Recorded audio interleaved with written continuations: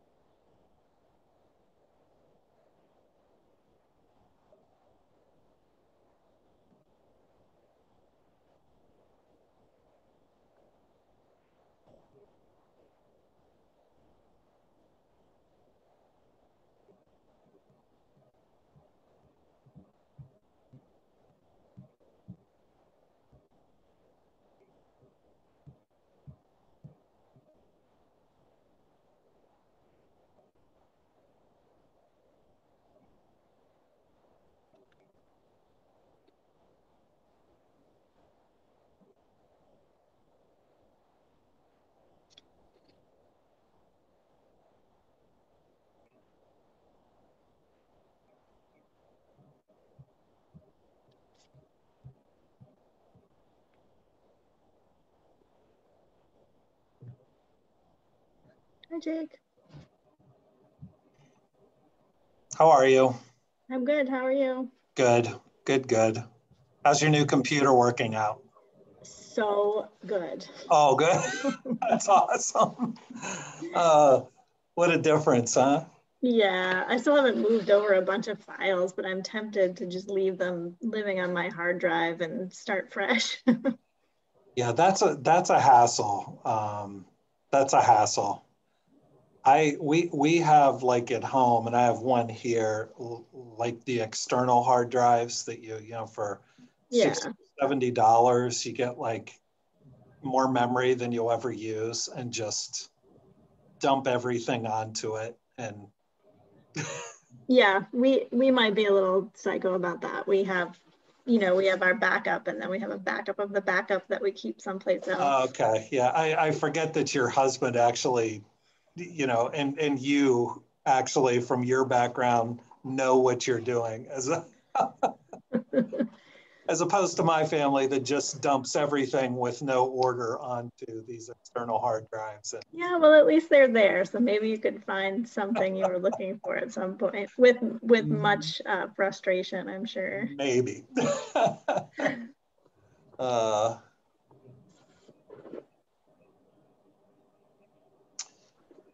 phew.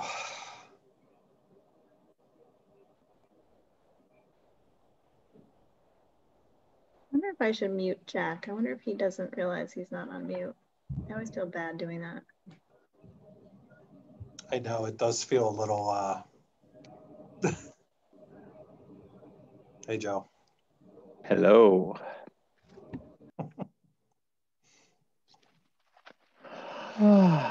Christina, you look so calm. It's awesome. Oh, this is recording it's probably it's probably the filter on my new computer. It's the calming filter. Oh, all the bad Zoom jokes that we could have for the year. you have to love technology. Yeah. Especially this year. hmm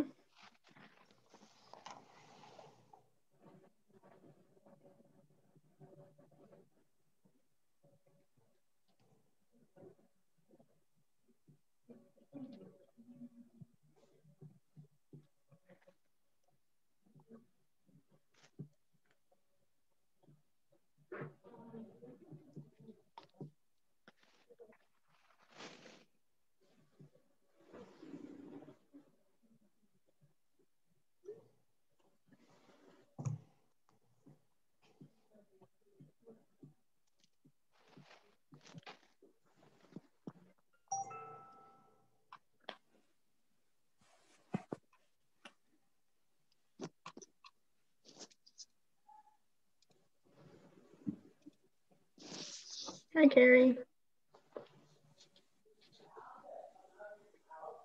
Stephen, are you there? I am there. I have a very bad internet connection where, where I am. So, Okay. given that I'm going to be spending most of my time typing,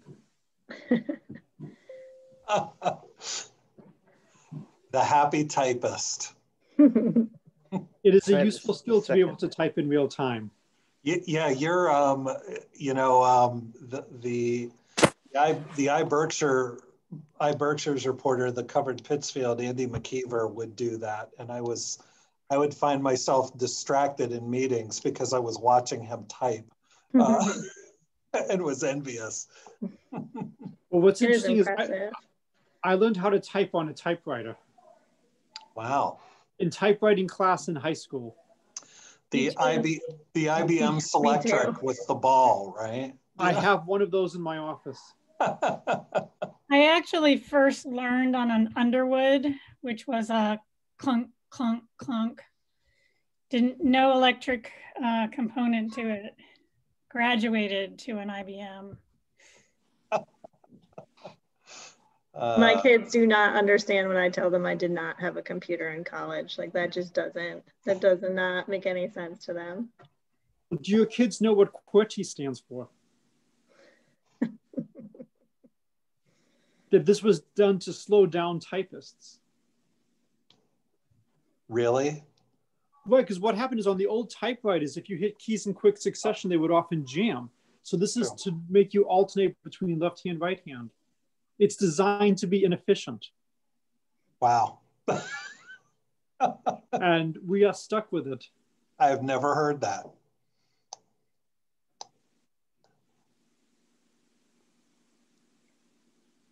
I made it just in the nick of time. We're sharing typewriter stories. Oh, that's how I learned to type. A S D F J K L semi return. I remember it well. I hated the little white paper you had to put in to make a correction. Oh, Oh, that's yeah. right. You could only have so many mistakes per page before they would make you redo it. So to be fair, I'm an excellent typer, so I think that has something to do with it. Wow. Like One my of the most this guy. one of the most useful classes I took in, in high school. There's Jose. Hi, Jose. We are just waiting for Curtis. The It's his little birthday birdie told me it's his birthday today. Oh.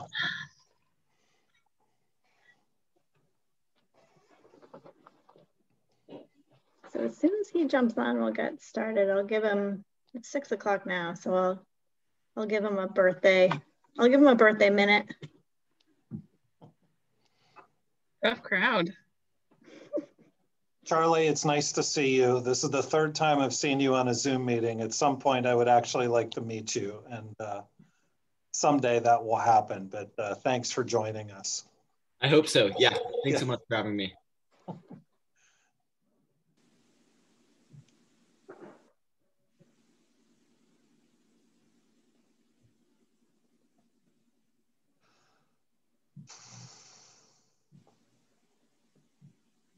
Michelle, do you have Curtis's contact information? I do. He used to be my backyard neighbor. And he buys eggs from us. I say?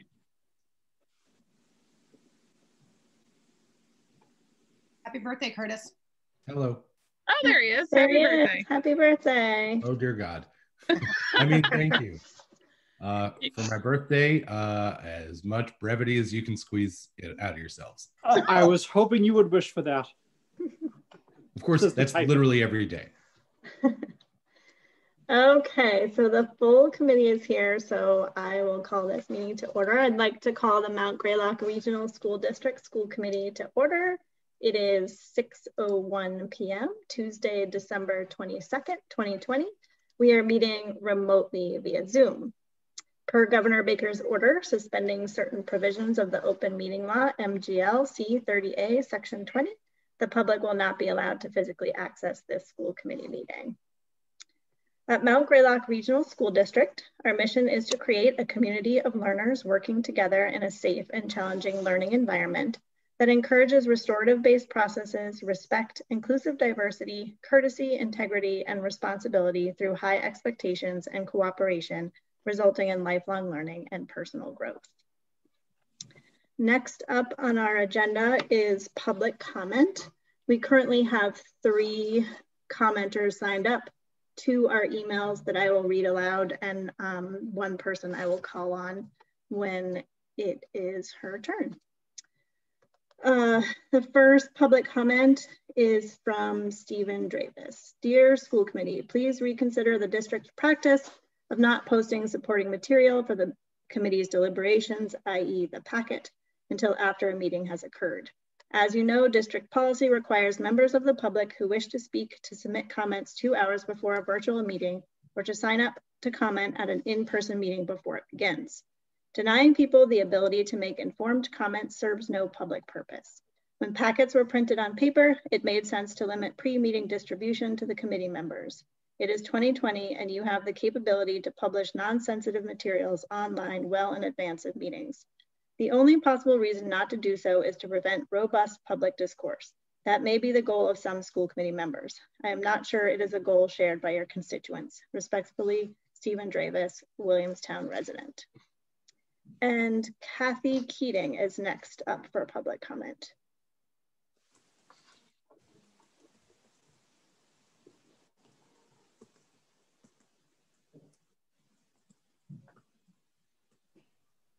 Hello, can you hear me?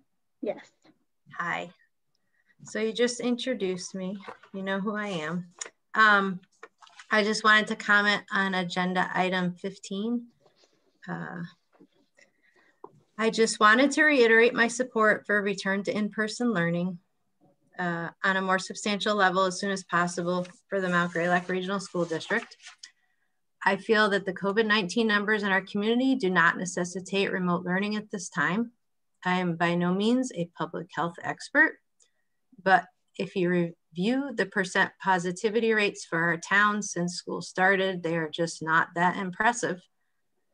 From the little amount of research I've done on various guidelines across the country, 5% positivity seems to be a reasonable cutoff for switching to remote learning. There's only one week where the number went over that and it was only in one town. Just all the school committee members get the email I sent with the little, the numbers, okay. For the three weeks where Williamstown was in the yellow category, two of those weeks were because of a small outbreak of COVID at Pine Cobble, and the other more recent one was because of increased numbers at Williamstown Commons, the long-term care facility in Williamstown. I don't believe either of those clusters really threatens the health of our teachers or students at any of our three schools. I would just like someone to explain to me why after reading the percent positivity rates for our towns, why the majority of our children are doing completely remote learning. Those children and families are suffering the consequences of this, which I already discussed at the last meeting I, presented at. Oh, where'd my video go? I would also imagine there are many teachers in our district who would support a return to more in-person learning as well. From the teachers I've spoken with in our district and other districts, uh, I only hear that this is an exceedingly difficult task that they're being asked to do. I would implore this committee to embrace a public health perspective when recommending guidelines for returning to school. Fear, anxiety, and political pressures should not be where guidelines come from. Guidelines should be formed with the advice of public health experts as this is a public health crisis a crisis that we are only making worse by using remote learning when we don't need to. okay. So thank you. Thank you. Yep. Our next public comment comes from Allison Carter. Dear school committee, as a child, the sports field was where I learned some of life's greatest skills, teamwork, leadership, decision-making, commitment, determination, communication, self-confidence. As a community member and parent, I hear so many stories about our athletic programs and the life skill building and joy they bring to our students, and also how our current infrastructure is insufficient for Mount Greylock's athletic needs. This is why previous subcommittees prioritized a new playing field on top of the improvements necessary to bring current facilities into compliance with Title IX and ADA requirements. And the analysis conducted by the phase two subcommittee led them to favor a Brockville turf field over a new grass field for a number of specific readings, reasons, including that a grass field is likely more expensive than a turf field over the turf's lifespan. Thanks to the gift from Williams College, the school committee is in a position to not only provide our students with increased opportunities for athletics and the learning experiences that come with them, but also set aside a million in renewal fund to help offset costs of major school needs in the future reducing the burden on our towns and taxpayers. How amazing is that? What an incredible opportunity for our children, the district, and our communities. I encourage you to support the efforts of the Phase 2 Subcommittee and move forward with the bidding process for a Brockville field with the knowledge that your support will positively impact the lives of our students for years to come. Sincerely, Allie Carter, Williamstown, parent of three, and 2018-2020 school committee member. And I do not see any other public comment. So we will move on to the next agenda item, which is approval of minutes. First up, we have the December 8, 2020 minutes. Do I have a motion to approve the December 8th, 2020 minutes? So move. Curtis moves. Do I have a second? I'll second. Michelle seconds. Any discussion? Julia? Um, it, it may not be a, a big thing, but I felt like it was an important thing at the last meeting that may not have been clear in these minutes under the educational update. Um, I don't believe I asked about creative ways to involve students in a virtual way. I believe I was that was in direct response to Kathy Keating's comments at the last meeting, speaking of mental health and asking for are there creative ways um, not to involve students, but to engage with students uh, through the through the day. And I think it's important to note that Superintendent McCandless responded with the fact that they were looking at um, potential sources for mental health supports for students in a remote environment. I think that's, um, I just want it noted that there are efforts being made. Um, not as good as being in person for sure, but efforts being made. Thank you. Okay, with those notes, any further discussion? Okay, hearing none, all in favor, roll call alphabetically by last name. Bowen, aye. Conry, aye. Constantine, aye. Elfenbein, aye. Green, aye. Johnson, aye. Miller, aye. Okay, those minutes pass. Thank you. Do I have a motion to approve the December 14th, 2020 minutes? So moved. I, can, we, can we approve them both or do we need to take them individually? Uh, December 14th. Um, There's two sessions. Let's, the, there are two sessions. So let me, let me um, amend a motion to, um, do I have a motion to approve the December 14th, 2020 public comment session minutes? So moved. Julia moves. Do I have a second? Second. Curtis seconds. Any discussion? Okay, hearing none. All in favor? Bowen, aye. Conry, aye. Constantine, aye. Elfenbein, aye. Green, aye. Johnson, aye. Miller, aye. Okay, thank you. Those minutes pass. Do I have a motion to approve the December 14th, 2020 presentation questions session minutes? So moved. John, Michelle moves. Do I have a second? Second. Julia seconds. Any discussion? I just had a question. Yeah. Did did we ever get the actual presentations? Yes, I believe we did. Okay. Um, but let me let me just mark that question in my notes and look into it and make sure that they were distributed to everybody. Okay, thank you.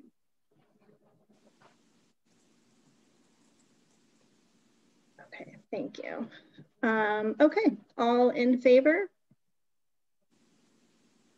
Bowen, aye. Conry, aye. Constantine, aye. Elfenbein, aye. Green, aye. Johnson, aye. Miller, aye. Thank you. That motion passes.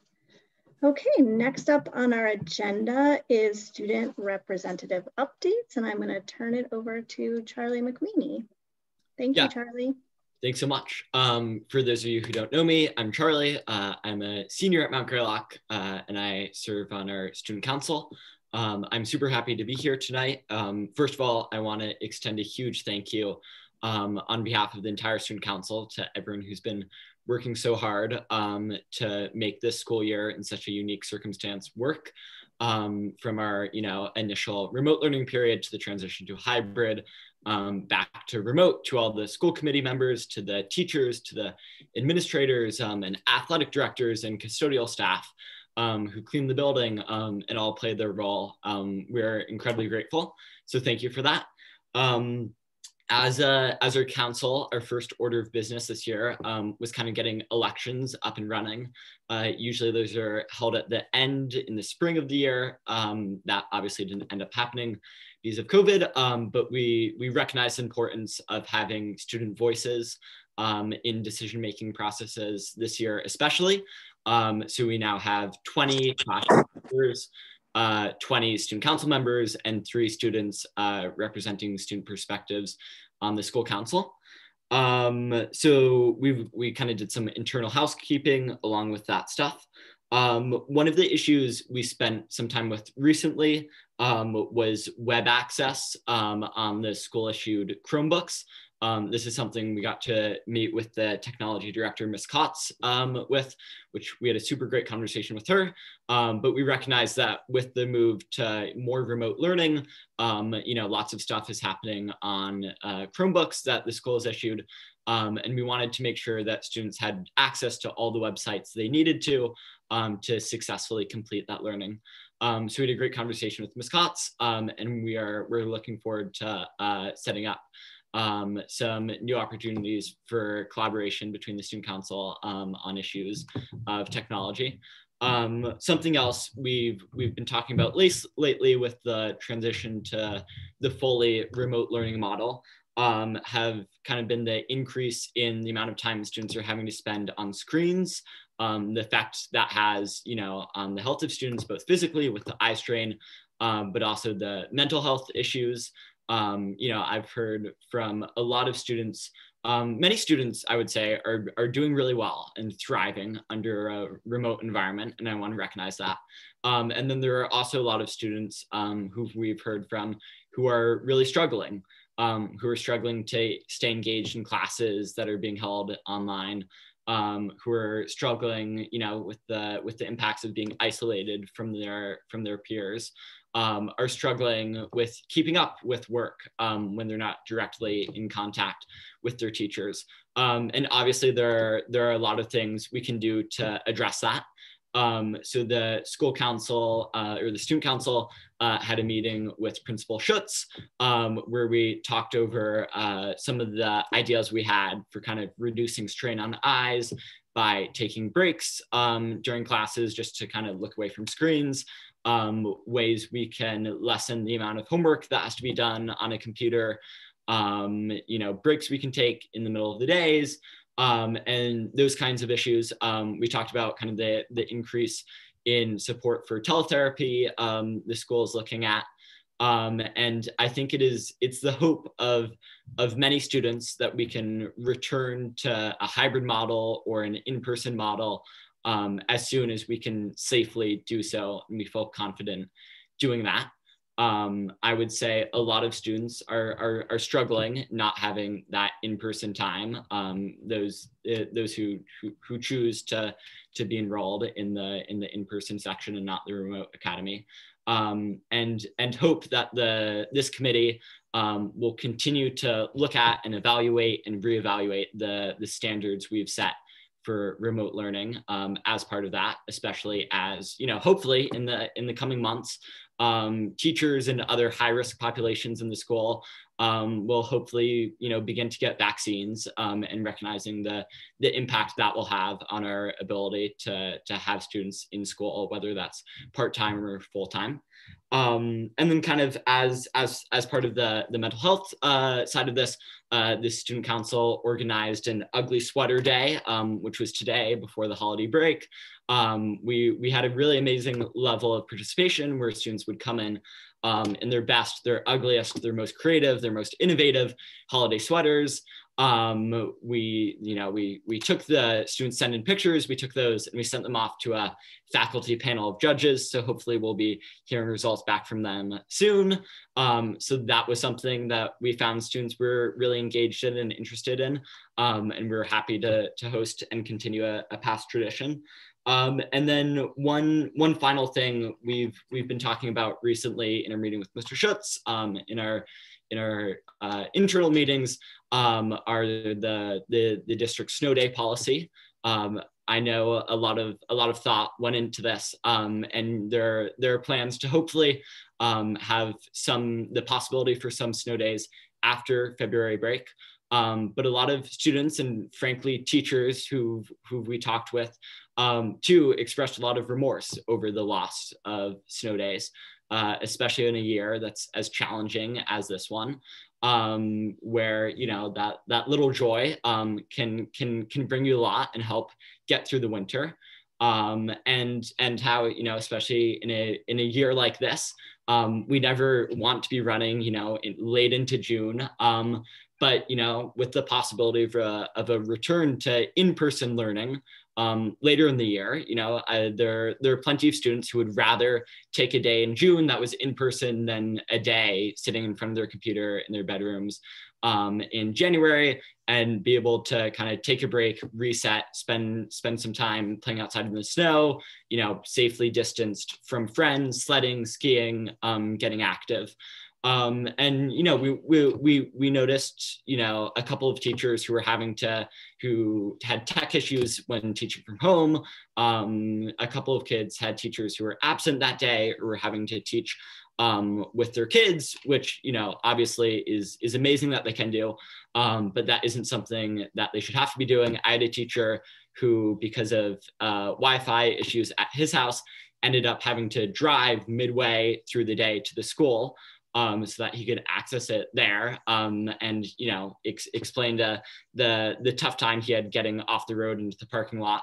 Um, so there there are definitely some of those impacts too, but I think ultimately it's it's largely a question of giving kids a little break, um, a time to to reset um, in these unusual and difficult circumstances, um, and then come back stronger and ready to to learn and be engaged. Um, that's all I have for you guys tonight. I'm happy to take any questions if anyone has any. Um, but thanks so much for having me. Thank you, Charlie, so much. Any questions from the committee for Charlie? Uh, this is Steve. One quick question. I know last year before COVID hit, there was discussion about the start of the day and trying to have a conversation countywide. We are, you know, far away from that, you know, being I think on the front burner. But is that something that's going to be looked at again this year? Yeah, that's a that's a great point. That's something that the student council, as as long as I remember, has always been interested in. Um, it definitely has not been at the front of our minds, um, given how complex the schedule for the school year is. Um, I think during when we were all entirely remote, we we brought it up um, just because it felt like a, a relatively easy change.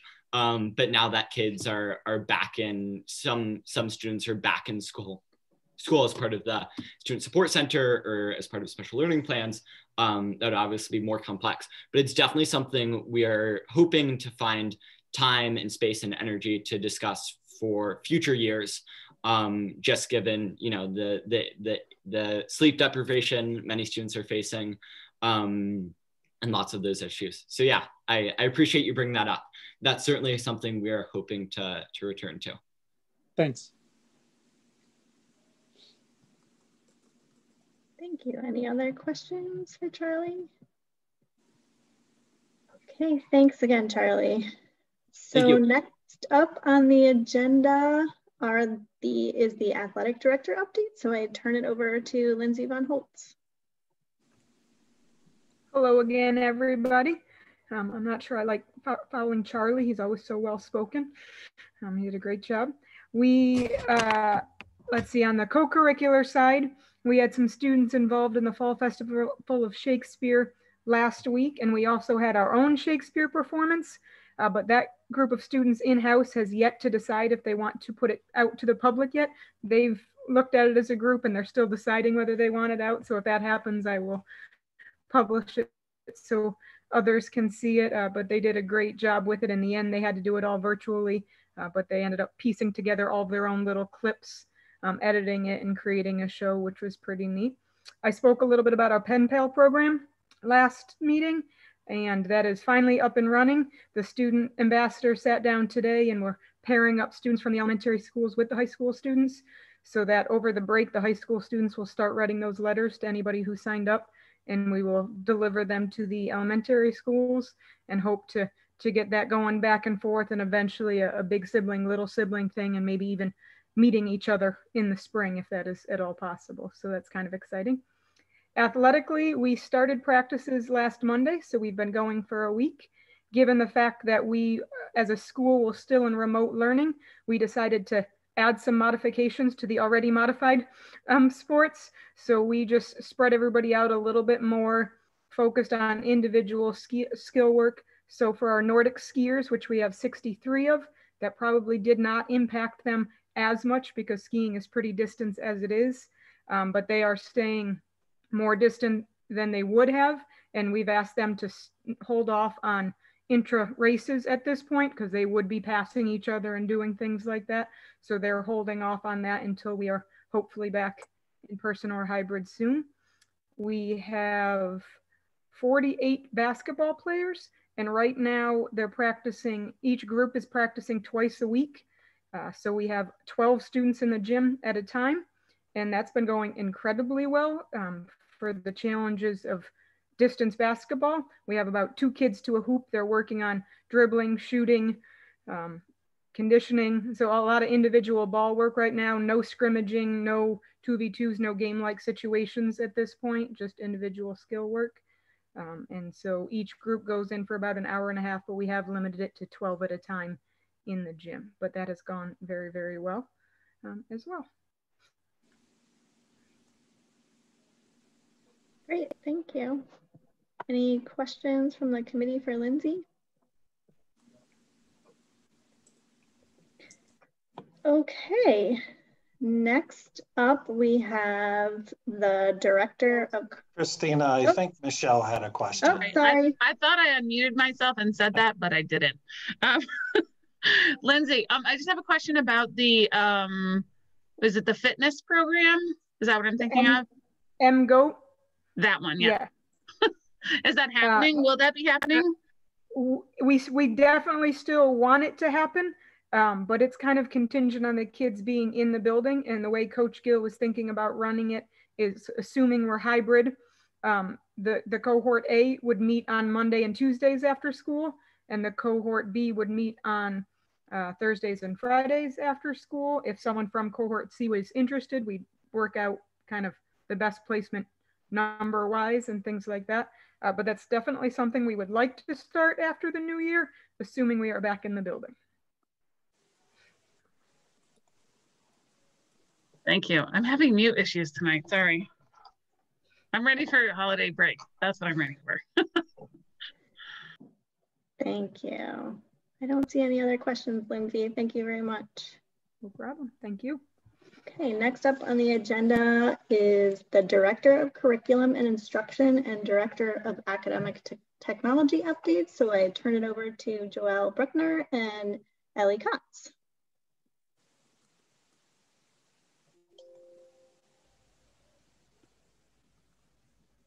Hello.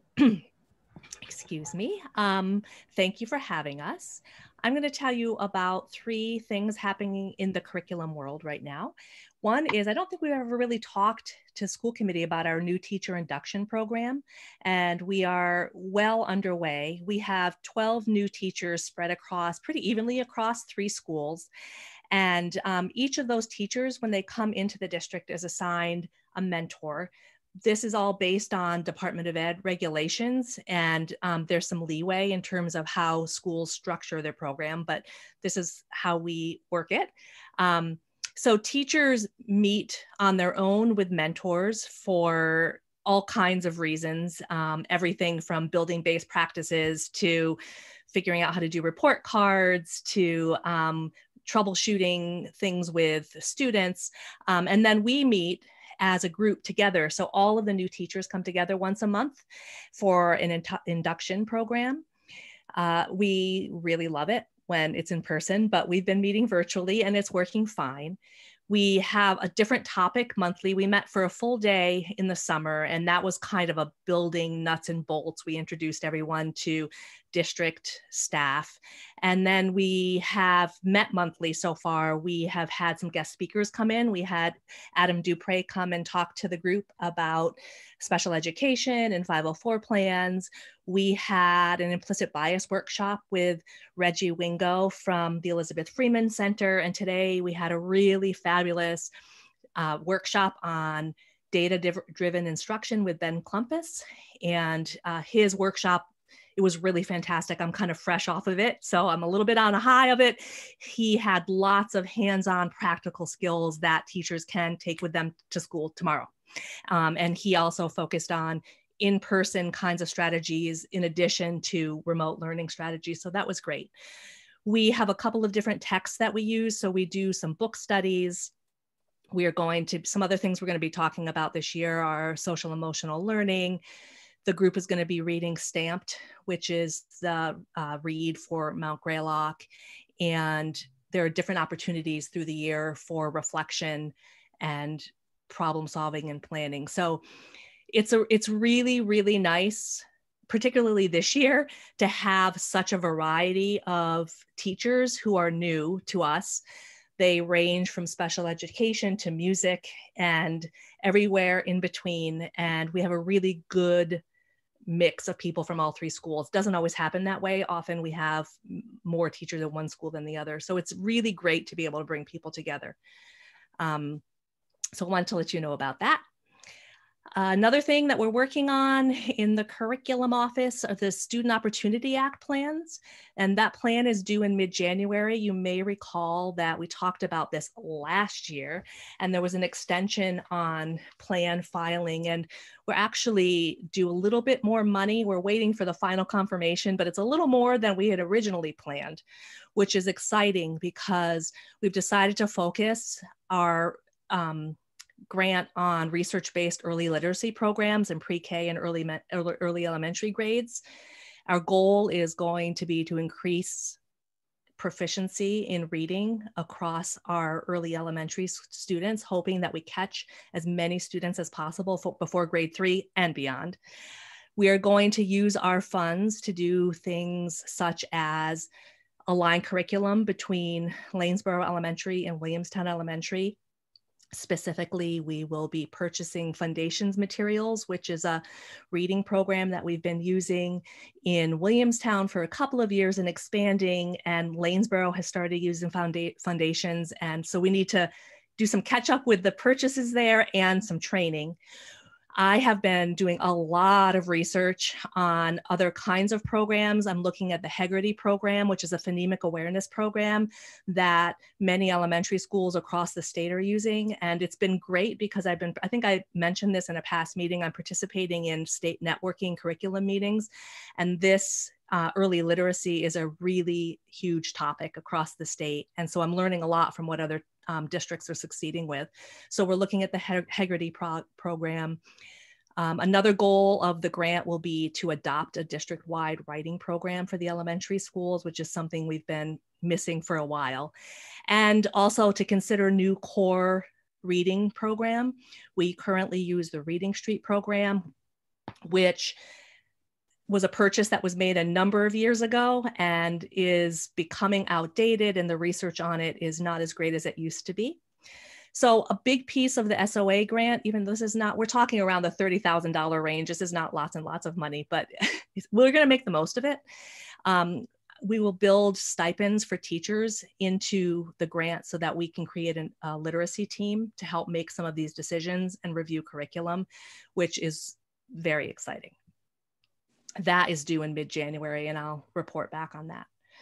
A final thing I wanted to mention, and Ellie can piggyback on this if she wants to, but um, Ellie and I have launched a bi-monthly newsletter, which we call Teaching in Tech at Mount Greylock.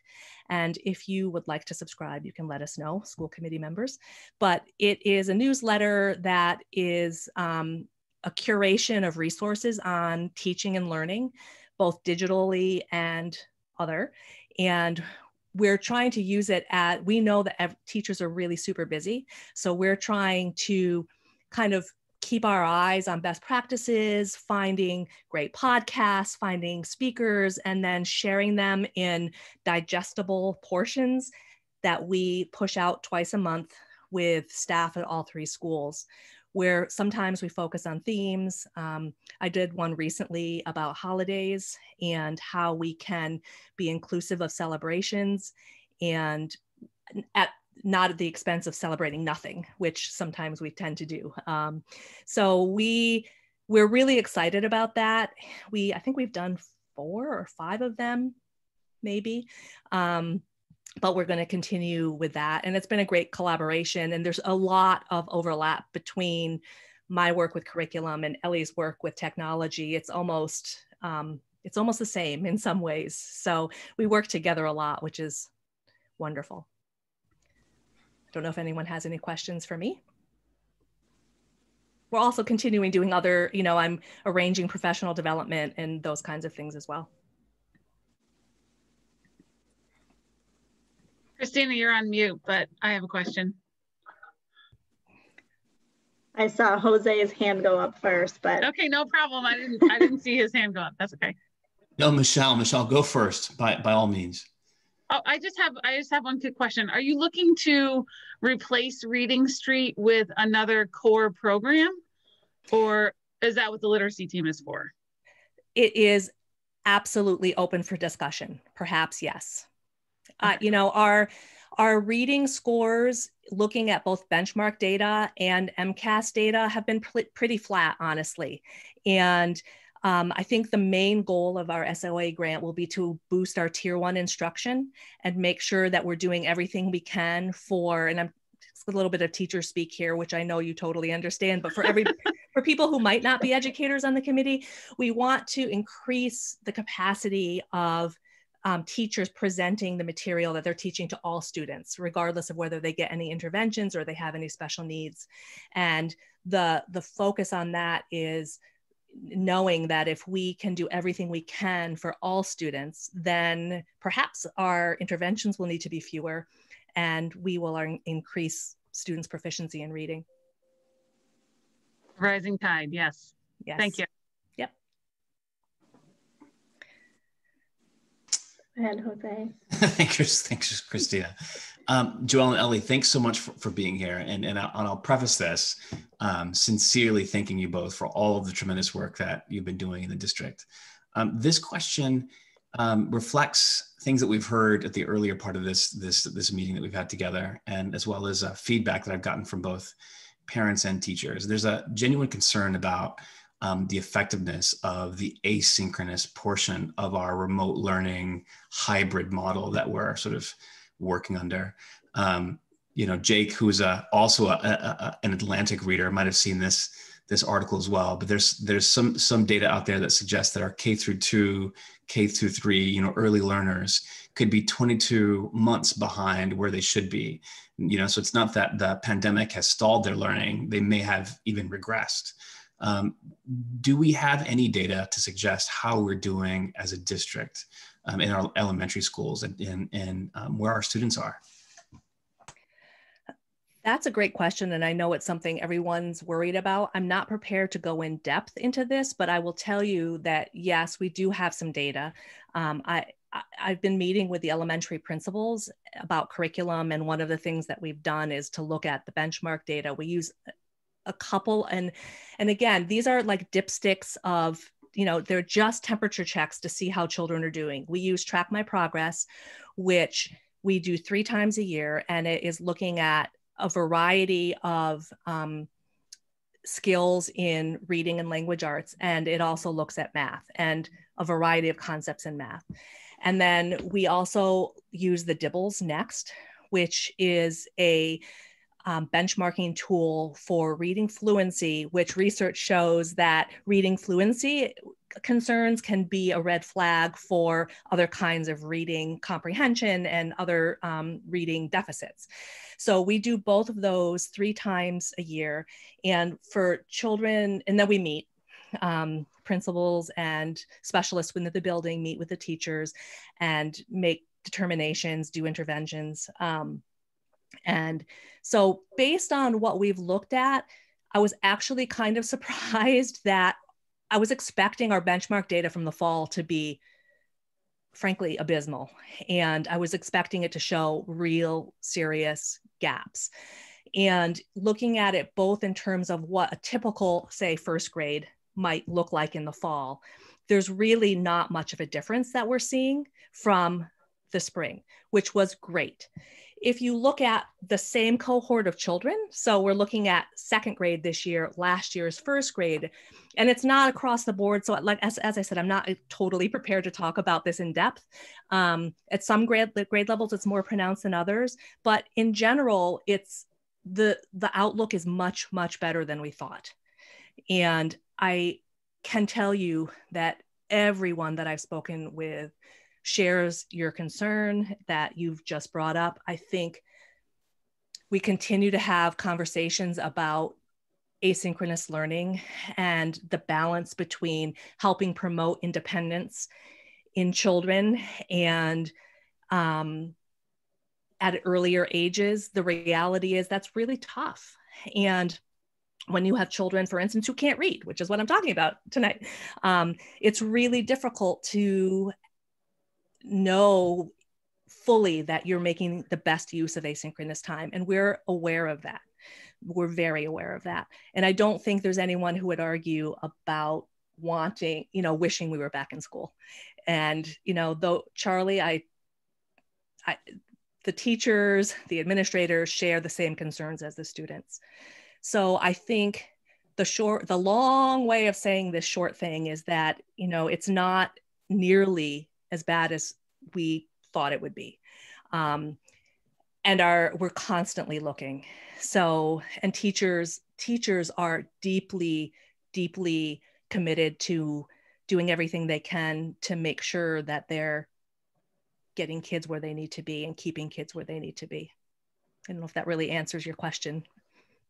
Yeah, just just to follow up, and it's a, a brief follow up. And um, you know, are there plans in place um, as a district to assess, to do just that? You know, to, to to dive deeper into the data and to really get a sense of of how we're performing as a district and what and whether um, you know uh, how our student whether our students are, are being set back or to assess how they're being set back as a response as a as a um, you know as as a as a consequence of, of the pandemic and, and you know the situation that we find ourselves in? Is there a plan in place? That's the short end of it. So try to get the words out. I think our plan is to continue to use the tools that we have and to do things like use this grant to be able to supplement what we're doing and to make sure that we're using the best possible tools that we can and to continue to provide professional development for teachers on the technological tools that we have available, which are many, so that in the situation like we're in right now, where we don't really have a choice, that we're doing the very best that we can. I don't think I can guarantee you, Jose, that there's zero complacency, um, that everybody everybody's minds and everybody's hearts are in the exact same place and we're working together and sharing those same concerns Yes, and, and that I know for sure. There is no, I, I, I have full faith in, in, in there being no complacency. Um, one last question on this topic, and apologies uh, for taking up so much time, but the uh, this question is related to that there have been some um, concerns raised by you know both teachers and, and parents about um, this remote learning model that we find ourselves in. We're adopt we've adopted the hybrid sort of schedule where there's a synchronous half day component and, a, and then a, the, a second component that's asynchronous. Um, at the start of the school year, uh, when we eased into sort of a remote learning model, it was, it was a full day, pretty heavy day of, of screen time, but it was, it was a, the bulk of it was synchronous. Do you have a sense of, of, of whether the model that we're working under right now, this part-time synchronous, part-time asynchronous is as effective, less effective, more effective than the model that we started with? I would absolutely defer to our superintendent to help me with this answer. Um, I will say that I've heard those same kinds of comments. And again, I will go back to what I said. You know, there's a balance between really fostering independence in learners, which will have great payoff as they get older. Um, as a mom, I can tell you that. And as a teacher as well. And then also, that again, it's a, it's an issue in the state and it's a discussion with the commissioner of education in terms of how much synchronous time there needs to be. I know there are discussions and this is where i will defer to dr mccandless um, with magia about this. So i'm handing it over to you sir. Yeah uh, jose we'll get a little deeper into that in one of the presentations i'm going to do tonight if we can put a pin in that question for this moment? Thank you. I, I eagerly await. I will say I recently was in a meeting with the deputy commissioner and this did come up and many superintendents are concerned about it and on both ends is this enough synchronous time is this too much screen time and where is the balance and how is this impacting our learners? So this is not unique to our district. Yeah, thank you both. Thank you both. Now it's Ellie's turn. All right, so I got goosebumps when you were talking about the data because I remember when we were looking at it for the first time and I was I was pleasantly surprised. Um, and I still have my ugly sweater on from student council, so forgive me. Um, the Teaching in Tech newsletter, it's Teaching in Tech Tuesday, so it's actually like a triple T, um, has been a really nice way to collaborate, like Joelle said. And what I love about it is that it's organic and we really are checking in and having a dipstick on what's going on within um, our teachers and what they might need. So we might have a plan and we may scrap our plan because we'll say, oh, timeout, they don't need that content this week. They really need this. So we're really trying to be responsive to the needs that our teachers are sharing with us. Um, I have a list of highlights that we've been working on with regard to tech hardware and tech software. Um, a big project moving forward is mobile device management um, within the district for our Apple products. Um, right now, we're manually updating our iPads and devices for special education students, and that's just really cumbersome. Um, so that's something we're working on. We are also inventorying, updating, and checking compliance with our Chromebooks. I sent out an email to the Mount Greylock students last week because we realized some of the Chromebooks were a little too far behind to receive the auto updates. Um, so we've had a really great response with students updating their Chromebooks manually and now receiving the auto updates that we've pushed out. So we've kind of shored up a few systems. Additionally, we are finalizing the single sign-on launchpad for the elementary schools through ClassLink. Teachers have been using it in the classroom as a soft rollout for the past couple weeks because what we found was we, we thought we had it ready, but there may have been one or two small things we had to change. So I haven't pushed it out um, to families just yet, but that is coming. We are pushing out our mental health screener at the three schools. Um, so first parents will receive a form and it kind of looks a little funky because it comes straight from Pearson, which is the publisher for the mental health screener, but parents will be getting that at Mount Greylock and Lanesboro next week. Williamstown parents received that recently. Next, the teachers will fill out the screener. So there's a parent form, a teacher form, and finally we have a student form um, that students in grades five to 12 will fill out. That will be kind of our last phase. So we can look at the data and say, hey, where do we, what do we need? How much support do we need to provide?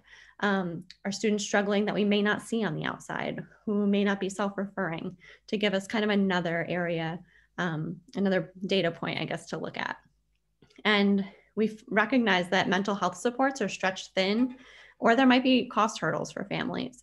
Um, so we are exploring options to provide teletherapy programming to support our students in addition to our school psychs and our guidance counselors.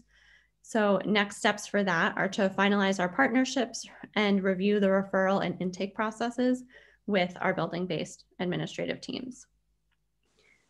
Lastly, um, parents and students have been utilizing the help desks at all three schools um, the email address is help desk and then at the school domain, whether it's at MGRHS or at Williamstown Elementary or at Lanesboro School. And that system has worked really, really well. So if anybody is having a tech problem, they email the help desk and it funnels to either myself, Cody, who is our AV specialist at the high school, Rob Wnuk, our director of operations, Julianne Haskins, who is our tech teacher, media specialist at Lanesboro, and Rebecca Leonard, who is our tech inclusion teacher at Williamstown Elementary. They have been phenomenally supportive and they've been doing so much behind the scenes work that makes each day function smoothly. So our team really has a nice channel and I don't know, filtering system. So that way the appropriate person is resolving the appropriate problem.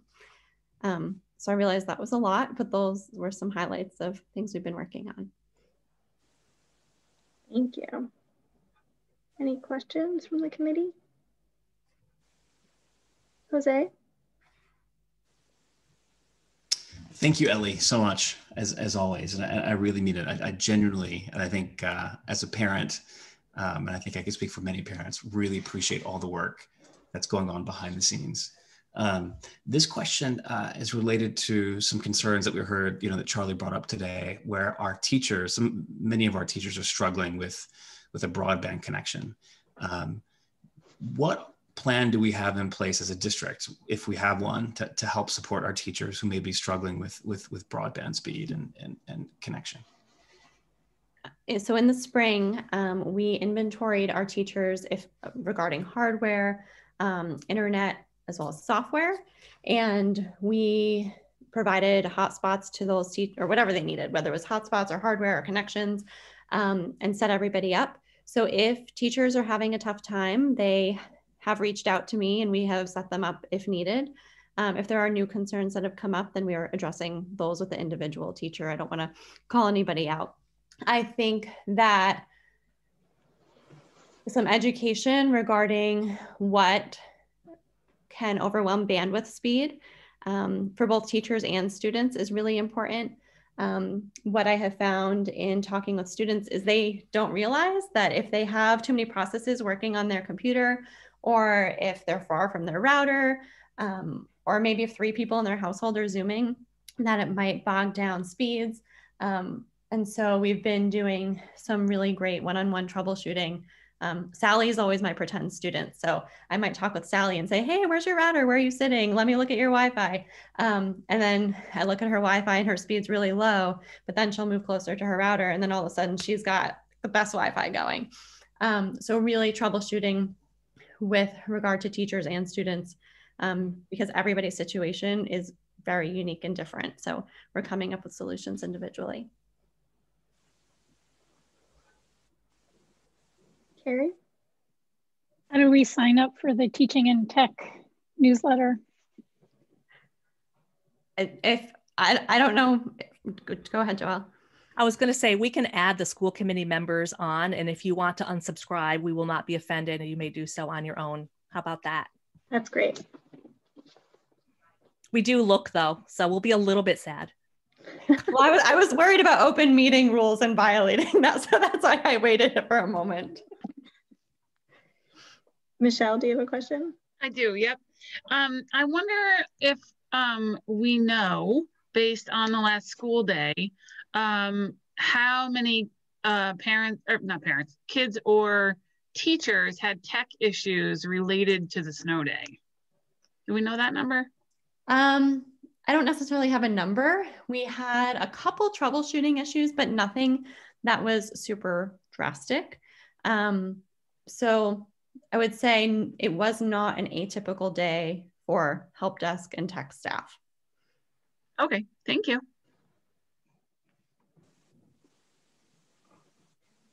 Okay, any further questions for Ellie?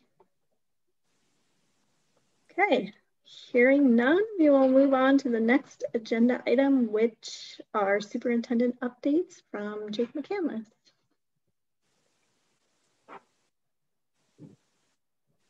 Thank you. I am obviously looking at a at a different agenda because I have the principal updates first. Am, am I? You know what? I totally messed up massively.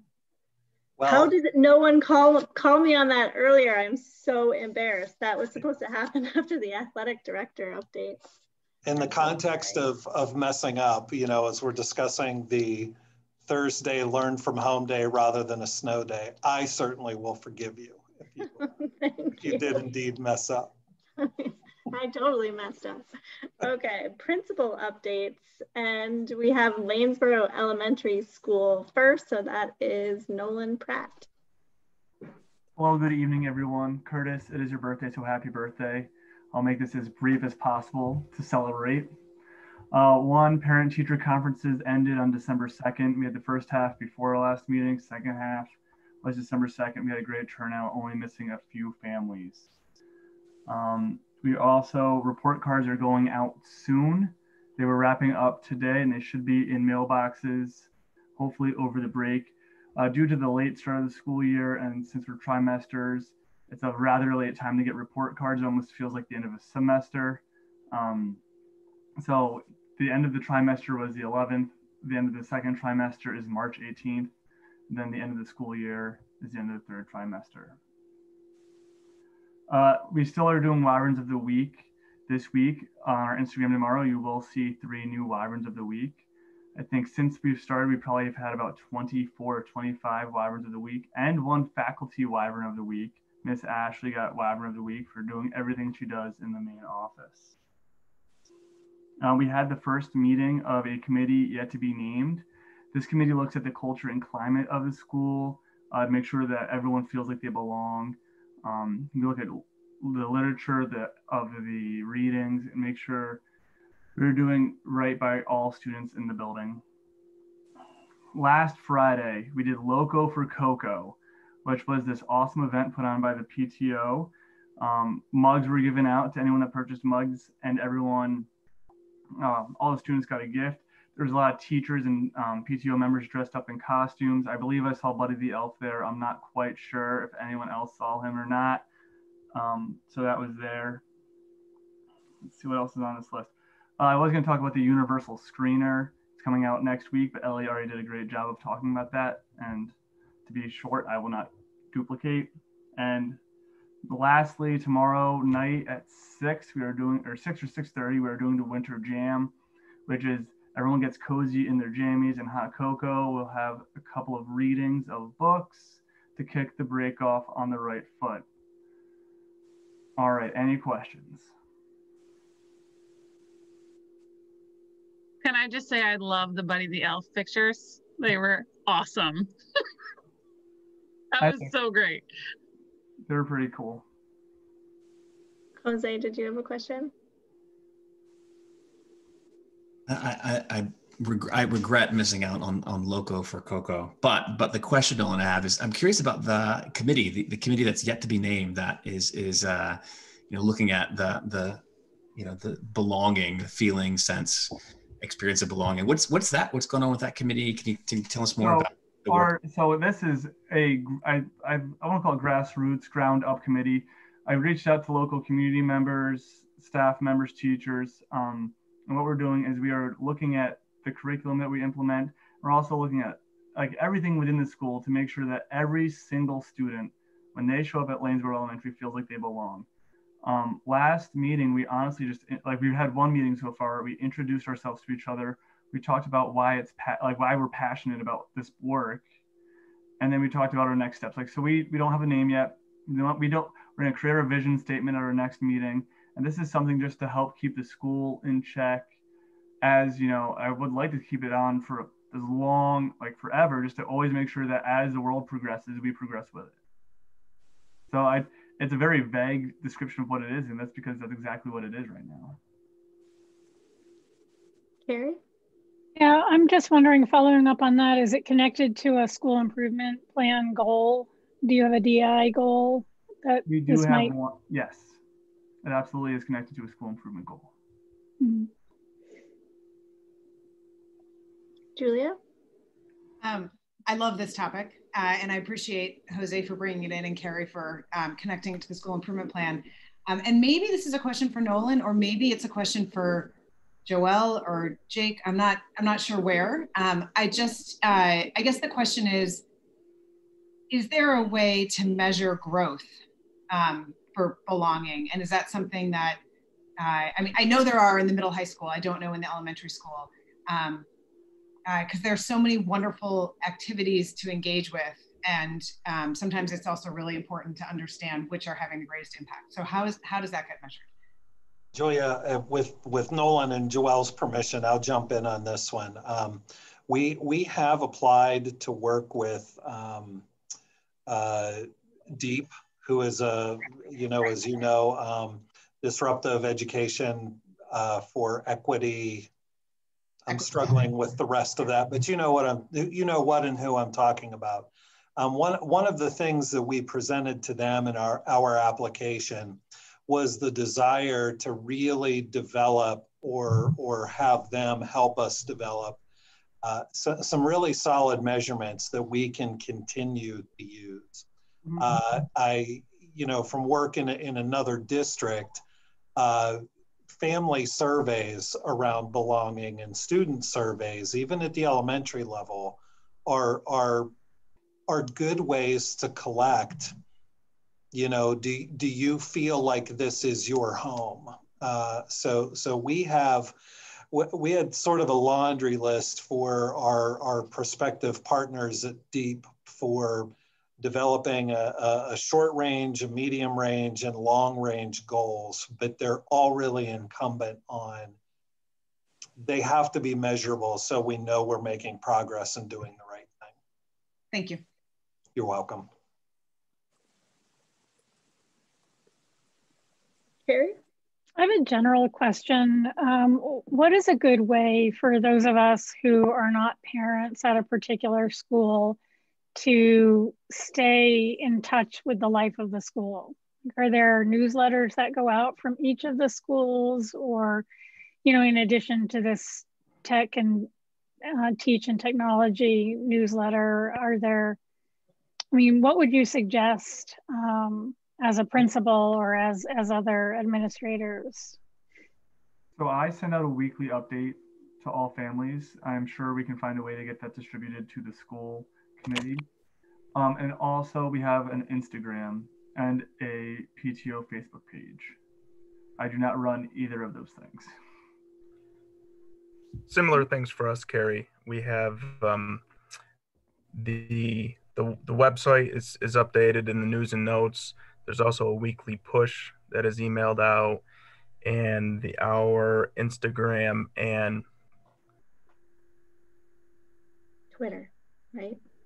Um, social media program that I can't think of right now is is updated frequently by by Liza and Colin.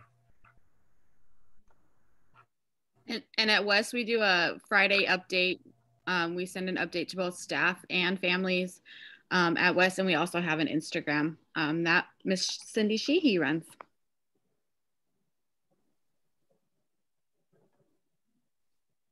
Great, thank you. I, I, just wonder if it makes, I don't know if all the school committee members feel this way, but it just seems like it would be nice to get the information from the schools as the parents are getting it so that we can kind of stay on top of, of what's going on at each of the schools now that we're all together. I second that. So put us on all the lists. Send us all the hashtags that we need to connect to, right? Okay, any more questions for Nolan before I turn it over to Williamstown Elementary School and Kristen Thompson? Okay, it's all you, Kristen. Good evening. We made it. um, that was a general feeling that in the building today was, you know what, we made it. We did this. Um, we can do hard things and we're going to continue to move forward um, as the school year progresses. Um, some updates from me. Um, something really exciting is that we had a school council meeting and um, we had some really great conversations surrounding our school improvement plan, um, which is being finalized. The draft is up. I have to add one little thing and um, we'll get that posted and, and I can also send it to you as well if you'd like to see it. Um, some really, really good conversations surrounding the school improvement plan.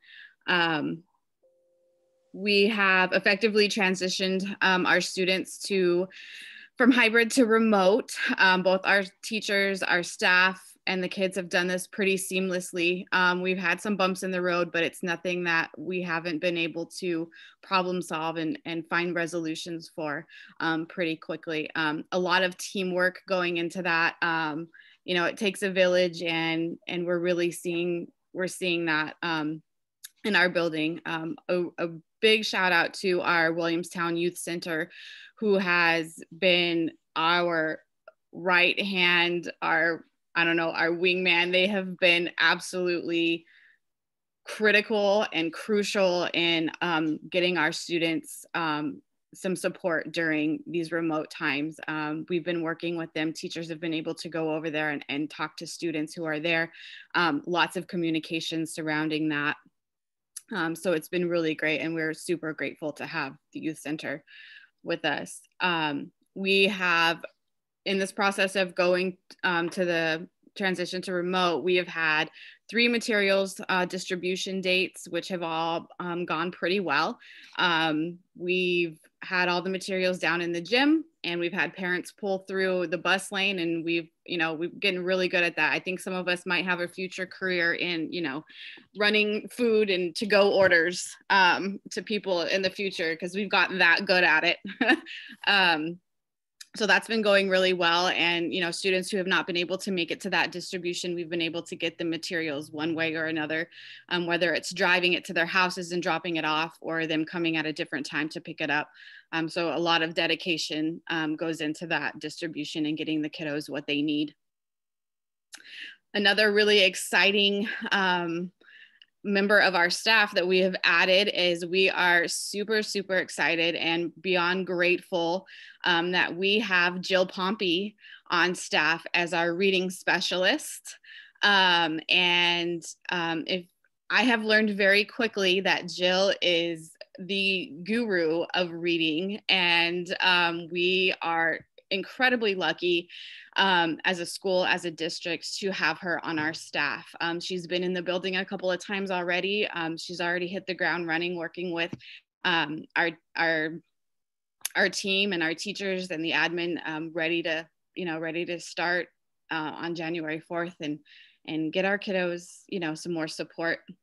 Um, something that we pushed out today um, that Cindy actually came up with, and that was a really, really great idea, was we create a very, it's a very simple, um, but it's an online, oh, excuse me, collaboration tool um, that we have created for teachers. Um, it's it's kind of just one of those documents to really get a dipstick to get a feel of you know what's working well what are your challenges and if you have any what are your creative solutions um, to those challenges and it, it offers our teachers as we're getting this end of um, i almost said semester but end of trimester reflection and um, a way to just really simply interact and collaborate on a simple form um, and, and see what's working for other people and try to problem solve. And also, it gives Cindy and I some tangible feedback on how we can continue to support teachers and get their feedback as well.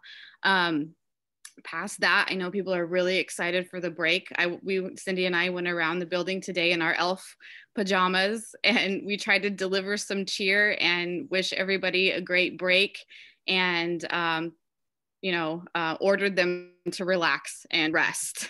so um, things are going great. Thank you. Any questions for Kristen? Jose? Kristen, thank you, and and and Cindy for all, all that you do. Uh, this there are two parts of this question, very brief.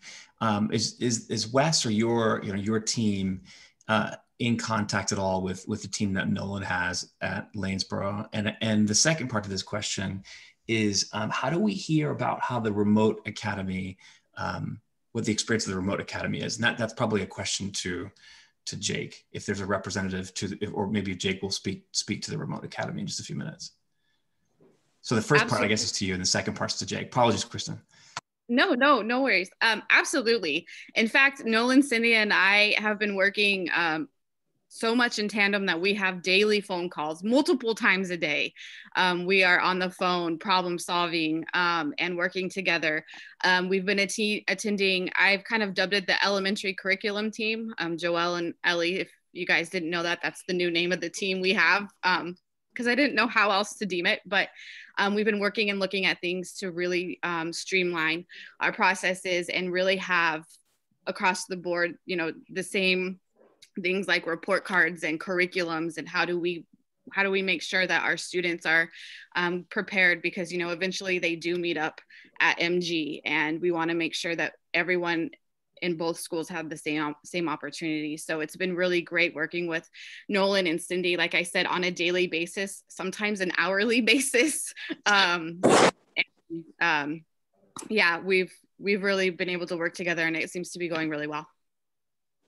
Yeah, and Jose, I will pick up the second part of that question, and I will touch on that lightly in the one of the the brief presentations that I will do. Um, you know, the remote academy is an interesting creature uh, that exists in some ways almost as a third school. And as we hit the end of the, or a third elementary school, as we hit the end of the first trimester, uh, we're, we're seeing some things that uh, we, we we're not necessarily expecting because, you know, we're a new region and uh, a newish region and uh, so there's there's there's some challenges that we're working through related to the remote academy.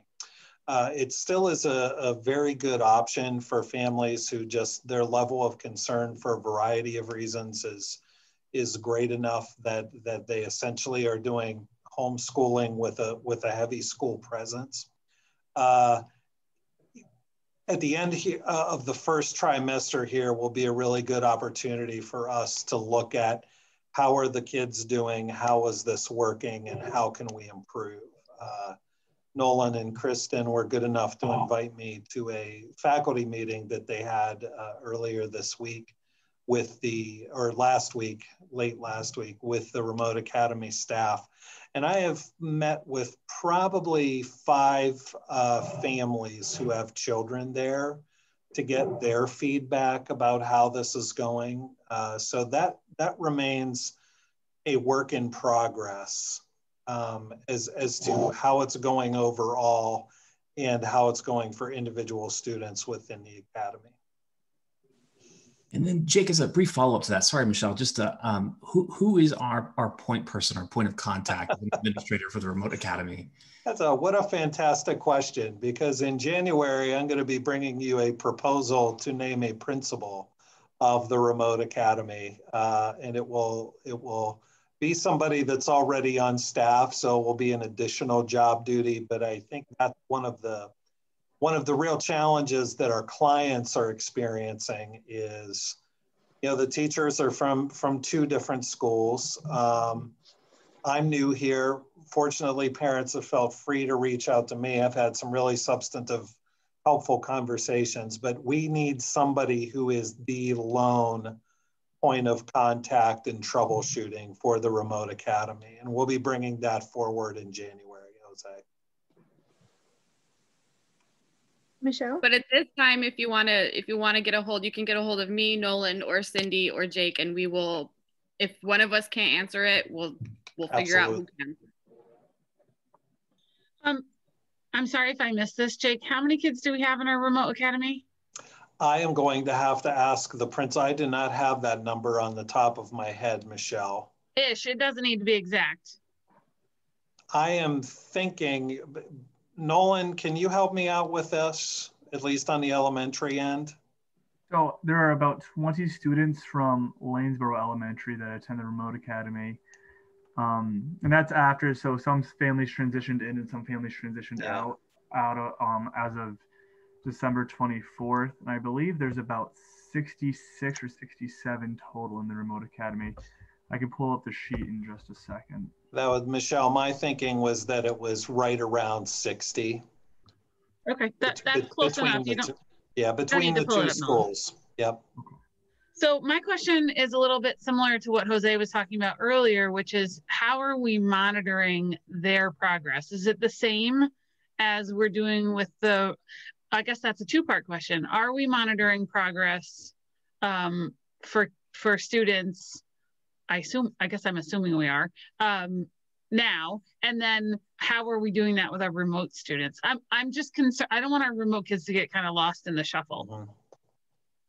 Agreed. I don't know if either of the principals or Joelle wants to talk about progress monitoring as it relates to the remote academy.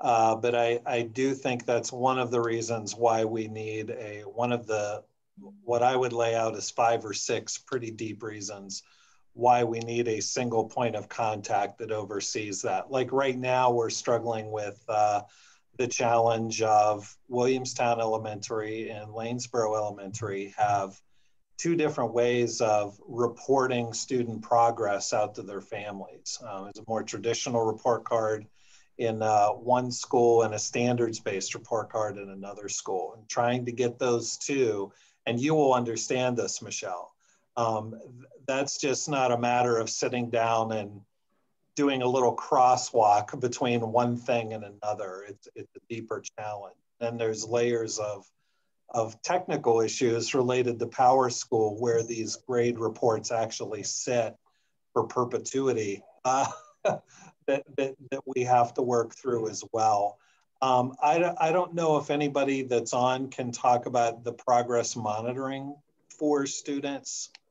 Are we doing the same level of progress monitoring that Joelle described with our remote students as we do with our uh, hybrid students? So I, I can almost guarantee that they are doing track my progress um, across the board in all K through six grades. I believe they did get DIBELS at the beginning of the year. I imagine that should be coming up as well. So they are being progress monitored and their data is being examined just as closely as students in the hybrid learning model. Thanks. And Joelle and Ellie are affirming that that is the case. So thanks, thanks all of you. Okay, that's great. Thank you. And I'll say one last thing, Jake, that I think that um, parents being willing to contact you directly is really a direct reflection on how approachable you are. So that's a testament you. to you. Um, you. I really, that is one thing that I have really enjoyed this year thus far is um, I, uh, the, the general shift in, in the approachability, I, I think of the whole, of, of the district as a whole. I think it's, we're moving in the right direction. Thank you. Okay, any other questions for Kristen? If not, we will move on to the Mount Greylock Regional School update from Jake Schutz. All right, good evening, everybody. So I have three points. The first is I'm excited to say that our Student Support Center and our Life Skills programs are operating Monday, Tuesday, Thursday, Friday, which is which is great for many of our families. It, right now, it serves approximately 25 students and is supported by approximately 10 staff. So right now we have room for up to 60 students. Um, so along with the educational staff, I'd like to thank our support staff, the custodians, the kitchen staff that are working to keep our those students safe and fed. So speaking about meals, just a reminder that all lunch meals are free for all of our students through the, the rest of the school year. You just need to uh, sign up when you do your health screener that you would like a lunch and you can pick it up at the elementary school closest to your house. Speaking about lunch, the um, students who uh, or families who may um, qualify for free or reduced lunch should go on our website and uh, apply for that free or reduced lunch not because it will make a difference for this year because all, all lunches are free but um, currently anyone eligible for that will receive uh, the next round of the P EBT card benefit, benefit card that'll run uh, that should be out by the end of December so, uh, and the details will be mailed out to families tomorrow in my my weekly email. But looking into the for, uh, into the future, it's likely that this benefit will be extended. And so, one of the ways to be considered eligible is uh, to be in that free or re- reduced lunch. So, if you're not sure if you qualify, I would recommend that you get on there and fill out the paperwork that goes to uh, Tammy Jennings, our uh, director of food services, and um, see if you qualify. So that was point one. Point two, I'm also excited to say that our student support team is now incorporating telehealth, specifically teletherapy, into our tiered response to interventions. So this is in this is in uh, addition to or augmenting what Ellie was talking about um, with with uh, the gaggle services. So this is the ink is still wet, and we've just started this. The service will be provided on a needs basis, uh, controlled by our student support team. The therapeutic services will focus um, uh, in scope and sequence to redirect students and families to a more sustainable programming and and local resources. So albeit school-based, outside agency, or private practice. So that was my second point. My third point is um, and you'll see a common theme in, in, my three points. And the third is um, our additional planning uh, to incorporate direct instruction for social and emotional learning in semester two. So starting third quarter, beginning of semester two is progressing. This pilot program will focus on the middle school with continuing the second step curriculum, which is already implemented in the elementary schools And in the meantime, we are researching with the support of Ellie and Joel, uh, SEL curriculum to be used at the high school. Uh, so again, the, the future goal is of mine is to officially incorporate the, these uh, a social emotional learning program um, or element into the program of studies for the 21-22 school year. That is all I have pending your questions. Thank you, Jake. Any questions from the committee? Okay, seeing, oh, Julia. Sorry, I was slow. Um, I, Jake, I'd be interested in hearing who would be implementing the social emotional, I, I assume that's for all students. Who, how is that implemented in the schedule with which teachers? So you're talking about my third point, the, yes. the, so this pilot program starting semester two is, um, it's likely going to be in either the seventh or the eighth. So it, it's hard right now. So right now, programmatically, we will likely pull either from an enrichment or a wellness period. Wellness, we often rotate students out like that, is because every student takes wellness all the time. And so that's somewhere we can take students out for two weeks at a time and cycle them through um, a, a, mini program. Uh, so that's likely will the, they'll come from this this coming semester, but the objective is to build it into the program of studies where there is a set time and a set curriculum uh, uh, instructor built into the schedule, albeit a an elective or an enrichment class. But it's uh, we're we're in the the beta phases of of planning that, and time will tell um, how how it goes this this this semester with the second step curriculum and I know we're already looking into some uh, different curriculum for the high school. Yep. So th there's there's a lot there's a lot to talk about, but I will, uh, I you know, I'll cut it off there so we don't get into the weeds. Yep, I I appreciate that, and I just want to say I am thrilled to hear this. Um, so I'm I'm really glad to hear this progress. Thank you, Michelle. Uh, I agree with Julia, and since we all three of us were on school council together, that's not a big surprise to you, I'm sure. Um, I would love to see it get into the rotation. The only problem with the enrichment would be that not everyone takes enrichment, so all the kids in band and whatever that right. would be. But um, I, I wanted to point out that just to be clear about the free and reduced lunch application, that that is a 100% confidential. It only goes to Tammy. Nobody else sees it, right? I just want to be clear about that. Yes, ma'am. Okay, good. Completely confidential. Thank you. Any more questions for Jake before we move on to the next agenda item that I embarrassingly so, skipped over? I'm, I'm sorry, Christina. One other caveat, just to jump onto that. Some other, many other schools have have programs, or there's so many students on free or reduced lunch that nobody really needs to apply, and everyone gets these PEBT cards, um, which is a great benefit. And we, a lot of our families could benefit from them. They just, they're just not used to, and there's a step they have to take to to be eligible. So that's why I just want to to make sure it'll uh, if folks are listening to reach out and it doesn't hurt to to apply. And uh, I'll I'll also be emailing out tomorrow and it'll be on our website. All right, spiel over. Sorry. Thank you, Jake. Next up on our agenda, another item that I accidentally skipped over is the Acting Director of People Services update. So I turn it over to Patrick Priester and I apologize. Good evening, everyone.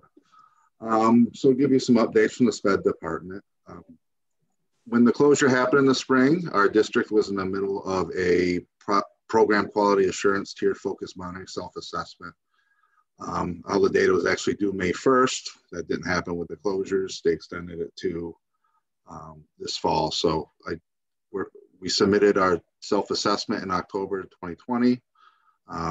We have a TFM orientation with DESE uh, on February 8th. Uh, that includes uh, the superintendent and the principals and myself. Um, and then the TFM on-site review will begin in April 2021. Uh, there's another piece to the TFM. It's the Office of Language Acquisition that includes our English language learner students, opt-out students, former English language learners, uh, English language learners with disabilities, and parents who need translation or interpreter services. So that self-assessment was submitted in this December, and I want to thank Gail Scheckman for a great amount of help she gave in, in making that happen. Um, circuit breaker funds, again, have been, uh, they were submitted in June. Circuit breaker was, the funds have been, began to be dispersed this fall. Um, we also had opportunity to apply for, haven't heard back yet, but they've been submitted for 274 and 298 grants. Um, the 274 grant is a target SPED program improvement uh, grant support program. Um, and 298 is for same thing, but for early childhood specifically, the three to five year olds in our pre-K program. Um, some good news, uh, our speech and language pathologists at Williamstown and Mount Greylock uh, did an in-house transfer to Lanesboro because we had an opening there. The speech and language there resigned this fall, moved on to um, Boston. Um, and so we ended up having to replace our speech and language pathologist in Williamstown, Mount Greylock, and it's Loretta Kittle. She came from Pittsfield, highly recommended, and she started um, last Monday, 12-14. So she's getting into her caseload now, and um, we'll, we'll be uh, starting that process and updating soon. Um, our COVID-19 special education learning plans went out in late October, early November. It took a little while to get those uh, put together and implemented and mailed out, but we got those out. And we're looking at hosting a Parents Right to Know night um, this winter. A couple districts reached out to me about coordinating with them so we can share the cost and get a good crowd out for that. And that will most likely be virtually, I could pretty much assure it. Um, that's all I have for an update from the SPED department. If there's any other questions from the committee. Thank you, Patrick. Carrie? Um, I just have a question. Thanks, Patrick. I just have a question about circuit breaker. Um, can you just talk about that a little bit? So circuit breaker seems to be the one uh, budget element out of special education that that involves the school committee or the school committee hears about a little bit more. And since we have so many new members, I was wondering if you could just explain how circuit breaker works briefly. Yeah. Uh, for our more intensive uh, students who um, basically, if they cost more than $45,000 this past year, it's called a foundation. Anything over $45,000, we can apply for and get reimbursed up to 75% of that. So if we have a students in the out of district placement, say um, at the old school I worked at, a Colburn school, it, we pay to send them there and we can uh, ask for reimbursement from circuit breaker for up to 75% of the money that we spent above the, the threshold, which this past year was $45,000. So it, it really only affects about 10 kids in the district, but it's money we can get back for, for the high needs and the services we provide.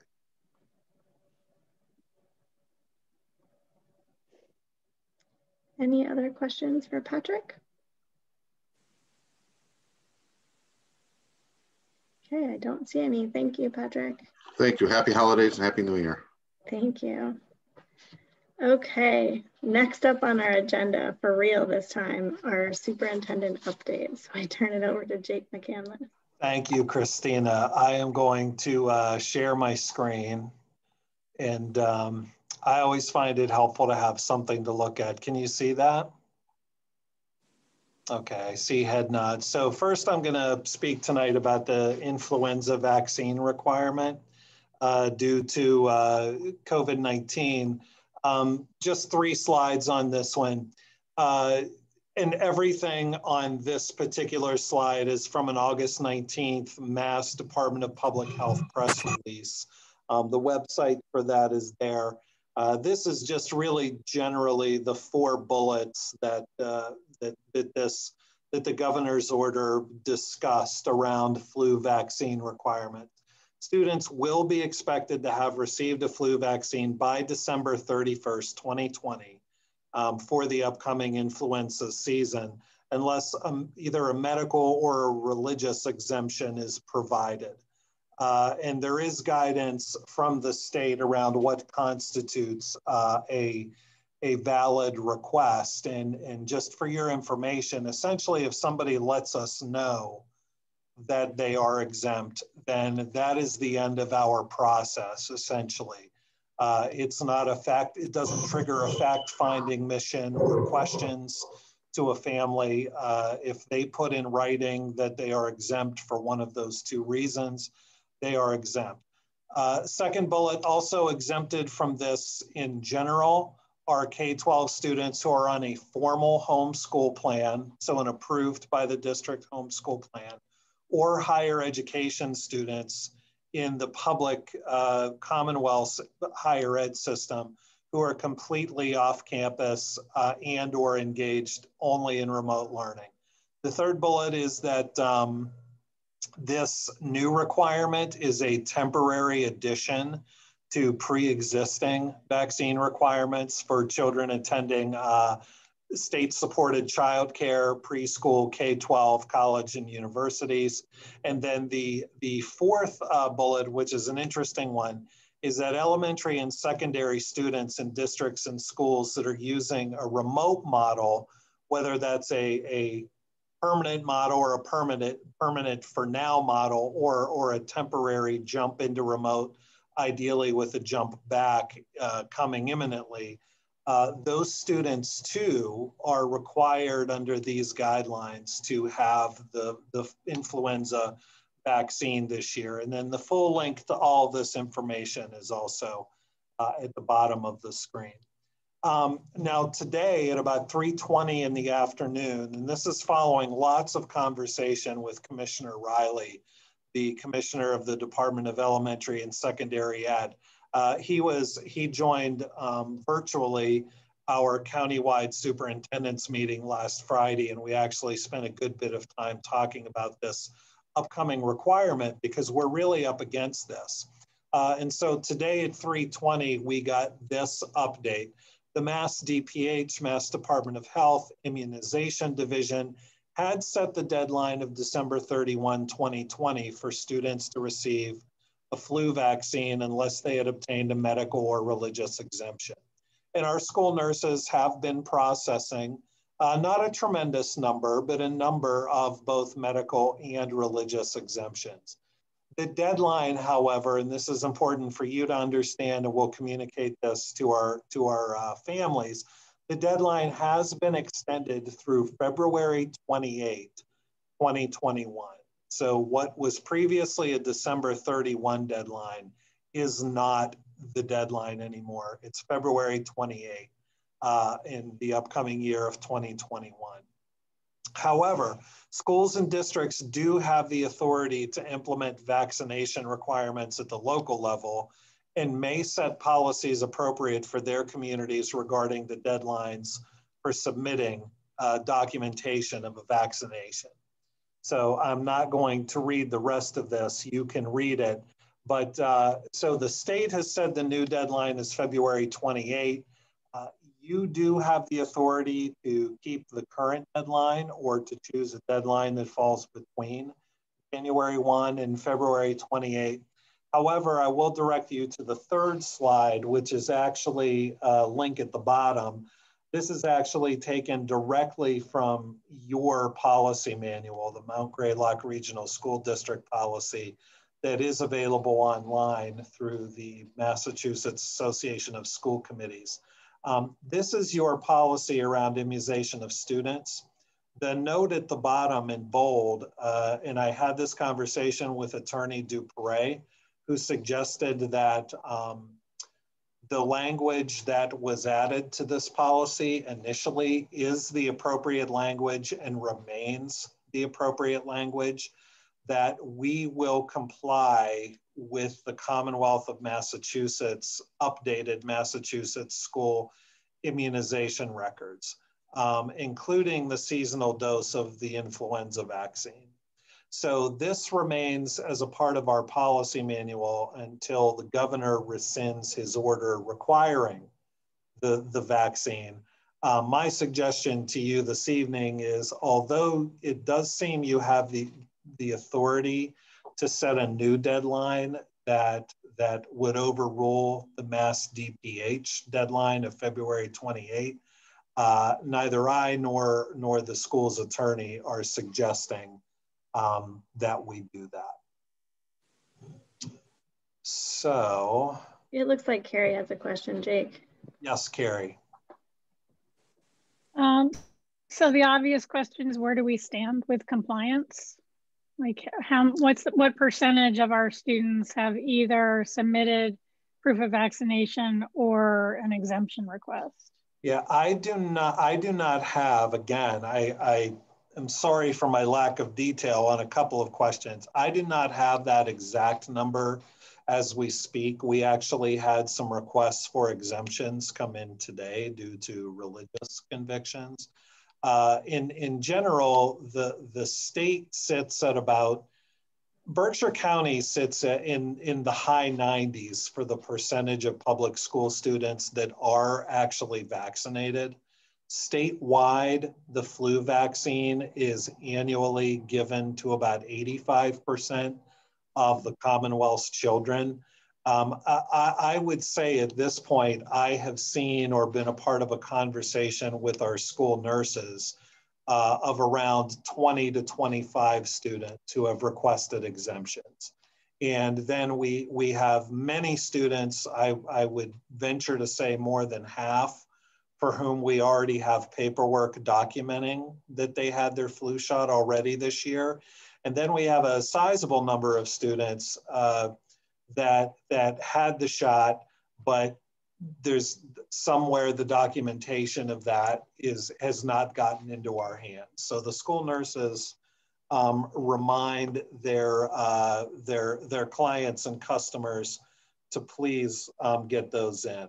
So and Stacy just texted me that uh, just really over the last couple of days we have been CC'd on eight to ten um, exemptions. So I, I, would venture to say that when all is said and done, uh, we are likely to be over 90% of our students having complied and families having complied with this order.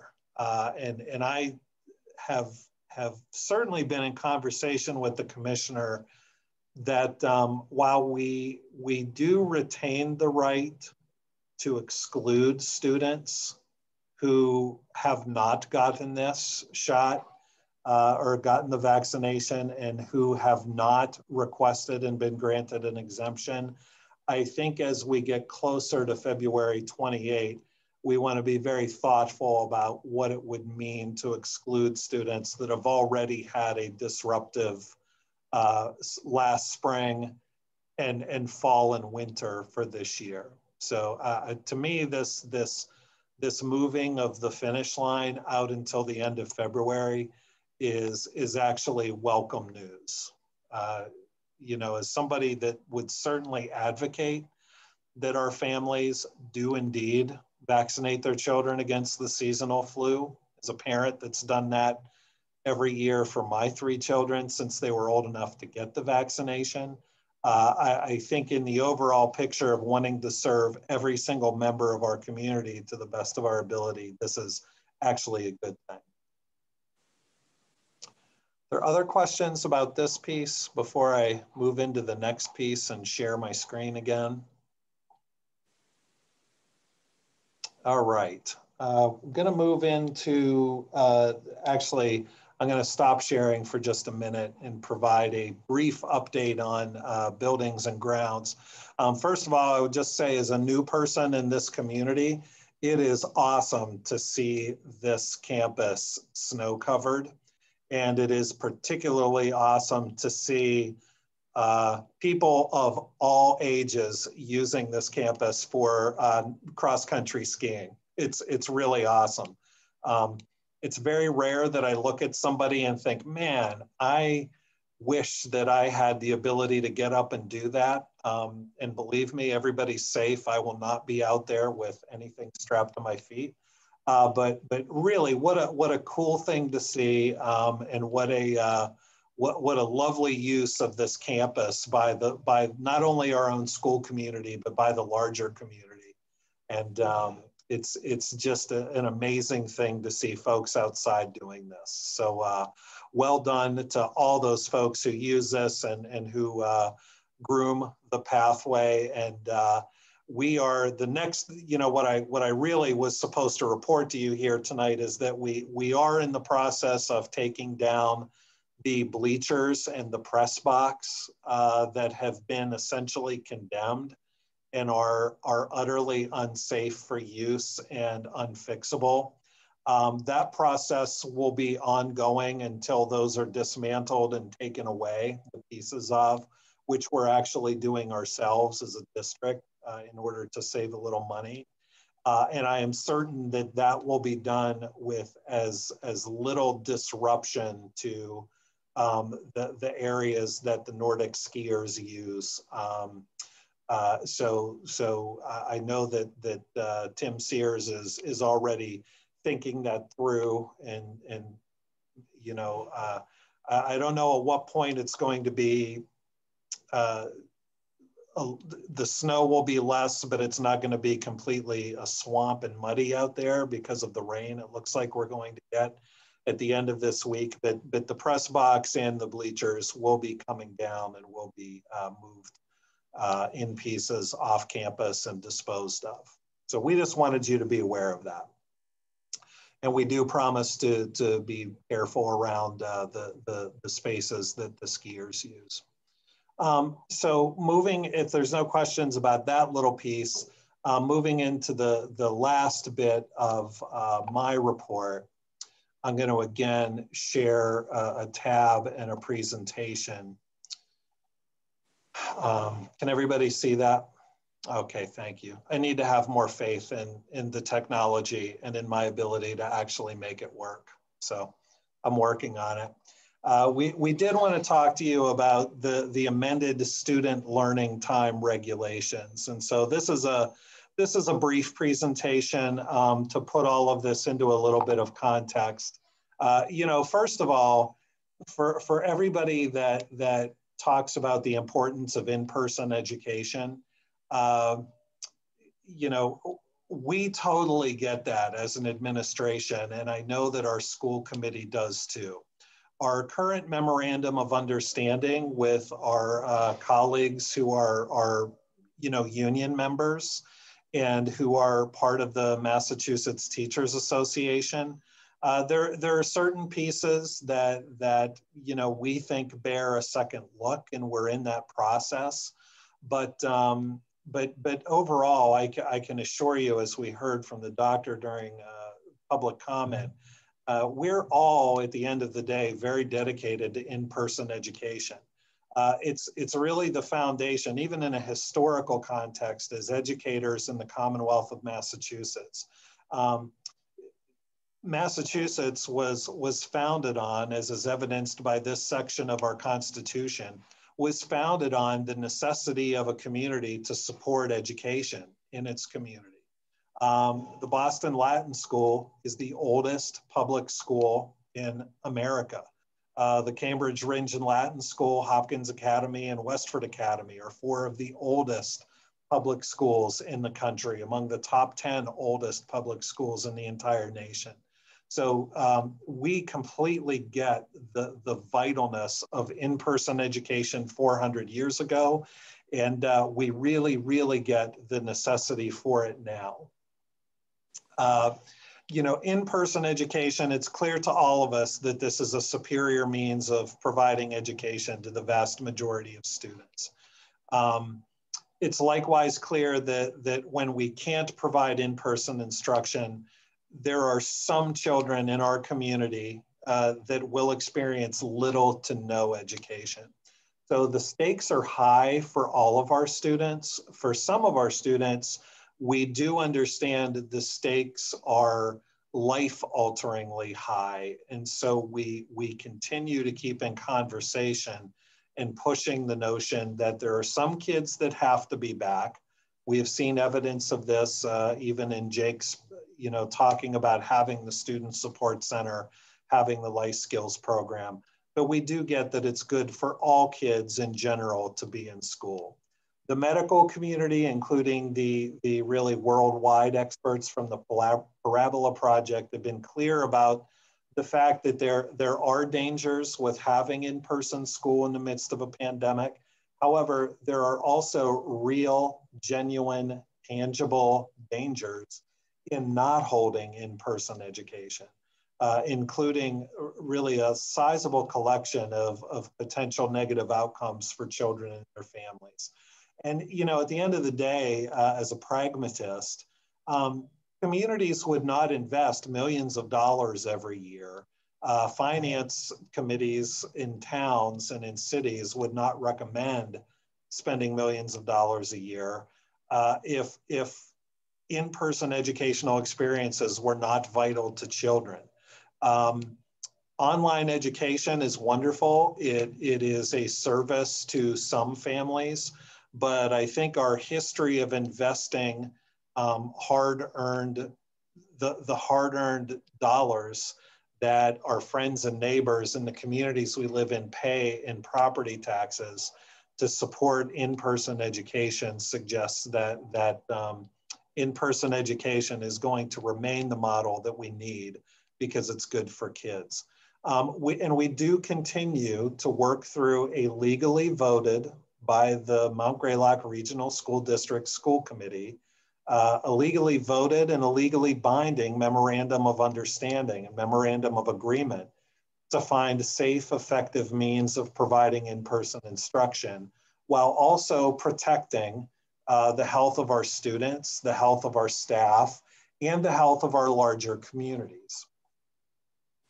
So time on learning regulations in general, for those of you particularly that are, that are new to, to K-12 uh, policy work or, or new to the school committee, um, there are regulations ensconced in uh, mass general law ultimately, but particularly in education regulations that, that require a certain amount of learning annually uh, in order for schools to remain in good standing with the Commonwealth of Massachusetts and the Department of Elementary and Secondary Ed.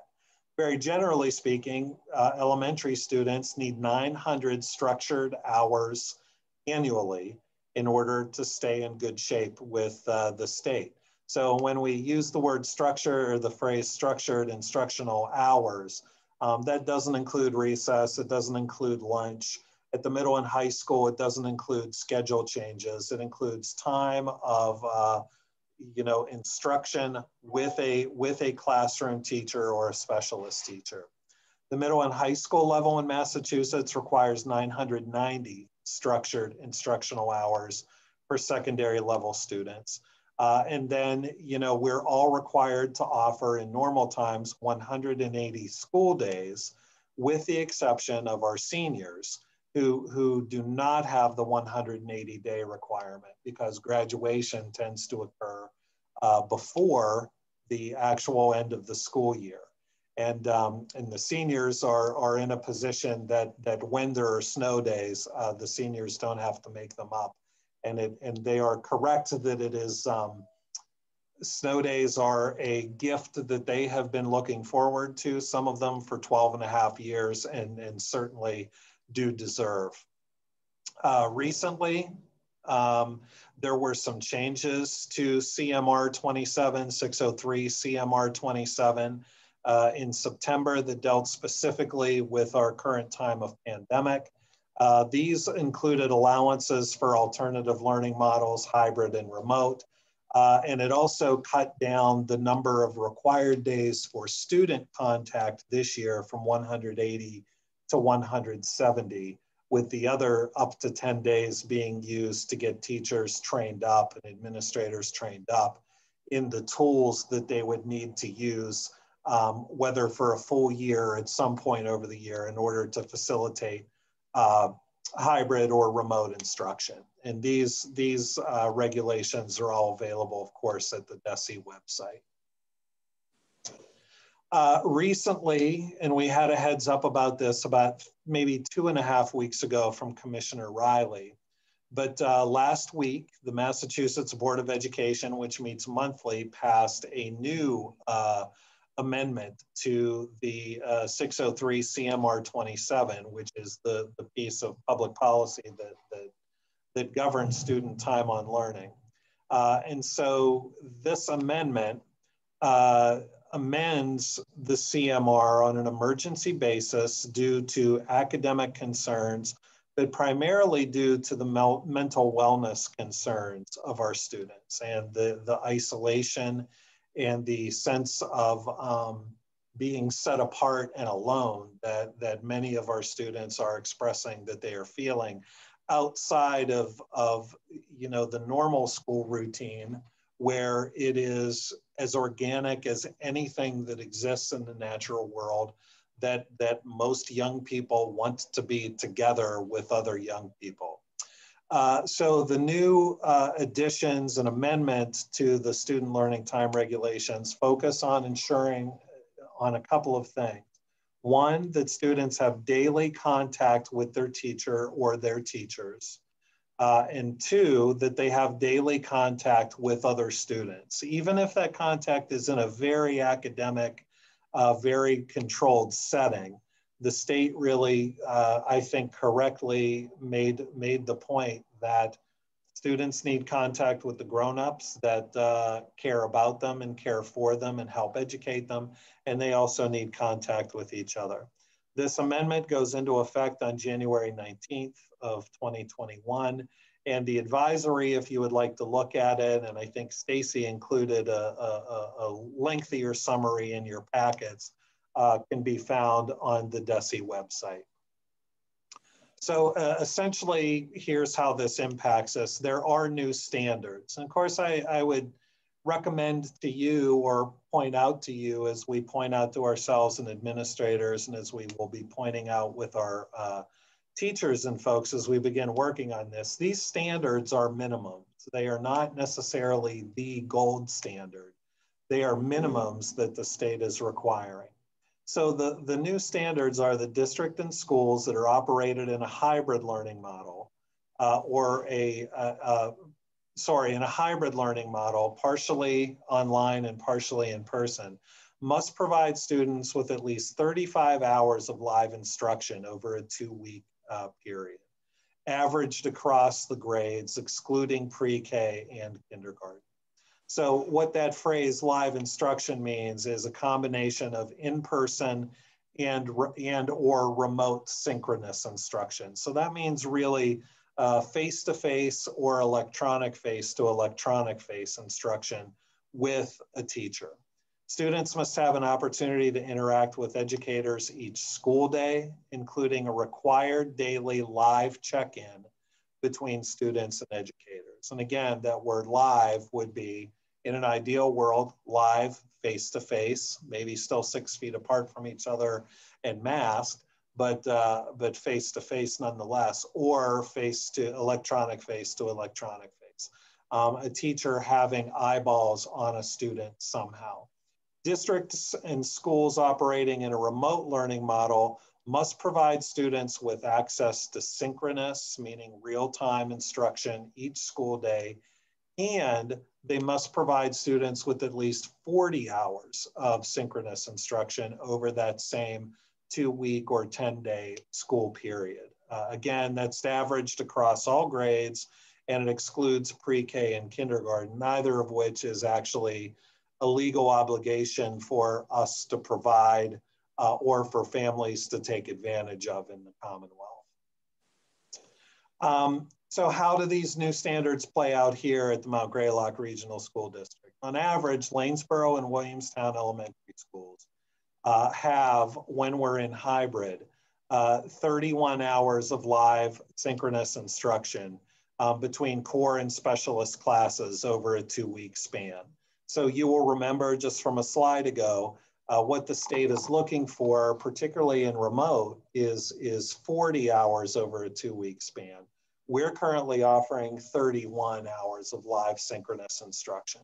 On average at Mount Greylock Regional School, um, 43 hours of synchronous instruction are offered over that same two week span. The report that we got back from the state that accessed our data around what we're doing and how and in, and in what doses indicates that across all grades, we offer 37 average hours of synchronous instruction over a 10 day period. Uh, and that that is, um, and clearly the 40 hours is a plus or minus, that is an accepted, acceptable number of hours, uh, even in our current remote setting. Um, and in addition to, to pre-K and K being excluded from, from this mathematical work. Uh, the remote academy is similarly excluded from this calculation. And um, that's really because, you, know, parents going into the remote academy, families that have gone into the remote academy have knowingly made a choice uh, to not have their children subject to the disruptions of we're in hybrid, now we're in remote, now we're in hybrid, now we're in remote again. Um, the trade-off is that um, what what is certainly or or at least maybe lacking in experience in a purely remote academy um, is the trade-off for that is that there is a consistency there and those students will not be subject to stops and starts that the rest of our students are uh, are subject to clearly and and we've seen that actually play out. So our continued work ahead among the the to-do list of ours which is dozens of items long um, we, we do want to you know to jose's question from earlier in the evening we continue to refine and clarify the expectations um, and these are student expectations, but also adult teacher and service provision expectations at the remote academy. Uh, the families I've spoken with have given some, some just really powerful feedback around their children's experience. Uh, the teachers have been very receptive to that feedback. And as I said, we are bringing forward a plan to actually identify a, a de facto principal for that work. So that work remains crucial to what we're doing because it serves, um, you know, four to five percent of our of our student body. Uh, we are also considering a move back to the first two weeks of school remote schedule. Those of you who experienced the first uh, couple of weeks as we were getting ready to go into hybrid. Um, this was before I got here, so I use we loosely. Um, there are certainly some teachers and certainly some families that have reached out both to you and to me that suggest that the schedule we were on for the first two weeks of school uh, actually served their children better than trying to recreate the hybrid schedule in a completely online environment. Uh, and so if we if we foresee that we are likely to remain in, in, in remote instruction for a sizable length of time, we think the trade-off of instituting yet another schedule change or, or a return to a previous schedule um, might be worth the disruption in order to better serve uh, children. We, as you heard from, from Jake and Ellie, we are providing and promoting resources for mental wellness uh, assistance to our families and their students based on uh, survey work, particularly the BESS uh, um, survey and family referrals. We are working to create more online opportunities for students and staff. And some of those opportunities are really not academic in nature. They are simply to have fun, to share, to check in with one another, and to maintain relationships and maintain connections, because that's good for everybody involved. Um, and we are continually revisiting our memorandum of understanding in our, in our own internal safety precautions to find pathways that make more sense um, in an educational environment where we've had nine months to learn about what COVID means and doesn't mean in a school setting. Uh, and as we look forward to having, you know, six or seven more months of school ahead of us uh, I think we need to have some serious conversations and will be about the value and necessity of our original Wednesday approach in the school district. Uh, Jose mentioned, you know, that, that we both are, he's probably more so than me. I am an occasional Atlantic reader. Um, when I'm not reading um, state guidance around this or that, uh, I think the Atlantic maybe a month, a month and a half ago talked about the uh, this reality of, of hygiene theater that perhaps the, the time committed to quote unquote deep cleaning of a building is uh, more about making us feel good and less about actually doing anything that's helpful to people that are in uh, public spaces. So that that will be um, definitely something that we are discussing and, and will be discussing. Uh, we're also looking at, at further considerations for how we can better and safer do lunch, uh, how we can offer the student support centers, how we can offer more in-person time with, you know, for all of our students on top of our students that really require it and need it most. Uh, and for, for all of our students, you know, and continuing adding more time to kids for whom education simply is not happening in any way, shape, or form uh, at home, absent the school's, uh, you know, place, space, and staff providing direct intervention. And, uh, and I can say that, uh, you know, the administration drives these conversations.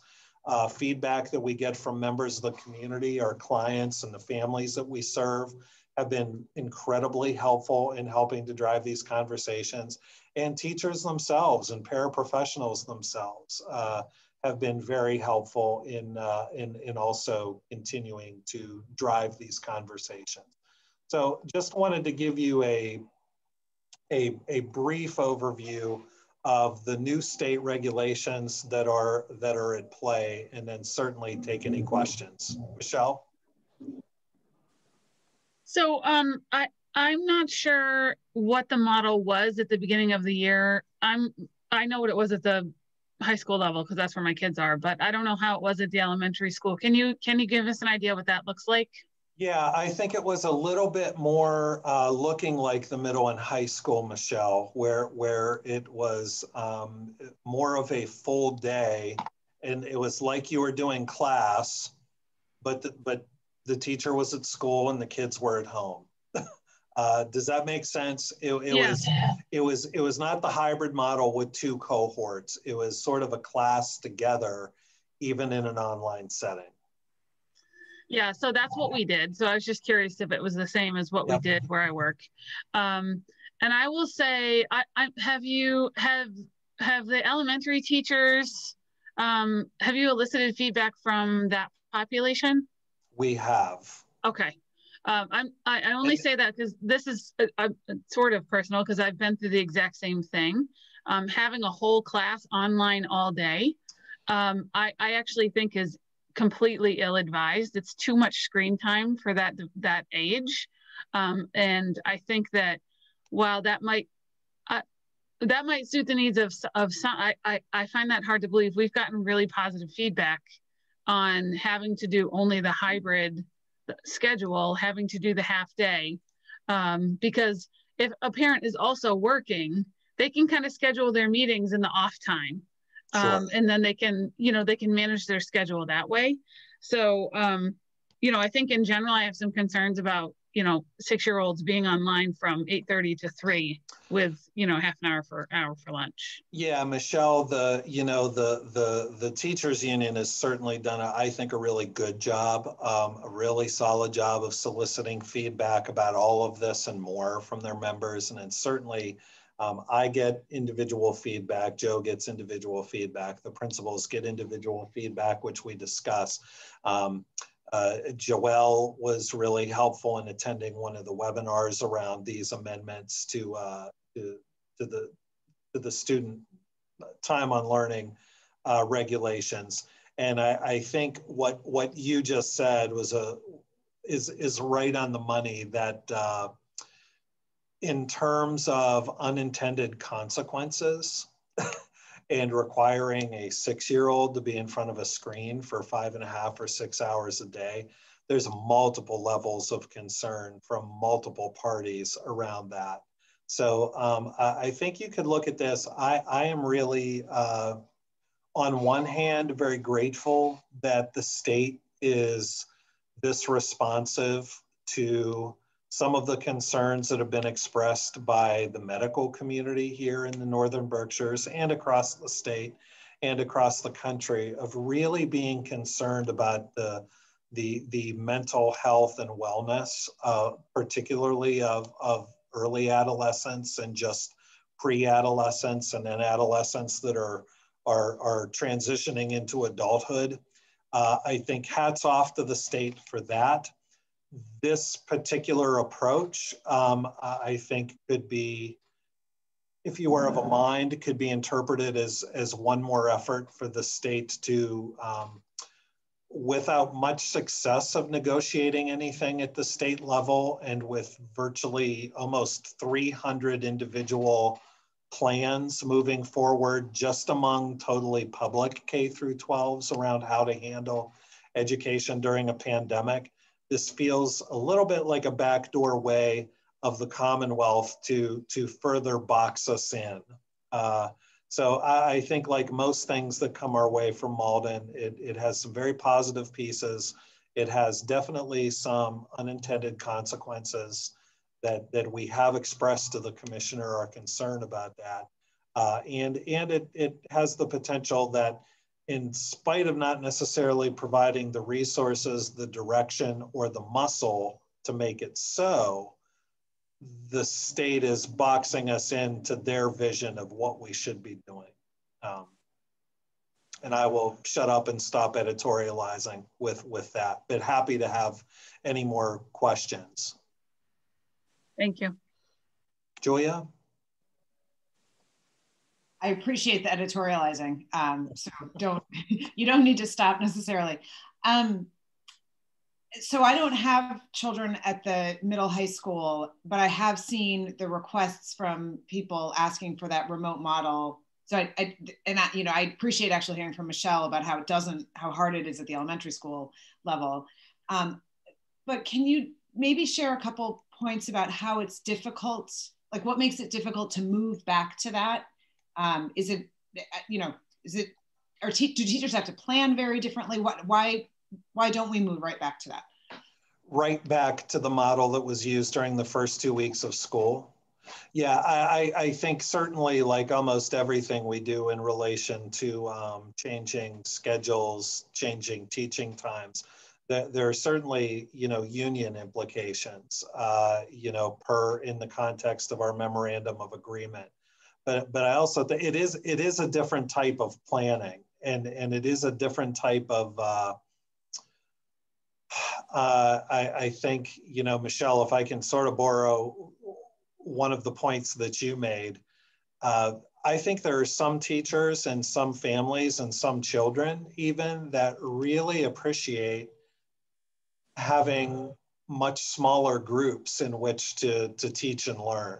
And, and that um, cutting the time in half, arguably, for some kids, but also cutting the cohort size in half is actually been a positive experience for some students. And I think a very positive experience for some, some teachers. Uh, it's so, so I think that notion of, you know, our, our class sizes of both of our elementary schools are, would be envied in, in many school locations. And that's a good thing. That's a credit to the communities, to the schools and to the school committee and, and finance committees that support our budgets to make that so. But, but the notion of, of even uh, instructing 16 or 18 or 20 seven or eight year olds for five and a half or six hours a day, it, it is a different type of planning.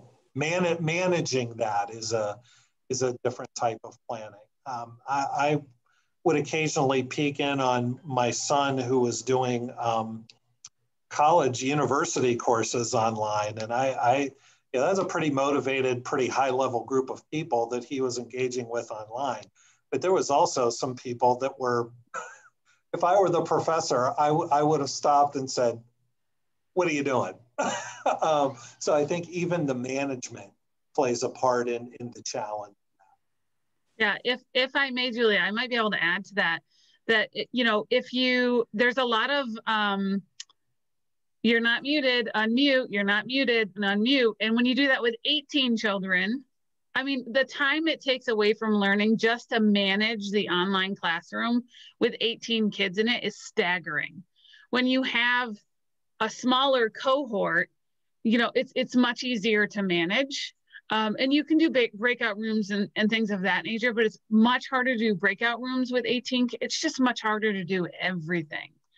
And on top of that, it's a scheduling issue. So you have kids who have speech and OT and PT and Title I services. And once you move from one schedule to the other, it blows that schedule out of the water. So all of that stuff needs to be rescheduled, and that takes a lot of time. So that that's all I will, will add to that. Just that's just from my personal experience with the exact same two models. Yeah, I, I think that's super instructive for me and hopefully instructive for those parents who are also wondering why remote we aren't back in that same um, model from the start of the year. So thank you very much to both of you. Jose? Thanks, Jake. We're, we're going to be potentially interrupted by a three-year-old who is uh, addicted to Zoom, speaking of screen time. Um, the uh, I guess the several I think points of concern and may, maybe some questions to ask. Um, you know what, what I wanted to highlight is the you know being a, a household with elementary school age children is that um, you know the part-time synchronous part-time asynchronous model doesn't necessarily mean there's less screen time because the asynchronous portion is still more screen time. Um, one of the concerns I have, I think, is whether we are in a position as a district to say something about what the costs of the pandemic are, you know, you know, in terms of uh, how well our kids are progressing, their education is progressing, their social emotional needs are are are, are being being um, fulfilled and met. Um, we heard a little bit earlier today about, you know, some attempts to address and assess where we are right now compared to where we were. But I don't get a sense that we're adequately evaluating um, what, what the costs are to, um, to the models that we're experimenting with. Um, then speaking to what you, what you highlighted, Jake, the, the, um, the recommendations, I guess, and you, and you described them as this not, as not being gold standards, you know, the, the, they're almost minimum requirements of live instruction time of 35 to 40 hours a week, depending on context. You know, even when we were meeting in person, we weren't, um, you know, up to those standards, those minimum standards. And I don't think we're certainly at those standards now in, in remote instruction. And if we see that, um, you know, those lost hours of live instruction time accumulating for however many weeks, because we, we don't know when, when we can change course, my, my real worry is how that um, what the, what the long-term consequences will be. So two part question, long preamble, apologies. But the first part is, um, are we willing and are we planning on really assessing, you know, the, uh, the, I'm not sure if cost or situation or whatever it might be, you know, what our situation is, what, how our kids are, are, are, um, are performing and developing and growing K through 12. That's the first part. What's our plan for assessing the real costs of this pandemic to our kids? And the second part, um, if we are accumulating lots of lost hours of live instruction time, do you think you know a, a summer school model where students, particularly some of our our students who um, who, who are, aren't from families who can send their kids away to summer camps and, and, and pay for tutors. And, and I'm thinking about issues of equity that we, we really need to address. Do, do we as a district, sh or should we be thinking about a public summer school model where students can, can recuperate some of those lost hours of live instruction time to help prepare them for whatever a post-pandemic year might be next year? Yeah, I'll I'll start with the second question because it's it's easier to answer, and I I will have a better answer. Uh, I, I, think you know whether it's um, local conversations among colleagues here or conversations with countywide educational leaders or state level or uh, even some some college and university folks from the eastern part of the state I've spoken to about you know what what's really the big vision for how we fill the gaps that are being created day by day? Uh, you know I, I, do think that we we are already thinking about what does the summer look like?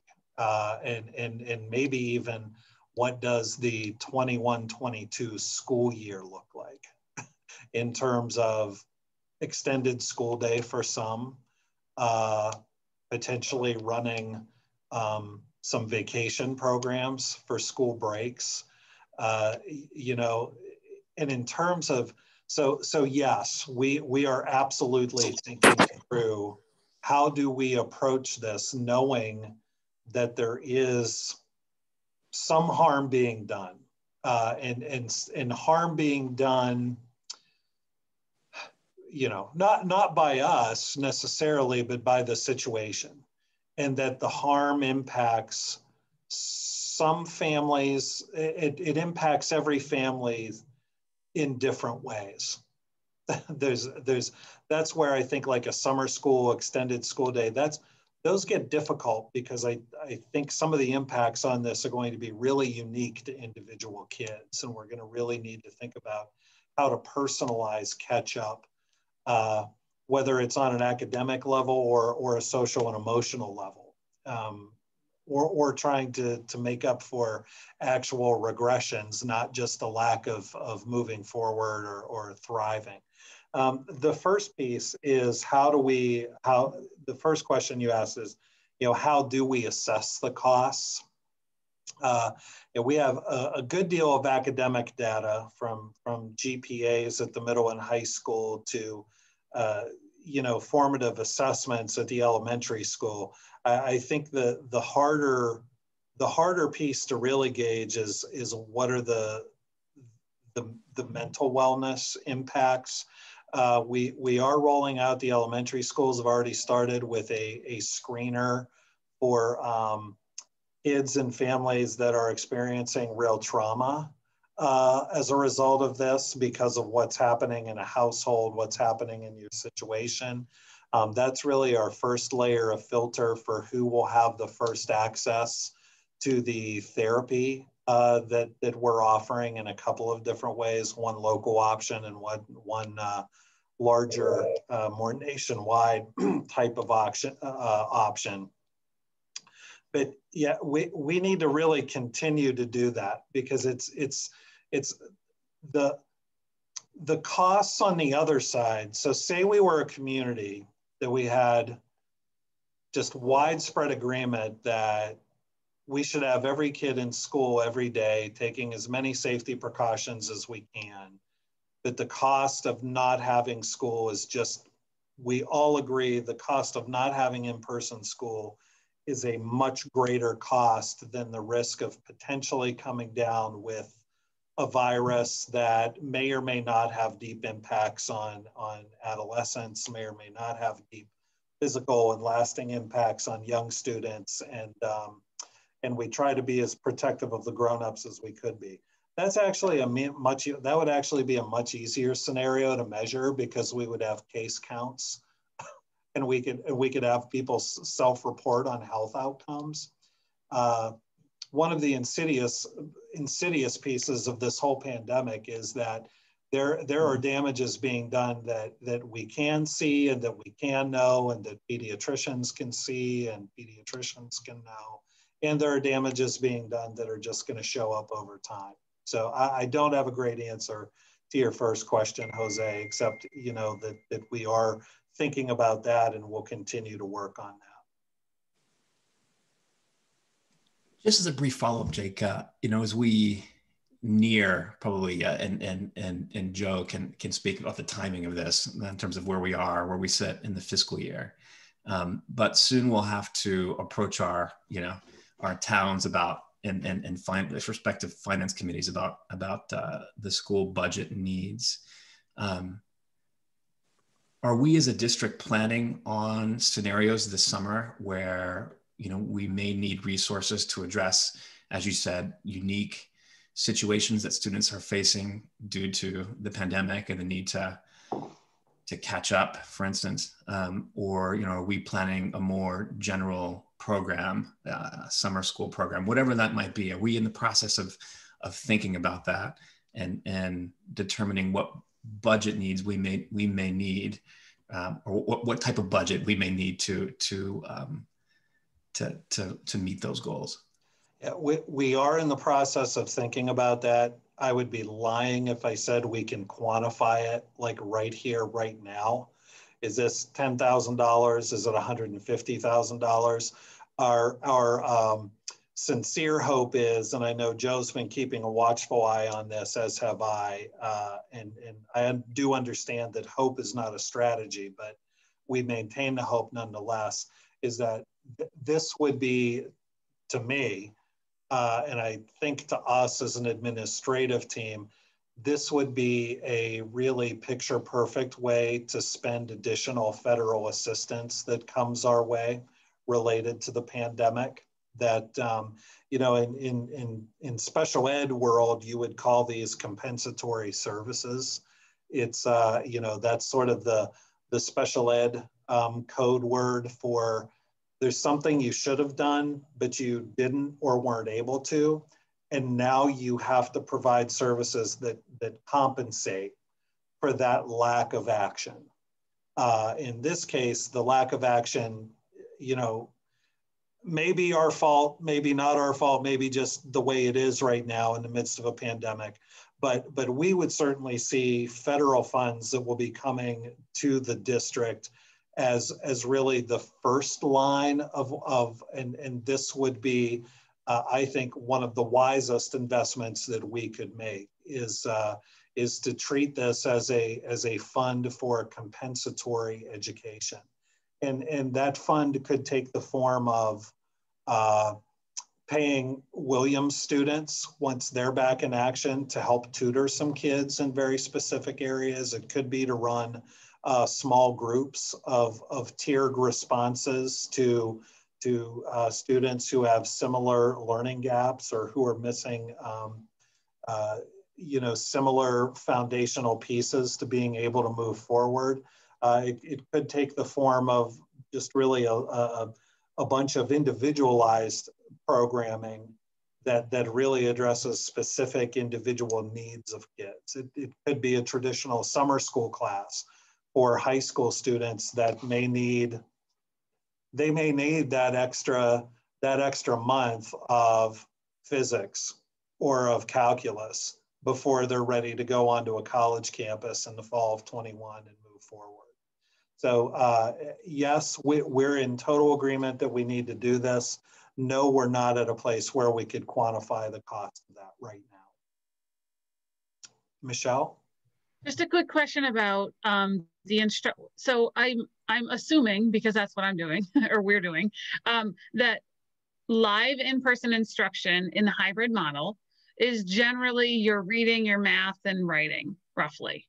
Is that right? Yes. And then the asynchronous work is your science and social studies, and then a special. Is that right? Yes. Okay. So I mean, realistically, what we're talking about is how much lost science and social studies instruction do we have and how do we make that up? I mean, because uh, correct me if I'm wrong, but at least where, where we are, um, most teachers are on track with approximately where they were last year. So I'm going to guess, since we're in exactly the same model, that that's probably pretty true here in our district.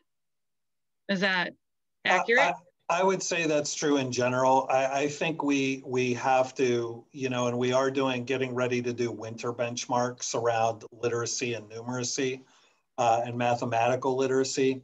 So, you know, that that would certainly be, I think, the the first level of concern is making sure that any gaps that got built for our remote instruction students, our hybrid students uh, as well, um, that, that those foundational things got addressed. But then, you know, your point around the specific subject areas, uh, you, you know, I, I think one of the places I could go with your point is maybe it is sort of a fun science summer camp that gets a lot of um, a lot of, of scientific principles and a lot of scientific knowledge out there for absorption by students in ways that really don't look or feel that much like school.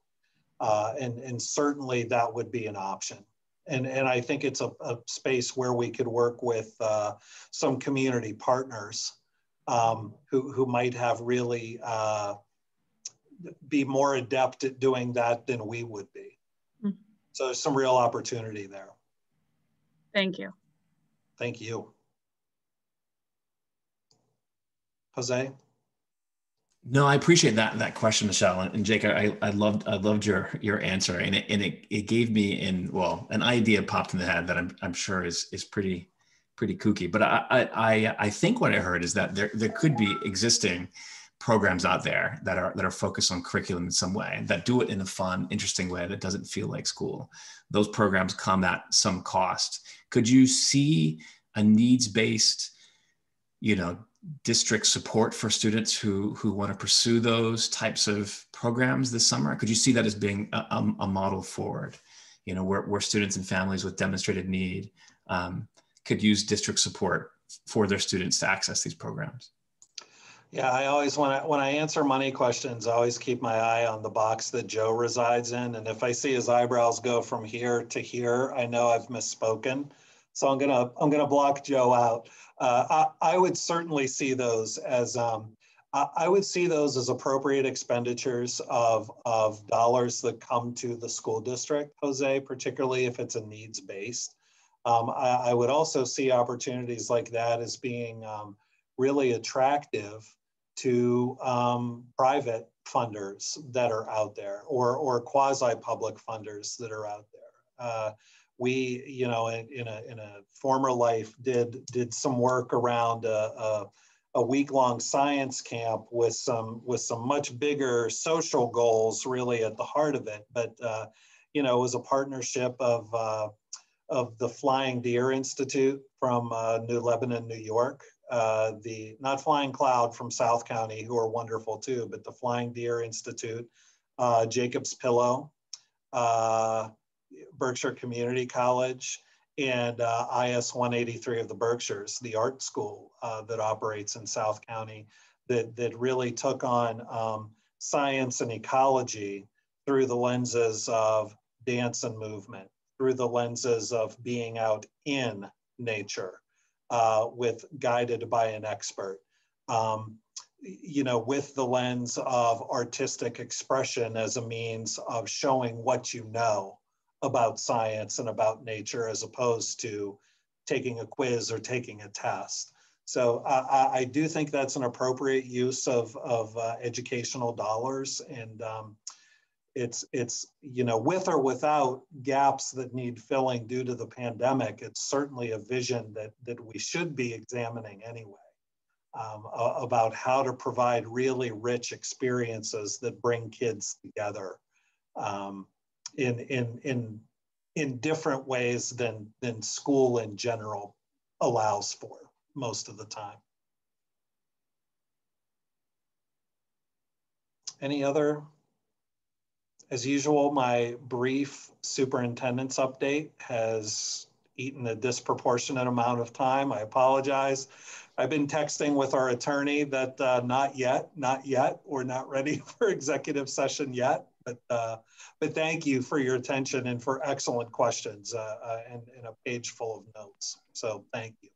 Thanks, Christina. Thank you. Okay, so Next up on our agenda is the business administrator update, and that is Joe Bergeron. And I think I just gave you the ability to share. I've got it. Okay, great. All right. So uh, there were a bunch of great segues during that last piece into what I'd like to bring up, which is FY22 budget planning. Um, and I'm going to bring up the far less numerous slide set so that you can you can follow along and, and take notes as you want. Um, so FY22, that's not this year, that's next year. Uh, as we wade through this year, the, the time does fly by and we're all trying to make sure we're prepared for what happens next. And uh, one of the big questions is how do we harness this year's education so that we're better prepared for next year. You know, this year we were really hit by a storm after budgets had already been approved and we were flying towards the year.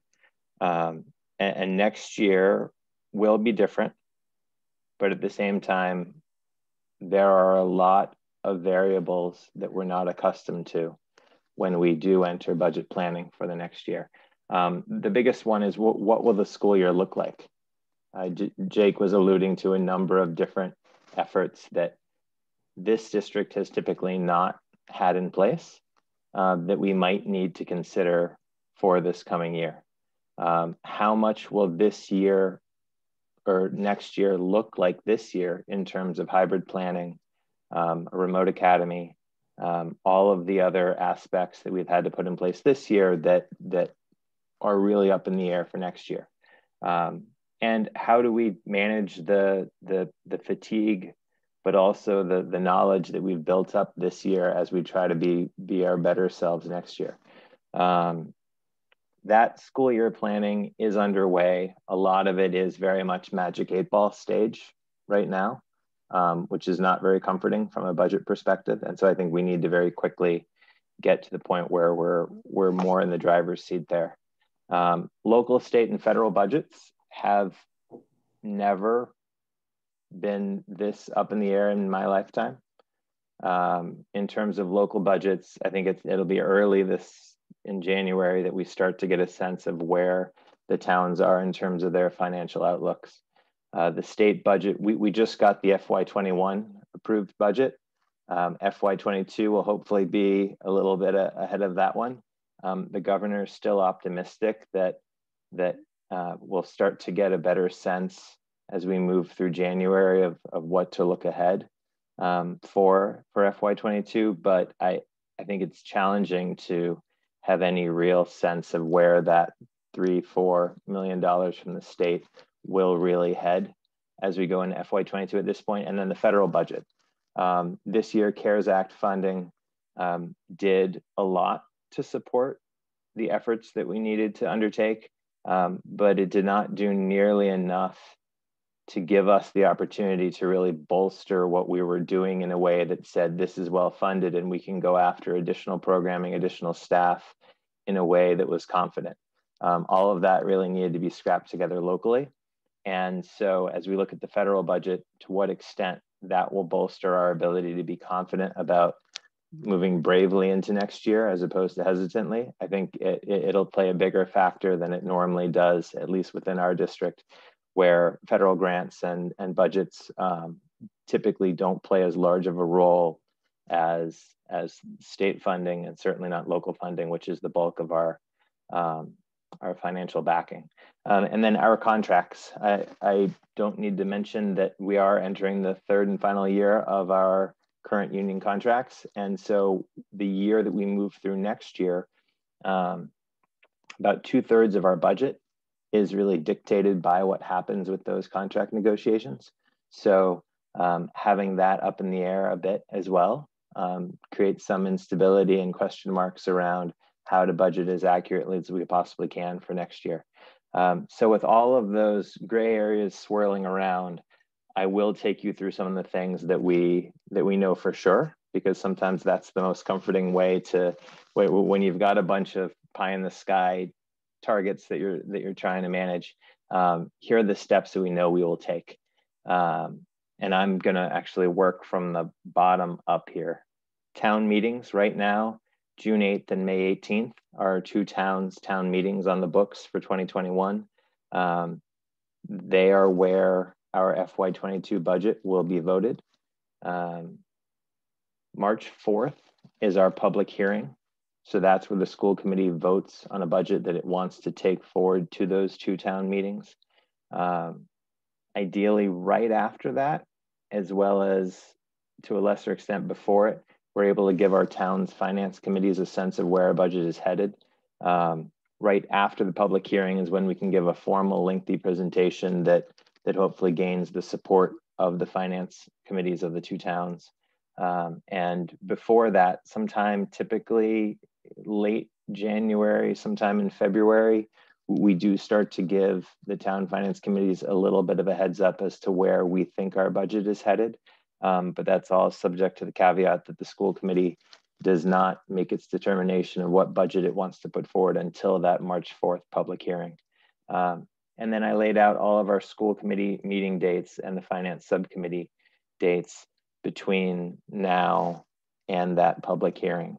Um, so those are the meetings where we'll be able to lay the groundwork and look at the revisions of, of what we have moving along.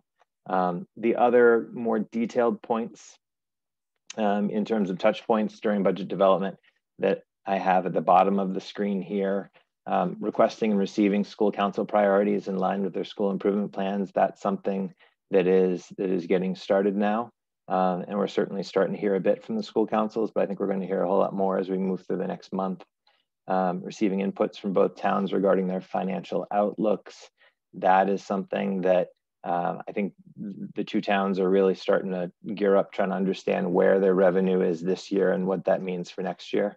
Um, the state's budget also plays a role there for them, and and so we're going to have to see how how all of that is playing out. Um, we will have our health insurance rates set for FY22 in mid-January by Berkshire Health Group (BHG), which is the collaborative that we're a part of um, for health insurance. We will at some point receive our early FY22 cherry sheet estimates from the state um, and continue to get updates from them and bring those to the school committee as we receive them. Um, coordinating draft budget reviews with all the stakeholders. You know, the school committee is one, the special education PAC, school councils, the towns and the towns finance committees. Um, all of all of them, all of you are are a part of that budget development process and trying to juggle that with all of these unknowns is something that we're we're both looking forward to and also pretty wary of at this point trying to make sure everybody does get their looks um, and has their input um, taken into account as it should be um, and then a couple of school committee decisions that will happen over the course of uh, late January and February um, setting the tuition rates for towns that tuition in uh, for FY22 and setting up our school choice slot openings for FY22, um, looking at how we want to project out for school choice program use for FY22. So that was my very quick but dense tour of where we're headed for FY22.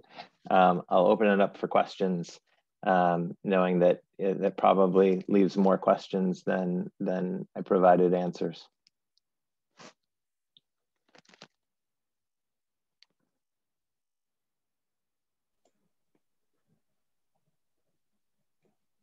Any questions for Joe? Jose? I'm, getting tired of my voice, so I'll keep this super brief, super brief. So for, for those of us who, who are very new uh, to, to the school committee, what, what is, what is, um, what can you share with us about uh, what the process looks like in terms of conversations and, and you know who's involved in those conversations ultimately you know what, what are all the steps involved up to the moment we meet on uh, on the fourth in terms of identifying what we want the budget to look like. Sure. Um, we will you're talking about from the school committee's perspective. That's right. Yeah okay. Um, we will start to bring draft budget components forward to the finance subcommittee and then to the full school committee as we move through January and February. Um, the full school committee, I think every conversation that we're having from here forward, or I mean, all, all year long, really, is is helping to drive how Jake is factoring in that input. For instance, around summer programs, around programs that will happen next year, around um, the remote academy and what that looks like around um, how hybrid planning is working. Um, all of that is is both explicitly as well as implicitly being factored into where the proposed budget goes for FY22. Um, each of the meetings in February will definitely be moments when um, segments of the budget will be will have more spotlights on them. Um, and then typically the public hearing in early March is the moment where when changes to the district that are flowing through into the budget have and are coming to light, that's the moment where those final tugs and pushes in various directions typically happen. Um, so hopefully it's a it's a very gradual buildup of of um, confidence in the budget, but at the same time, I think given given what this year looks like, um, every one of those meeting dates that that we put up there um, is going to have some amount of discussion and and necessary tension too. Thanks. Carrie? Yeah, I would just add that there's there's one date, Joe, if you could add the date to your list of the 45 days out from the first town meeting. That's when we're actually required to vote the budget. So if we're not ready on May 4th to vote the budget at the public hearing, you know, maybe some things come up that we need to go back and talk about as a committee, we will be scheduling special meetings. My guess is, is to do that. So I don't remember what the date was that that was 45 days out, but it's later than March 4th. Um, so there's a little bit of wiggle room there. And that's again, Jose, if you go to the regional agreement, that's embedded in there. That, that I can definitely add that date into that document and and circulate it. Great, thank you. Thank you. Any other questions for Joe? Before we move on to our next item? Okay, I think you're off the hook, Joe. okay, moving on to our next item. It is Finance Subcommittee update. So I'm going to turn this over to the chair of the Finance Subcommittee, Carrie Green. Great. Thanks, Christina. So uh, the Finance Subcommittee met um, uh, last week on December 17th for about an hour and a half. Um, I'd like to give an overall report if it's okay with the chair and then come back and discuss each item that's on the school committee agenda. So um, the draft minutes are in the school committee packet as item 12 and there are a number of related documents um, we reviewed the warrants and discussed the items that are listed on the school committee agenda. Um, all three are listed here as votes, but only the first one is coming to the school committee with a recommendation from the finance subcommittee. I'll add at this point that um, uh, Joe and I had a very brief conversation about Item number one, the West Renewal Fund uh, usage. Uh, we had a brief conversation just prior to this meeting, and we would like to postpone this vote. Uh, we're waiting on an updated um, proposal or invoice or um, you know document from Jamrog.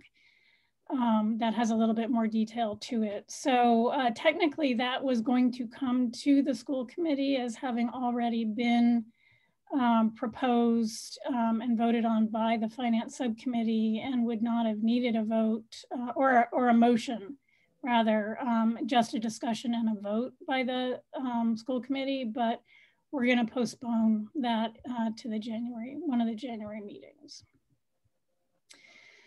Um, over the course of the discussion, though, about the West Renewal Fund, we did look at the actual fund agreement and we talked about the funds available.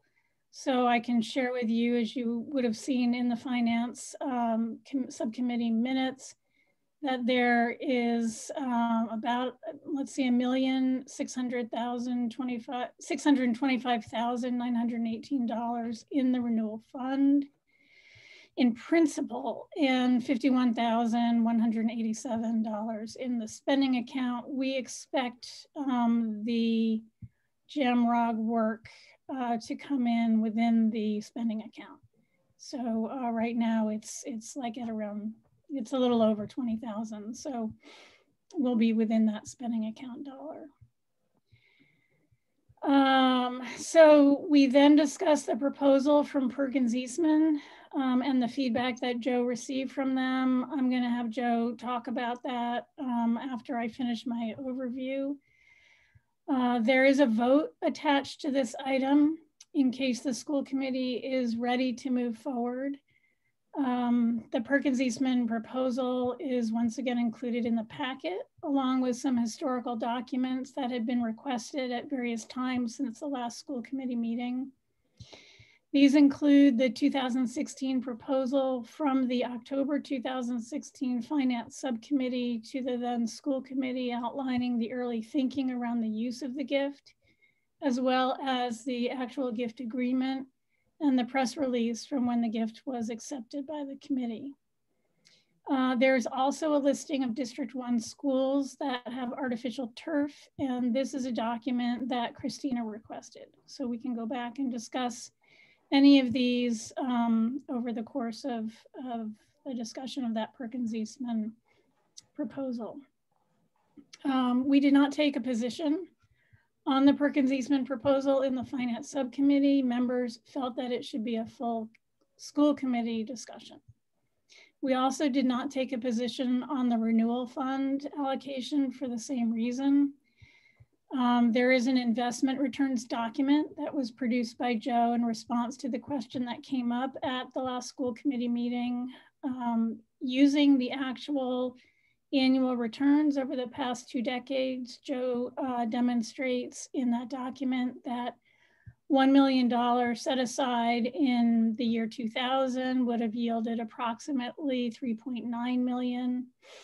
1.25 million would have yielded approximately 4.9 million and 1.5 million over 20 years would have come to about 5.9 million. Again, this is had those dollars been set aside in 2000, what would it look like in 2020?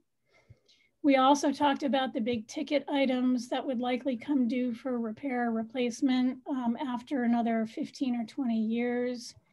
These would be the roof, the floors, and the window, windows, excuse me. Um, so that's a summary of the finance uh, subcommittee meeting um, that is supplementing the notes that Steve takes, which are they really make you feel like you're there. You don't have to actually watch the video because it's all there in the notes. It's incredible, the detail. But um, I'm not sure, uh, Christina, how you want to proceed. Do you want me to frame the Perkins Eastman discussion or maybe actually the best thing um, next would be to have Joe talk about um, the, the conversation he had with Perkins Eastman about the proposal itself.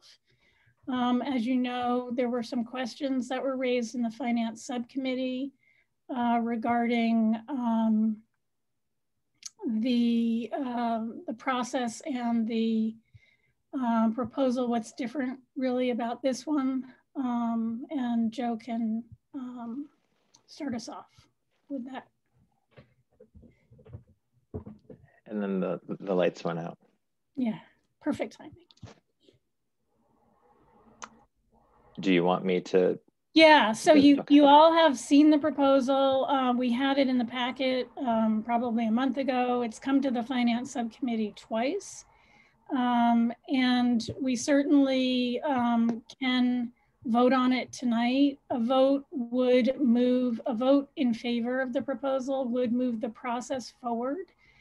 Um, the new school committee members are inheriting a vote from the previous school committee um, from October of 2020, which um, has brought us to this position of um, requesting a proposal from Perkins Eastman of uh, what it what would it take essentially to put together um, bid documents so that we could put a project out to bid if the school committee chose to do so.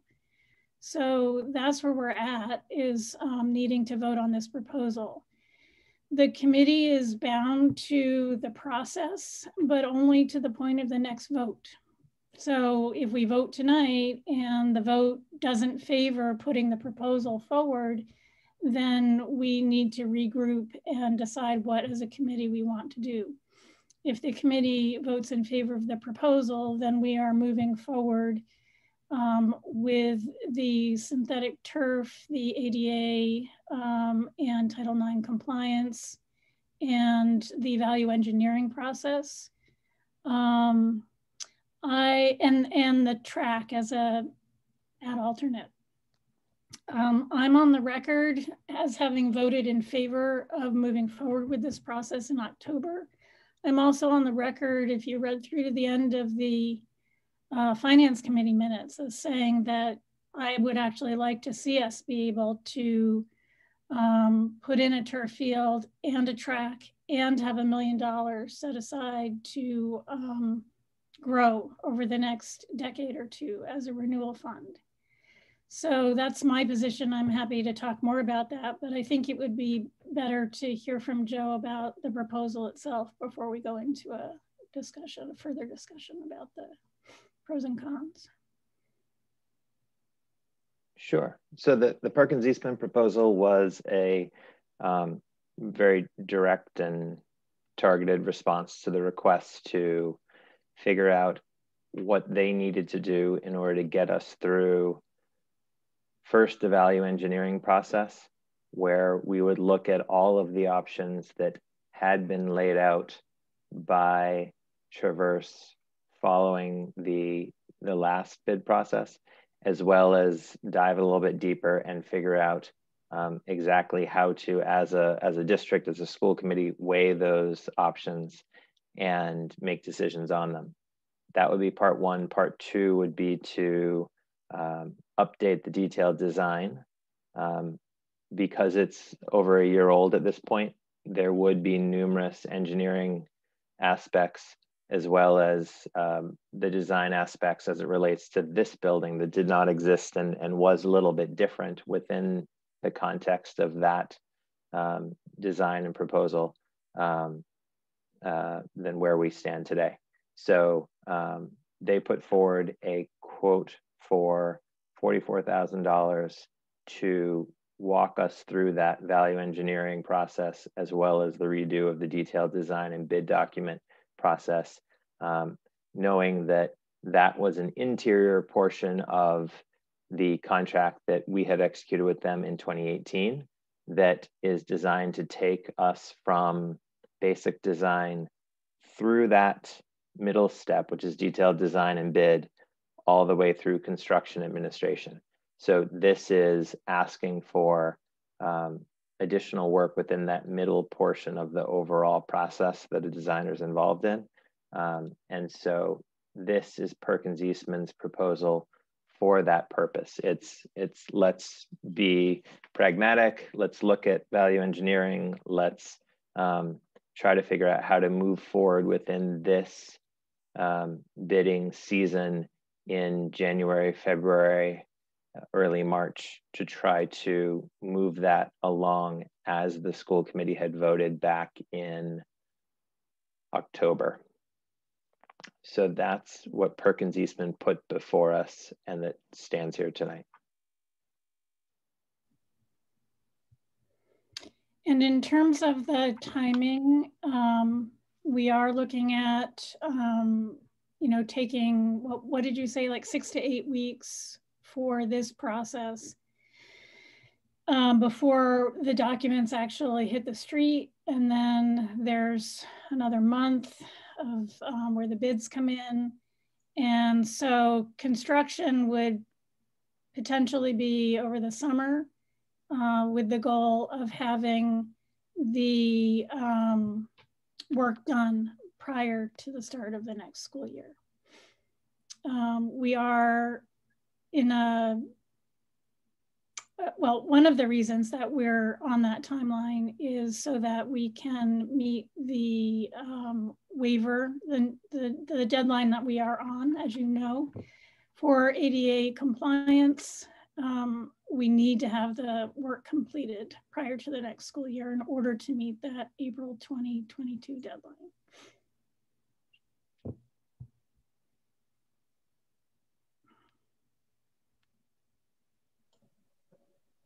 Julia. Julia? Sorry, Christina, do you want to moderate you, the discussion? You can, you can moderate it, it's fine.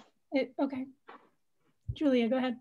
Um, can I ask two questions about the proposal? Um, at first, it was helpful, Joe, for you to describe this is about the middle of that process, that middle chunk. Does that mean we already have we already have a contract in place and an agreement for the latter part, the bidding and the managing the bid process and the um, construction management at the afterwards at, if we if this were to move forward is that right i'm just trying to understand yes. what other costs would come down the pike the portion of that contract the original contract from 2018 mm-hmm. that still remains is the construction administration portion okay.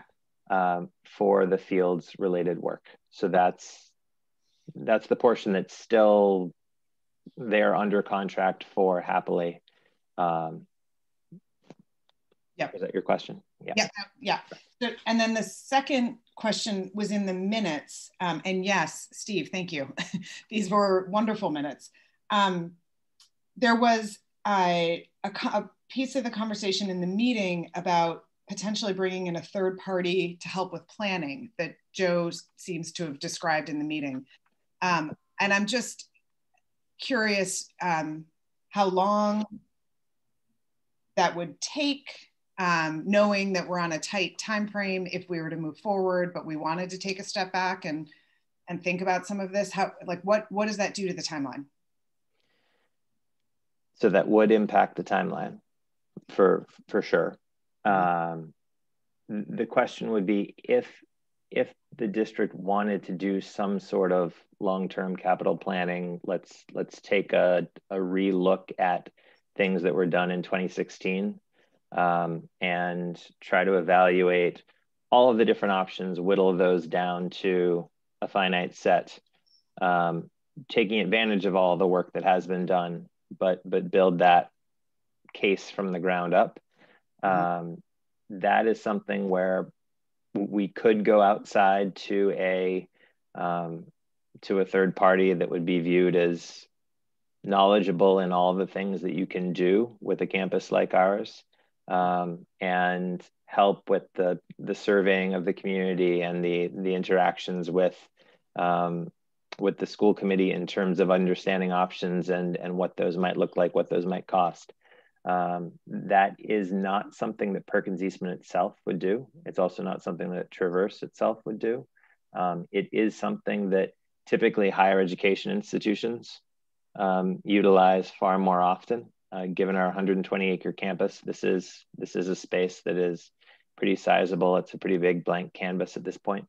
Um, so that discussion within the meeting was more about um, how how might we go about that? Would we do it with with someone internally being asked to to steward that? Would we utilize um, one of the third parties that Perkins Eastman could know and and refer to us? Um, how would how would we be interested in going about that if that was the the preference of the school committee? Okay, okay. Um, and and do you have a sense of how long that kind of process takes? I think that all depends upon what yeah. what we want that process to be. Um, if it's if it's a lightweight one that's designed to be quick, uh, I think that probably what um, from what I know of it, we would probably want to take a look at all of the different options that exist. Yeah. Then get community feedback on those and then whittle that down. Yeah. Um, yeah. And, and, that I think realistically, you're looking at at least four, eight, 12 weeks. Okay. Okay. And, and, um, I, the, the point is not lost on me that we can't, at, at least I, as I understand in these minutes, it would not make sense to try to, it might not make sense to separate the projects because if we go forward with just ADA and um, Title IX, while we are following a process to think strategically about what we really want, we may have to make decisions that then get undone and we duplicate or or have to change work down the line. Is that is that how I did I read that correctly? Like we may end up doing double work on some of the construction. The short answer is is yes and no. Oh. Um, yes, if we wanted to so part of the discussion during the finance subcommittee meeting was would it be possible to think about the campus as something where we get baseball, softball, and accessibility to the current John Allen Field done, and then look to the other part of the campus and address that? Mm-hmm. Is that something that is feasible? Um, we have not talked to the design team around what their thoughts are on that, or um, experts around what that would mean for the desirability of a contractor bidding on a smaller project to start and then needing to bid again later on a on a large on another project. Um, but in terms of the practicality of it, so yes, that's that's conceivable. Um, the the no is where we're not really sure to what extent that really does impact okay. um, overall costs and and what needs to be done and then redone. Okay. And I would just point out that that's always been an option. If, if, if you go back to the 2017 um, PowerPoint presentation from Jones Whitsett, um, it was always presented as an option, but never voted on as a as a something that folks wanted to move forward with. Yeah. So again, this committee can change course, um, but there there are probably reasons why it was not put forward as let's just do ADA compliance and mm -hmm. um, Title IX. Mm -hmm. So, you know, I, I again, I, I think, um, do we want to start over and envision what what would be our list in 2020 as opposed to what was the list in 2016, which is, you know, a historic document or you know, most of those things. I could walk you through what what happened to every single item on that list, but that's not a good use of our time right now. Um, or do we um, have faith that there that the processes that the school committees put into motion over the course of the last four years were well thought out and well deliberated and well executed. Were they perfect? No no process ever is. Um, were they, um, you know, were they public meetings that were all recorded and, and available? Yes. Um, so we have documents for all of it. And, um, you know, I, I personally have faith in the process. I have faith that the all the school committees, some of which I were on, um, did put the kind of time and energy and deliberation into, you know, getting us to where we are today. Um, so, you know, that's that's the question I think that you you're struggling with and that many people have raised. And if I can, I may just put a couple points on that. Um, I I actually, since even since the fora, a couple people reached out and walked me through even more of what has happened. And I do believe, I, I agree. I wish I'd, I could see a bigger picture, but I know that there are there were many conversations um, and open discussions around what what people wanted. Um, I personally still struggle um, to understand how it fits into a broader plan. Um, and so like a strategic plan for athletics over time with declining enrollment, that, that kind of thing. But I can get myself over that, I think. Um, but I, especially in thinking about, I'm, I'm struggling, I guess, with two sides right now. One is, listen, you know, it is nine o'clock in this meeting.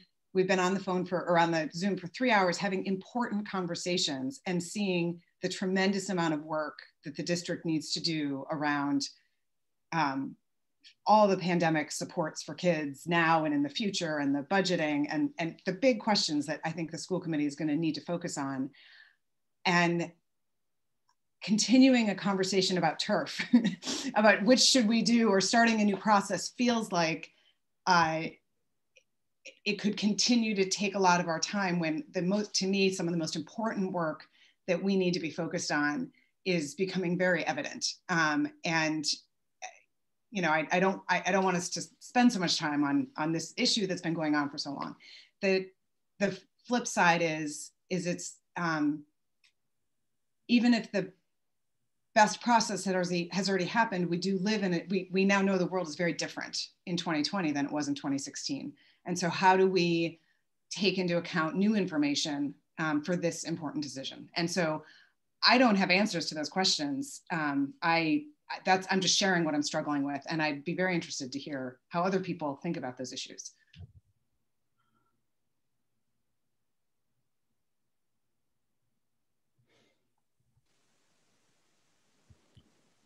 Uh, this is Steve. I guess I can say a few words. I'll just type it up later. Um, I've been on three or four different committees that have been struggling with this issue. And I can say that we have listened to a lot of people. I guess to me, one of the biggest changes since 2016 is just how, highlighting just how important it is for us to be able to have our kids outside and engaged. And this is something that we can still do even in the COVID era. When the school year began, we started remote, but we were able to have people outdoors. And so there's a lot more that can be said and has been said. But to me, I think that's the biggest thing that's changed since 2016. And I would just add that there, there are two things that I've been thinking about that haven't come up very much and or at all in the public conversation. Um, one is that we're, I don't think that we're committing um, the school committees and the towns um, of the future to a turf field if we vote to move forward, right? We're committing ourselves to uh, maintaining a turf field. And then after the life of that turf field, 12 or 15 years, the next committees need to decide, do they want to purchase another turf field or do they want to revert to a grass field? And I believe, and Joe, I think might be, you know, you might know more about this than I do, but um, the infrastructure that we put in for a turf field um, would be very similar to an engineered grass field without the irrigation, right? So we know that turf field doesn't need irrigation, but we know that, um, you know, a turf field can certainly be converted. So to me, this is buying a piece of equipment, like a trampoline for a gymnastics program. And we know it's gonna get used. That's always my first question is when my kids ask for something are you going to use it, right? We know it's going to get used. We know it's going to get used by a majority of the kids in the district and by the communities. That will have its own bureaucratic challenges, I'm sure. Um, and we are we know that we should be planning for either a replacement or for a conversion right if if the experiment is not successful and we want, we as a community want to do something different in 12 to 15 years. It's always an option. Um, and we are planning, you know, for, um, you know, I think there isn't a member of this committee that doesn't want to put money aside, right? I think we're all committed to making sure that we don't use all of the funds that are left available to us, which is 3.6 million. So if we can have a project for 2.6 million or less, that's a million dollars that we're committing to not using. Um, the other piece that really hasn't come up much in, in conversation, if at all, is that there are companies that reuse turf fields, right? And is it even possible that we could reuse this turf field, repurpose it, use it for something else? Um, or there are companies that could take it and repurpose it for something else, whether it's like tent flooring or, you know, other things like that. I mean, if you look it up, you know, we may, we're, we're hoping that in 10 years or 15 years, there are companies that will recycle it. But we know now there are companies that repurpose turf fields. So, you know, I think um, there there are lots of things that we could continue to talk about, but I agree, Julia. Um, one of the reasons that this was left to the end of the year last year is because we had other things we needed to focus on. We could not keep continuing to discuss this turf proposal. And I, for one, feel confident that it's worthy of, you know, our support. But if the majority of this committee feels otherwise, then we should we should you know make that decision and then move on. I think we owe it to ourselves and to the community. I think if we if we vote against the proposal, then we're probably looking at just compliance portion in ADA, which is about three quarters of a million dollars is what we estimated what Joe estimated looking at the pie chart, which you saw in the minutes. And we're done, right? You know, at least for now. you know, until we we have bandwidth to to do something. So, sorry, Christina Jose was. Oh, sorry, I didn't see his. Christina, I've spoken so much. Please, please go. I'll wait. People may not want to hear me either. Um, so I, I hear both of the points from from Carrie, from Steve, um, and from Julia. And in fairness, in October, I did vote against this. Um, I, consent, I continue to have, um, and while I appreciate maybe equally to most that I would love our, our school committee meetings to be prim primarily focused on what the last three hours were focused on rather than talking about turf field. Um, I, I wonder if there's a way to remove the conversation from the school committee um, and recognize that there are still, I've been sitting on this committee for two years. I still have questions.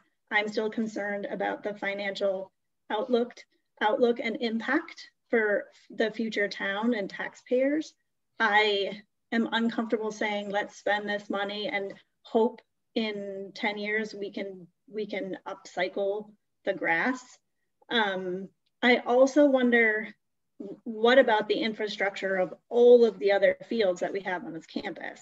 If we put this field where it's said to go, we still have six other fields on our campus and baseball diamonds that are, you know, the soil is considered poor and there we need to address that. We need to campus-wide address irrigation, drainage, um, you know, digging wells, all of that.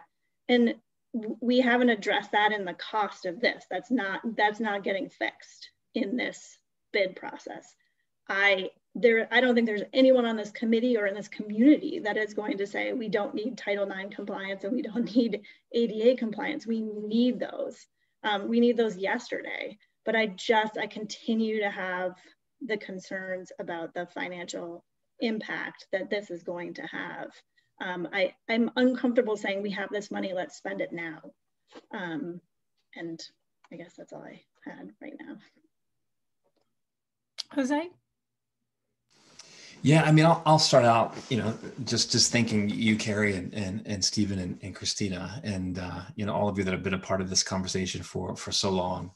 Um, you know, we're all donating our time to our our, our community, and uh, and and I, being a, a, parent who's benefited from it, I'm very grateful. Um, you know, speaking in, in following on from what Christina said, you know, it seems to me that there are three priorities, and uh, second two are unclear in terms of how they should rank, but certainly the first being ADA compliance and Title IX being priority number one. Um, that that you know we have no choice but to address. Um, I understand and am convinced that the playing field, um, you know, the football, soccer, lacrosse pitch is is uh, is a problem, and I, am convinced of that. Um, but then we have alongside that the um, the track that doesn't exist, um, which is also an issue, and it's unclear to me, you know, why one has higher priority than than the other.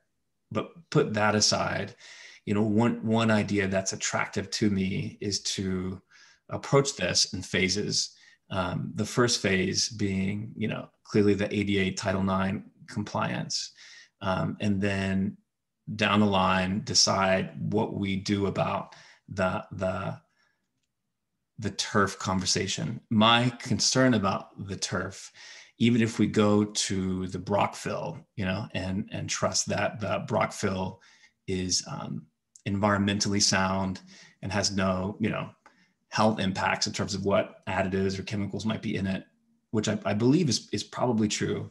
We still run the issue with the artificial grass, the, the, the, the artificial leaves, um, which are known to contain perfluoroalkyl and polyfluoroalkyl substances. It's unclear how those substances impact health, and I believe that's because the studies, you know, it's we, we just we just don't know enough. Um, so we, by committing to the turf, we I think we are probably committing to exposing our our our kids to to these substances, which is an issue for me.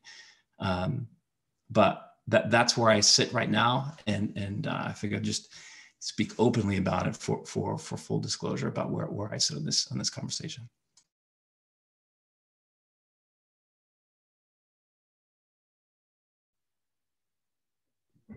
Michelle? Well, given Steve's Stephen's detailed minutes, I think it's pretty clear where I stand on it. Um, I, I, like Christina, have um, some significant concerns with the costs associated with this. Um, I, I fear that something else will come up. And then in order to renew this turf field, uh, that cost will then be passed along to the towns. I'm feeling like if this were, if we did not have this gift and this proposal were sent to the towns for funding, it would, could quite likely be shot down. Um, and so for me as a representative of Lanesboro and representing my whole town, um, I, I'm, I'm concerned about the financial impacts. I mean, I don't know about, I don't know, I don't know about the projects for sure, but if I had to hazard a guess, I'd say that not a single project we've ever done has come in on budget. That's probably a fairly accurate statement. So whatever proposal we get, even if it's close to the 2.2 million, is still going to come in over budget. So I have some concerns that the proposal might be a little bit low to begin with, and then tack on the fact that nothing ever comes in on on budget or on time, for that matter. Um, and uh, those are my concerns. Um, yeah, I mean, so I guess you know, the, the gift, as I understand it, was um, to be used for capital projects that would not be paid for by the state. Um, I know it's been said that the administration building does not benefit the students. I disagree with that statement. That is exactly what the capital gift was for. Um, I, in fact, I would argue they probably had that in the parking lot in mind. Um, that said, um, those are my concerns. That's why I'm hesitant um, to approve the field because of the reoccurring costs associated with it. Um, and again, I'm I'm I'm with um, I'm with Julia. I, I, I feel like this has taken up a, a very large volume of time um, when uh, we have we have a bigger fish to fry. Julia? Can I just ask a, a, clarifying question following up on what Christina said? That I, I'm confused about what work is in progress already for the all the other fields um, and what may be needed uh, for those. Mm-hmm. Sure. Jared, you want to talk about that? Sure. So the work um, last December, PJC Organics was contracted to um, do an analysis of all of our existing fields. This is a topic that we that we dug into in a fair amount of detail during that October 16th presentation. So there's a whole slide with a bunch of detail there, along with all of the supporting documents on the field's website that was created. So all of that backup material is there. The upshot is that um, they indicated that pretty much all of our, I think all of our fields were judged as poor in terms of the quality of, of the existing natural turf.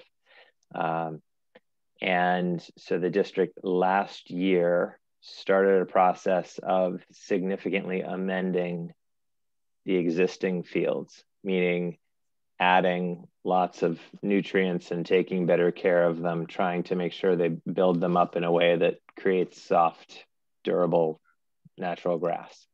Um, that is something that's continuing this year. Um, and so, in sum, that should build up the quality of those fields to a significant level. Um, that does leave two major issues remaining. One is the location of our current game field, John Allen Field, is it's probably the poorest location on the entire campus in terms of drainage. Um, it's in a spot that it naturally becomes a pond um, within the campus. That is something that would be very difficult to remediate without effectively digging up the whole thing and putting a brand new drainage system underneath, um, which is effectively also what this new field proposal was about. It was about layering in plenty of drainage in a new location so that the old fields could remain um, usable, playable well into the future. But this new field would both be sited in a place that was great, as well as um, more maintainable from a from an, uh, a drainage perspective. Um, and then irrigation is the other topic. Um, currently, there is no irrigation for our existing fields. In order to get to a point where we had irrigation for those moments when um, the summers are dry, we would need to go through a two step process. One is the initial engineering work to um, evaluate possible locations for new wells and do test drilling. Then the second step would be actually drilling those wells, um, running the irrigate, running the the water supply lines, and then installing irrigation on any fields that we wanted to irrigate using those wells. The reason that is necessary um, is that our current drinking wells are not sized mm-hmm. um, so that they could support that amount of water flowing out of them to the fields in addition to being used by the building. So we need to go through that process of um, developing new wells for that purpose. And how does that get paid for? Is that in the plan now with? That is that is not that was not in the RFP that went out last year. Um, it is it is something that I think we are aware of, but but it would not be a natural part of a, a rebid of the of that project. But it is something that Perkins Eastman within its proposal did indicate that if we ask them to do that, they said there has been discussion regarding the addition of irrigation to the new grass fields they say new grass fields, but I think they meant existing grass fields. We're aware of the issues surrounding this potential add to the project and will provide guidance as necessary. The fees to design the system are as follows. Design, they, they dropped in 16,200. Uh, bidding and construction administration services 8700 so that that was their attempt at at touching on that subject mm-hmm. And maybe if there's background history from other school committee members, I, I'm just curious why that wasn't, that hasn't been part of this project before. I mean, that feels, that feels like we've got a, a lot of fields that are subpar and we're talking about adding another field. But if we aren't fixing the ones that we have, like it, it doesn't, I, I'm just trying to understand why we would add a new one without fixing the ones that we have.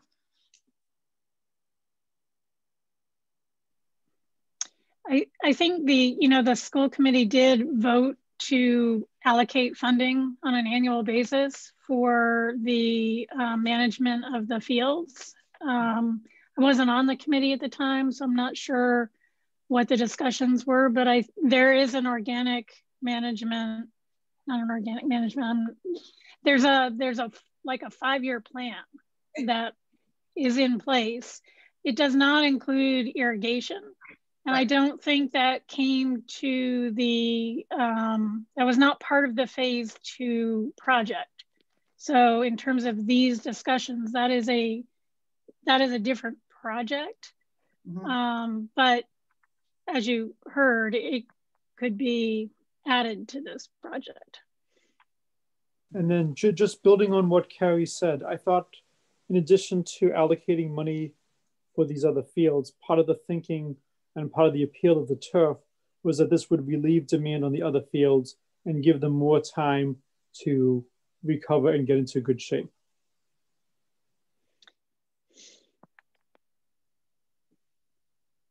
Curtis, did you want to say anything?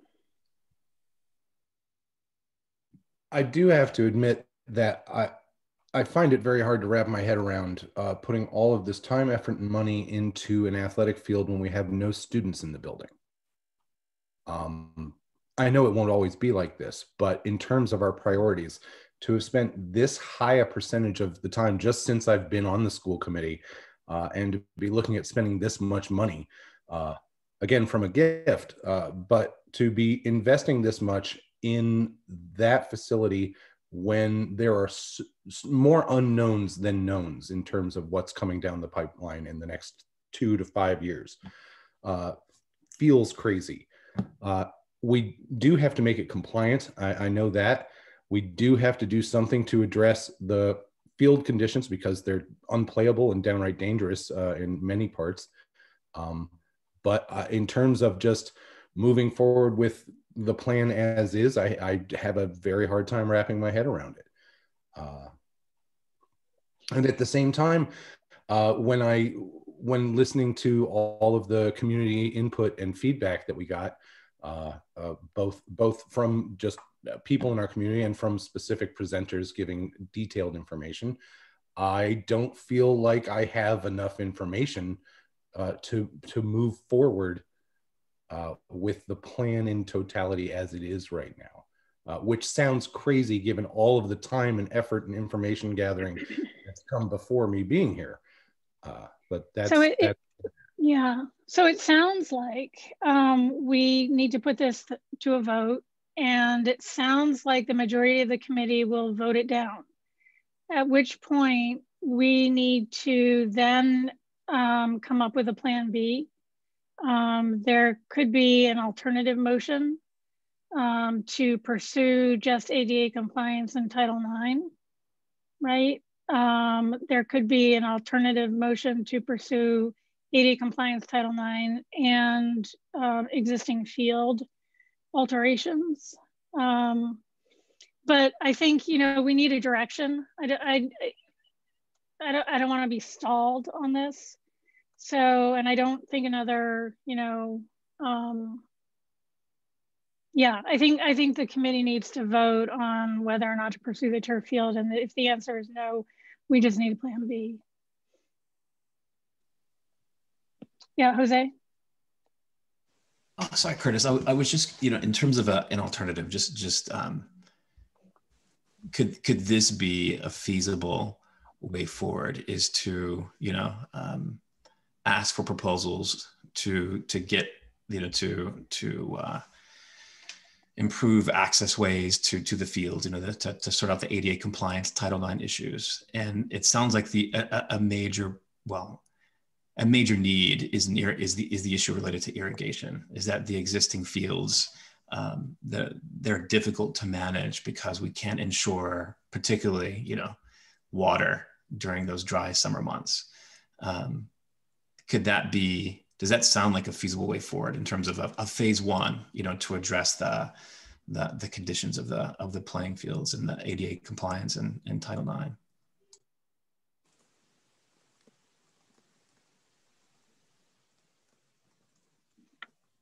You're you're asking if that's a way forward. Michelle raised this in the finance committee as well, and you know, looking again, looking at the pie chart of um, what within the proposal what the costs were dedicated to.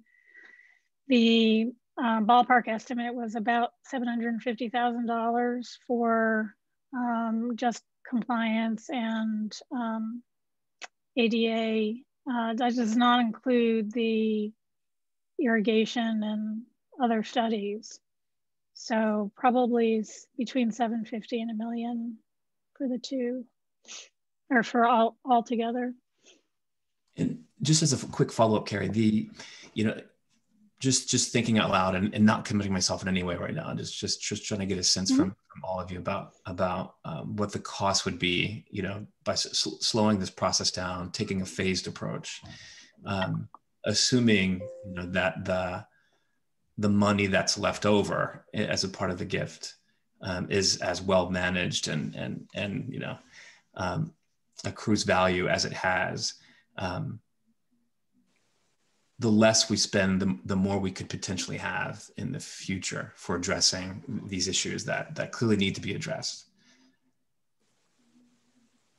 Yes, that's by logic, that is, that is the case. I, I would just add that I don't think there is an expectation on the part of the towns, nor that should there be an expectation on our part that we, we with this gift should be able to cover all the costs that come our way through this building. Um, it's really just that we be able to co cover some of it. Curtis, yes. Uh, I do. I do want to be clear that uh, in terms of a turf field, uh, just in general, I do support having a turf field at our school. I've looked at a lot of the environmental impact data, the injury data, uh, the fact that it would be one of so many fields, and specifically where it's located in terms of uh, runoff and, and, and other concerns uh, in the particulate of the field. I do think it is right to be moving towards putting a turf field in at our school. But I don't know that putting in a turf field when we don't have the funds available to address the irrigation and other needs at the very many other fields surrounding our school uh, is the right move at this time. I think what Jose says about uh, moving forward with making it compliant and improving the condition of the current grass fields and not spending all of the apportioned part of that gift that we had earmarked towards this uh, and sitting on that for another two years or so. And I'm sure anyone listening to this who's been pushing for a turf field is pulling their hair out right now. Uh, but I would urge a, a, word that people hate right now, which is patience.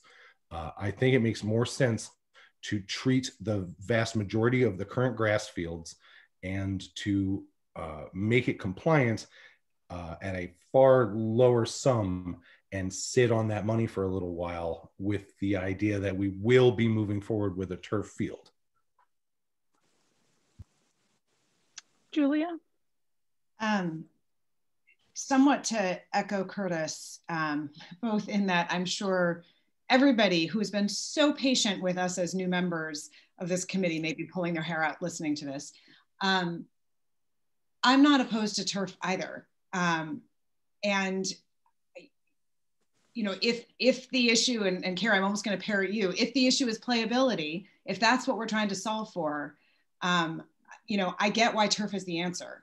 Um, so I, I don't, but, but, but I do think if we haven't first solved for all the other fields on our campus, um, I, I, I, I, have a hard time understanding why we would mm. add another one. Yeah, I, I, guess I would just again um, echo what Steve said, and I think what Joe has said, um, that we've heard before, is that the turf field is, or another field is key to the health of the existing fields, right? We really can't remedy the existing fields without another field that allows them to rest. And the, the in terms of not having kids at the school now, um, I think it's our hope to have be back in person next year, and that's when the field would be ready. Would be you know for the next school year. It's not going to be ready when the school is empty. Um, if we're not in person in the next school year, we'll still be having hybrid, presumably, when um, lots of you know other potential uses. The other factor, of course, is, and I'll just throw this out because it's been mentioned a few times, is the um, the cost will um, probably probably we're told be lower now than it will be in a year or in two years um, because of the favorability, um, because no one else is bidding, is putting these kinds of things out. Now, I don't know that for sure. I don't have that crystal ball, but we're we're told that the this is a good time to be bidding these kinds of things um, because those without gifts don't have the money to be spending on this. Yeah, sorry, Curtis and then Julia.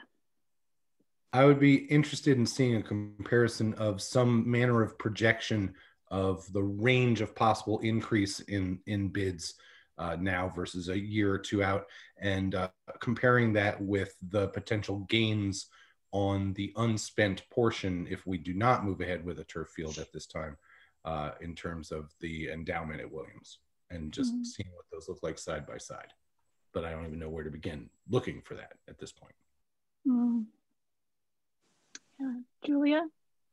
Uh, two unrelated que questions that aren't related to each other. Um, one is there was talk of potentially in the in the Perkins Eastman contract, there was talk of a cost estimator.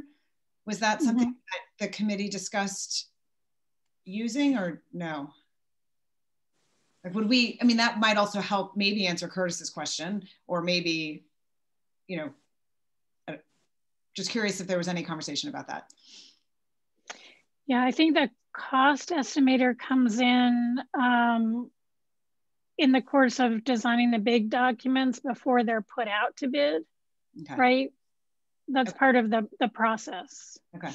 Um, the second question, and, and um, again, I appreciate the patience of all of you who've been working on this for so many years um, as we try to get up to speed. And I, I feel like often I have to ask a question multiple times and people may think they've already given me an answer when they may maybe they have but i haven't been able to process it so so i'm going to ask a question that um, maybe i should know the answer to i i thought i heard in a october school committee meeting that um, there may also still be an issue around electrical wiring for the cross country ski team is that also a kind of outstanding issue that remains? I remember hearing maybe they would fundraise for it. No, mm. we did vote to support the uh, construction of another uh, building and therefore free up the building that was being constructed for cross country ski. So I think that issue was resolved at the there October was, meeting. There's something about electrical wiring in particular. The, so we have since solved Okay.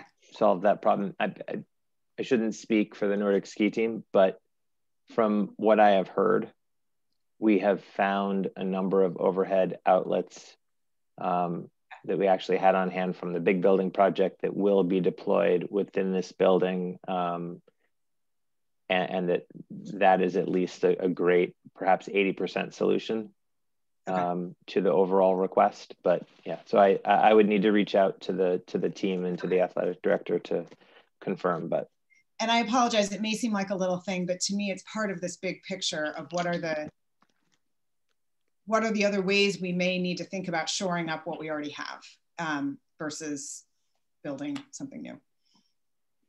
Uh, Michelle, so I just have a question. So you just mentioned um, that you approved a new building. Would that also be coming from the gift?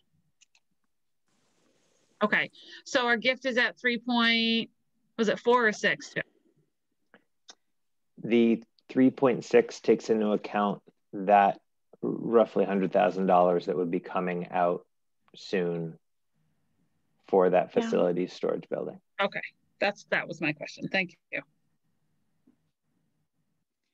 Jake, did you want to say anything or do you have any guidance for us as a committee?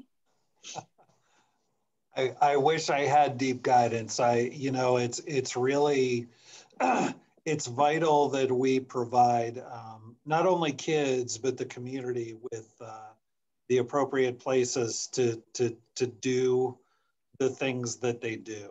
Um, all of us, I'm sure, have recollections of going to school. And, and my guess is most of our happy memories didn't involve taking a test.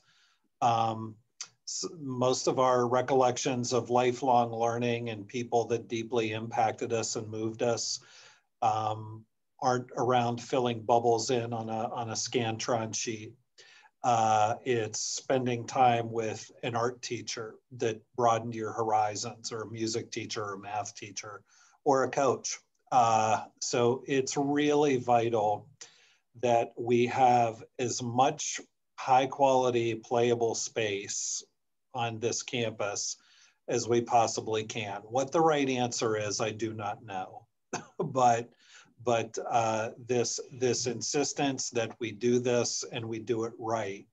And we do it in a way that works for kids two years from now and 20 years from now is really important. Uh, and and you know my my, my experience of of uh, 16 years of working with school committees as a, as a superintendent we, we are going to be spending hours and hours and hours and hours and hours doing um, all kinds of important work. And uh, so, you know, and, and we're going to do the instructional work and the social emotional work and the budgetary work, no matter what else we're dealing with.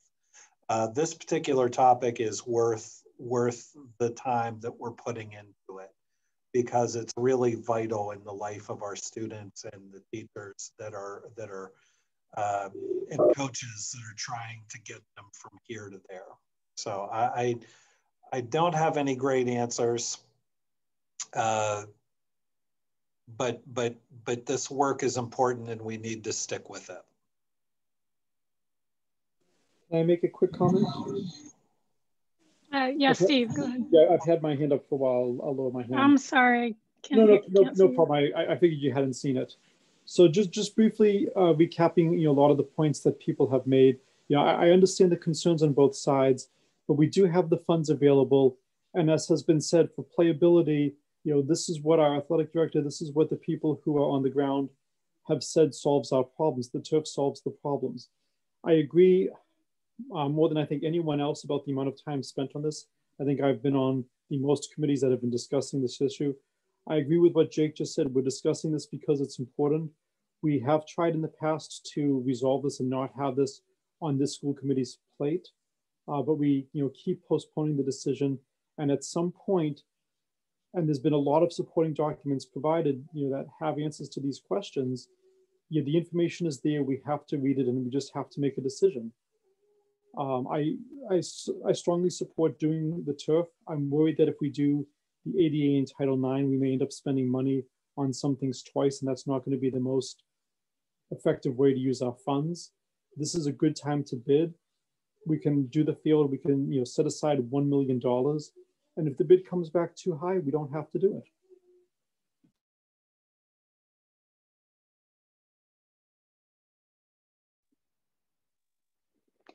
Joe, in terms of the process, um, if there is concern about the existing fields, does that become an add alternate? Um, or is that something that we can simply ask be put into the bid process? Um, the restoration or irrigation drainage of the existing fields.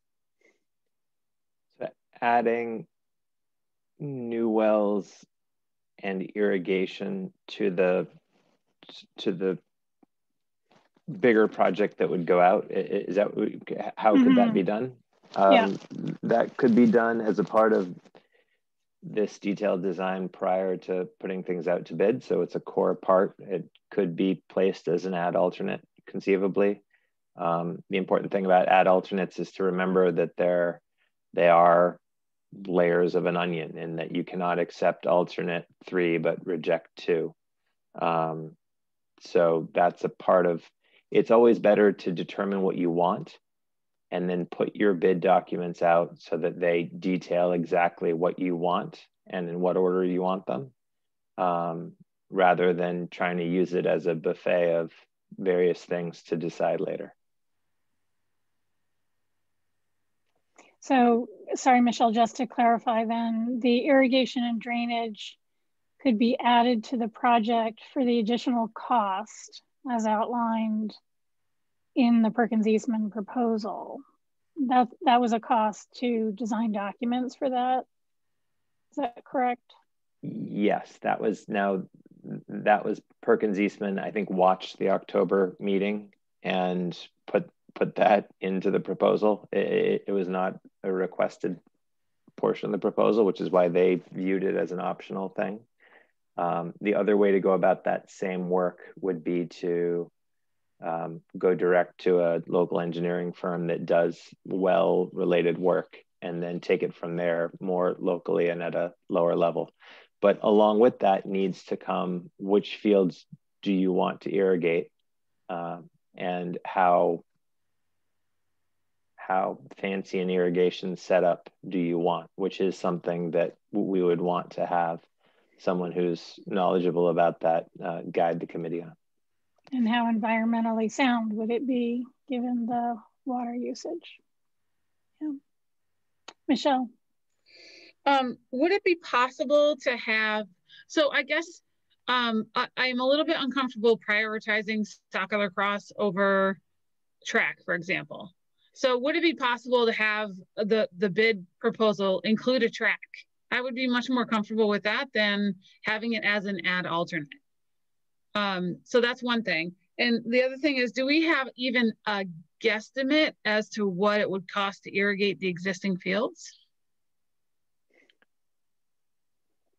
I personally have not seen any estimates for running irrigation lines and and setting everything up for some kind of automated irrigation system. I have not seen any any estimates on that. I'm not sure if other people have.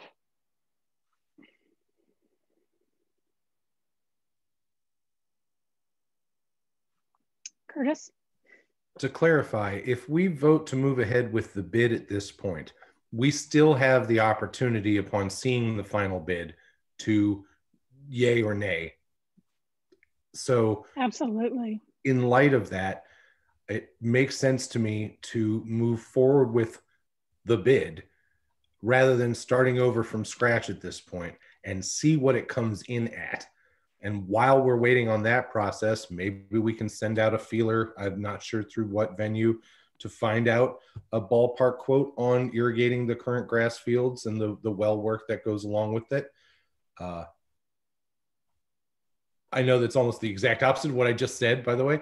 Uh, but I, if we're able to move forward with the bid now and still have the luxury of time when it comes to making the final decision on whether or not to move forward upon receiving the bid, then that to me seems like the logical thing to do. Does that make sense? I may be losing my mind. This is hour 11 of Zoom today. Yeah, there is also a process of value engineering that happens over the course of developing the bid document. So we could say to Perkins Eastman, as Michelle had suggested, we would like to bid the track and the synthetic turf field um, and the ADA and the Title IX um, and not have the track be an add alternate, but be part of the project. We have the ability to say that. It's already been scoped out and you know, all we do is we put it all together and anyone who bids on it is bidding on the full package. Um, we could have other things that would be add alternates. And there, we already have a, a list of value engineering. So there is a whole process. This is just the vote to move forward with that process. There would be a vote on the documents before they hit the street. Absolutely, by the full committee. Uh, just briefly, I, I strongly support moving the track up as has been suggested especially when you consider the number of people who use the track and the fact of what the track would be able to give us in terms of you know, people you know, coming to the campus. Julia? Um, I'm, if, if we, well, first of all, I feel like if we vote, if we move forward with the Perkins Eastman contract, that's a pricey contract. So I feel like we're in it, you know, we would be going out to bid. We're, we're in it. Um, obviously we don't have to take a contract, take a bid that's way out of our budget, but um, it is a, it is a big step. Um, the second thing is if we were to pull the track in um, and go out to bid for ADA Title IX, the track and the turf field, and we can't afford that, then we are back to we, back to ground zero for just the ADA and Title IX, which are required. Is that right? Well, um, so that's where the estimator comes in. If we know what we want to spend and we're above it, then we would start to pull things out. That's the value engineering, okay. right? Right. that we do before the documents go to the street. So if we say as a committee, we really don't want to spend more than, mm-hmm. you know, X number of dollars, um, we value engineer the project before yeah. anybody bids on it. Okay. You know, we're just saying the track is more important than outdoor or night lighting or, you know, any number of other items. Mm-hmm. Jose, did you have a I thought I saw your hand. Oh, no, no, apologies. Okay. No, no. That's okay.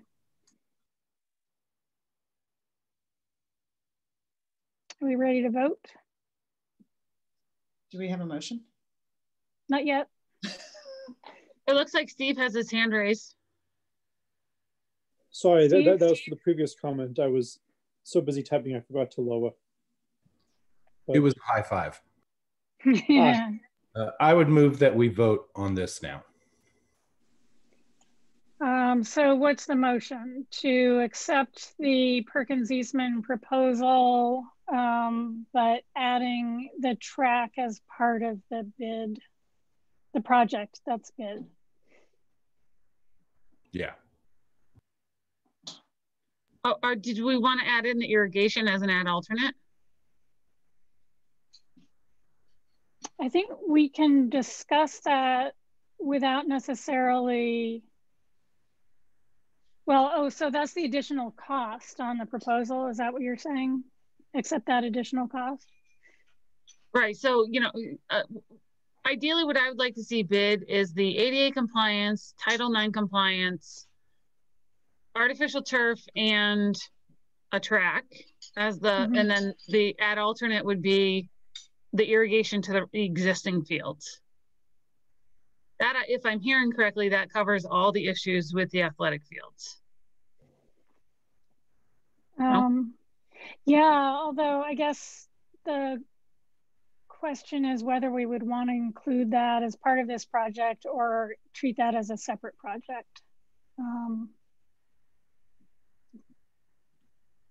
you know, working with our local um, landscapers and engineering folks and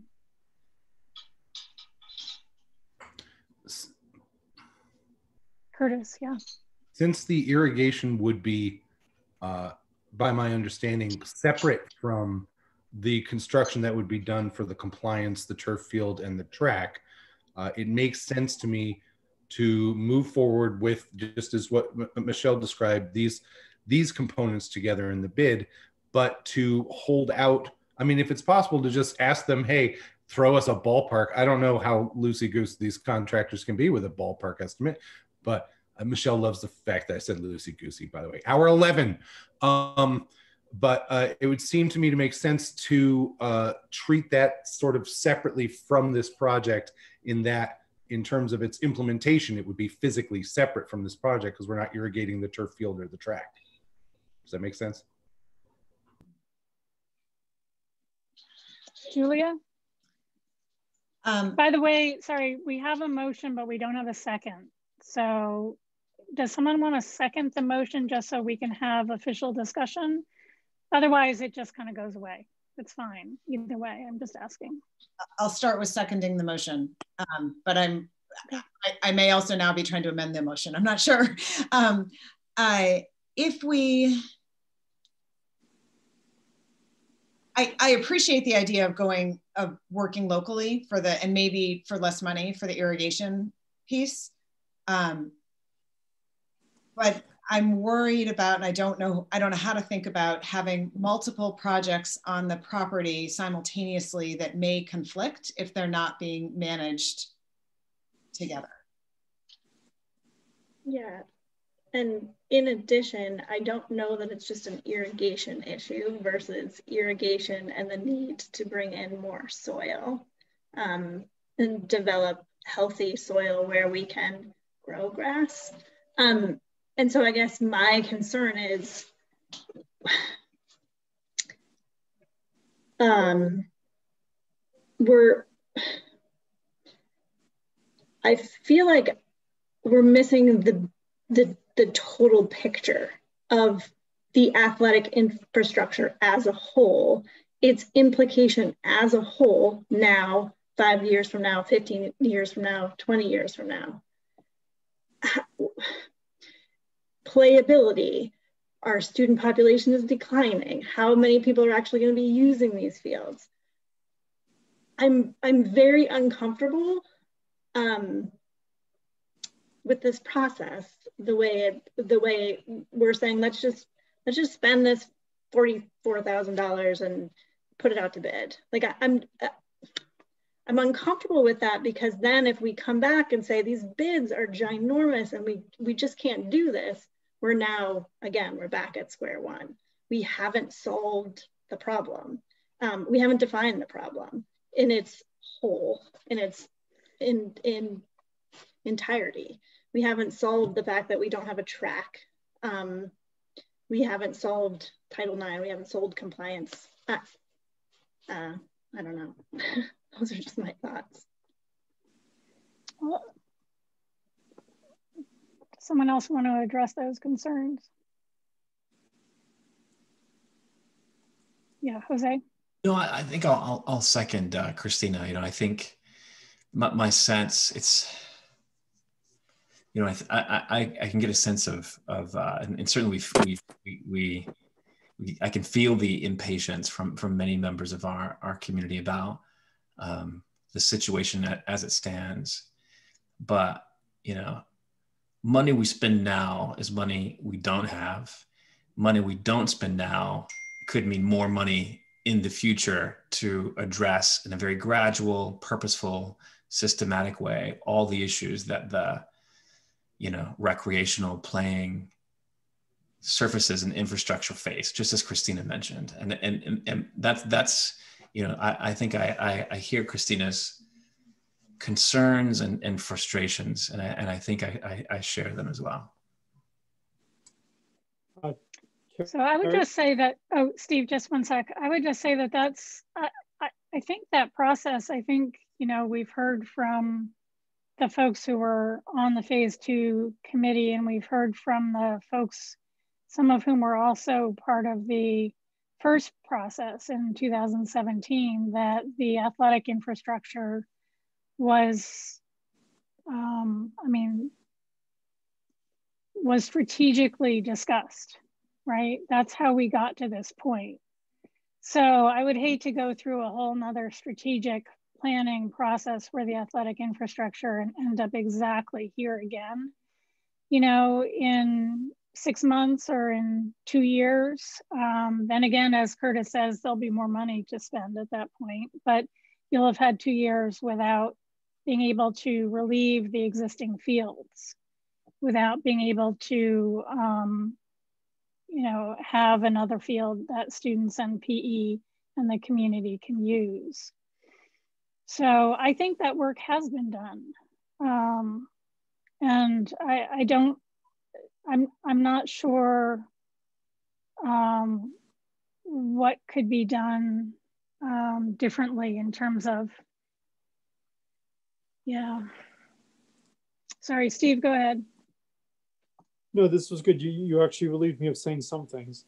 Um, I'll, I'll just add that when we went to bid last time, we had one bid that would have been in our range, except that they had misinterpreted what was asked for and had an artificial turf uh, also on the softball field. Uh, and then in terms of the bid coming in too high, as you know, Christine and Jose have mentioned, uh, this is the advantage of drawing up our priorities beforehand and saying, you know, what is our top priority so we can choose the ordering.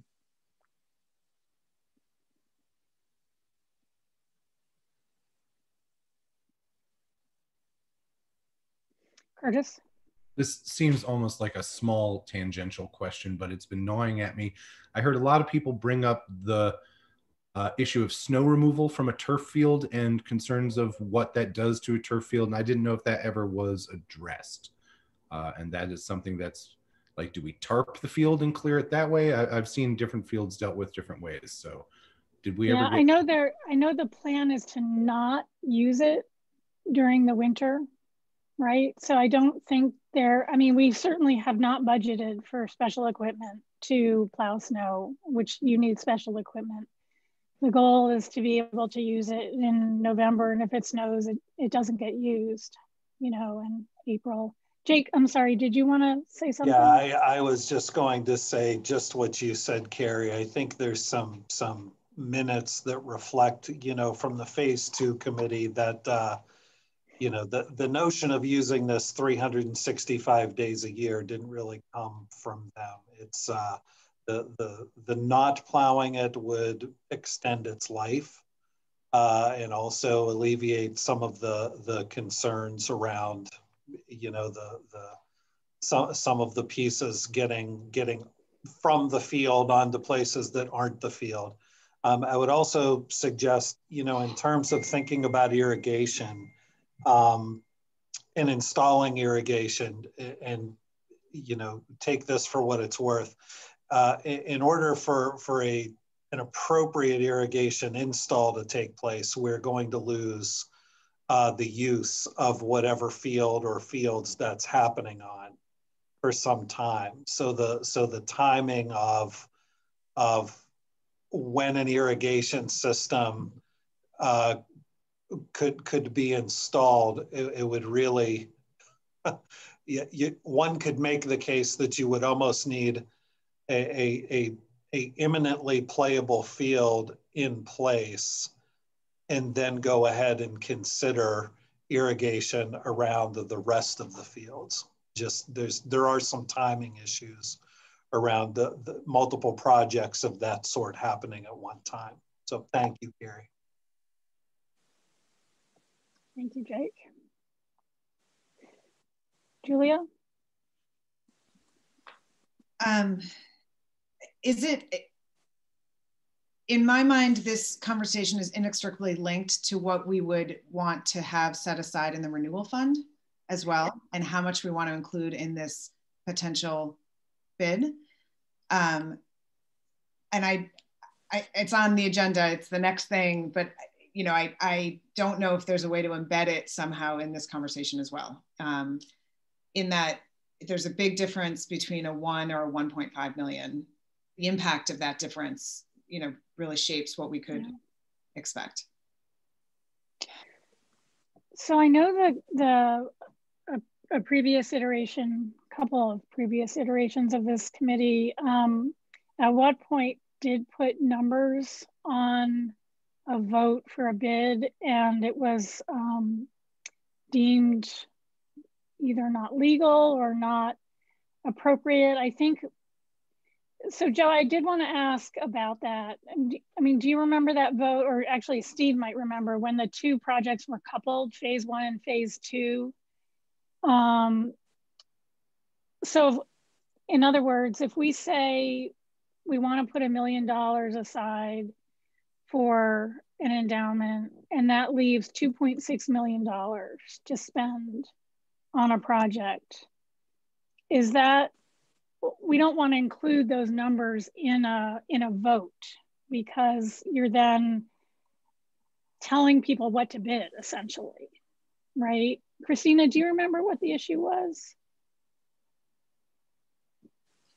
so I, I guess yeah. You're right. It was a, it was along those lines. We can set a number for what we set aside in the endowment but we can't set a number for what we would want the bids to come back as. Right. But we can have that number in our minds right? And we can talk about not wanting to spend you know more than i mean that's the reason for putting estimates out. Um, so yeah, there there is a large difference between a million and a million point five. But again, what what is the expectation in the community? Should we be really needing to have six million dollars in you know 20 years, or should we be setting aside you know enough that we can cover boilers and and maybe you know anything that comes up and you know within a reasonable time frame? Um, can I follow up on that? Of course. Um, it's it's not six close to six million in 20 years if we're tapping into it along the way. Like that has huge impact on the total growth. I'm I'm a proponent of more than a million. Um, of 1.5 would be where I would want to start. Um, and that's both because we will need to tap into it. If we if we do something like a turf field, I would want to know the replacement of either a new turf field or to your point, Carrie, a grass, you know, tearing it up and putting in a grass field comes out of this fund. Um, and so that's that's an earlier, you know, drawdown from the account. Um, and I also, I, but but but I guess one of my questions around this is similar to that, like, what is the how do we think about a long range capital plan and how, do, how is it funded? And what would this be responsible for versus other sources? Um, you know that we don't have all the information and i get we're going to have to make a decision without all the information but that's another one that is stumping me. But what what really feels important to me is that we've heard from the towns and we heard from hugh at the fora to please make sure we set aside you know one i think he was 1.25 to 1.5 um, and that's I know it's I know this is not their decision, but I know and I know we are our own go- governing debate, you know, body with our own decisions. But I do believe the towns are our partners, and I, so I want to think about what they are looking to us to to do as well. So Carrie, I think we might have lost Steve. Um, he's still on the call. Oh, there he is. Okay. I Yeah. couldn't see him anymore. I'm just typing. Yeah. we need you, we need to get you an avatar so we can see you. Joe, do you have any thoughts for the committee?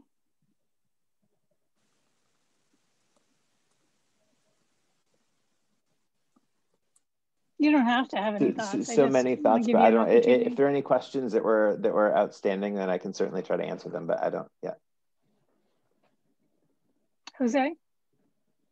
Um, you know, I think we have the a motion, and I think that motion was was seconded by Julia. I, I don't know if we're in a position or if we're the you know we we'd like to continue conversation, but perhaps speaking selfishly from, from my perspective, I think I would welcome welcome uh, a, a vote on this motion.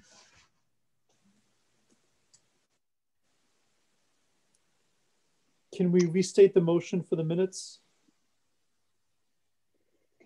I think the motion is to accept the proposal from Perkins Eastman um, to move forward with the process, um, but to include the track in the project and not as an add alternate. Thank you.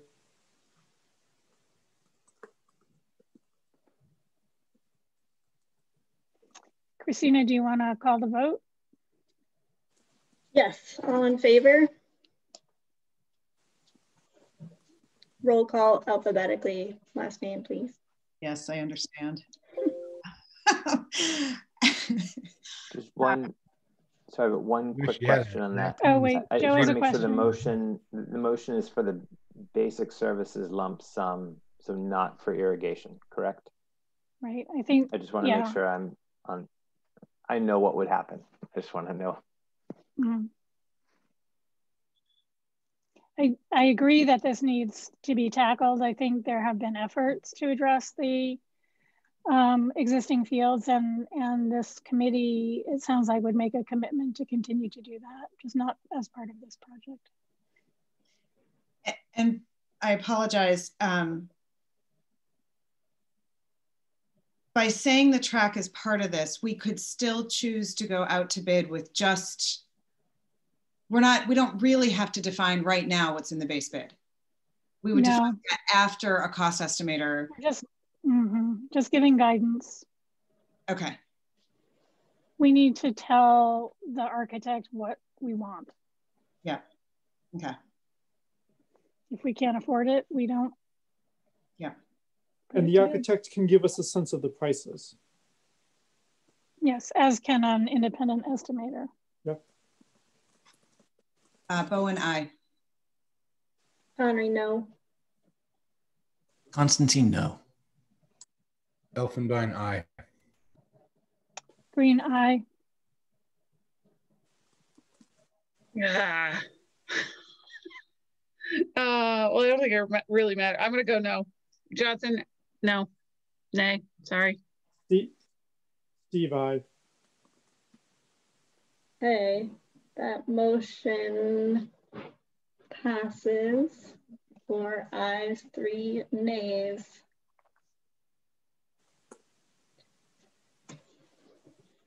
So my understanding is that that bid goes goes out for forty four thousand, and we end up doing nothing with it. The four of us that voted yes have to pony up eleven grand each. Is that how that Uh, works? no, I I I put up twenty two thousand because I've been on it longer. It's proportional. Excellent. I'm so happy to hear that. Happy birthday, Curtis. You're off the hook. Thank you. Biggest birthday present ever. Oh, math people humor. I've had two birthdays during this meeting, by the way.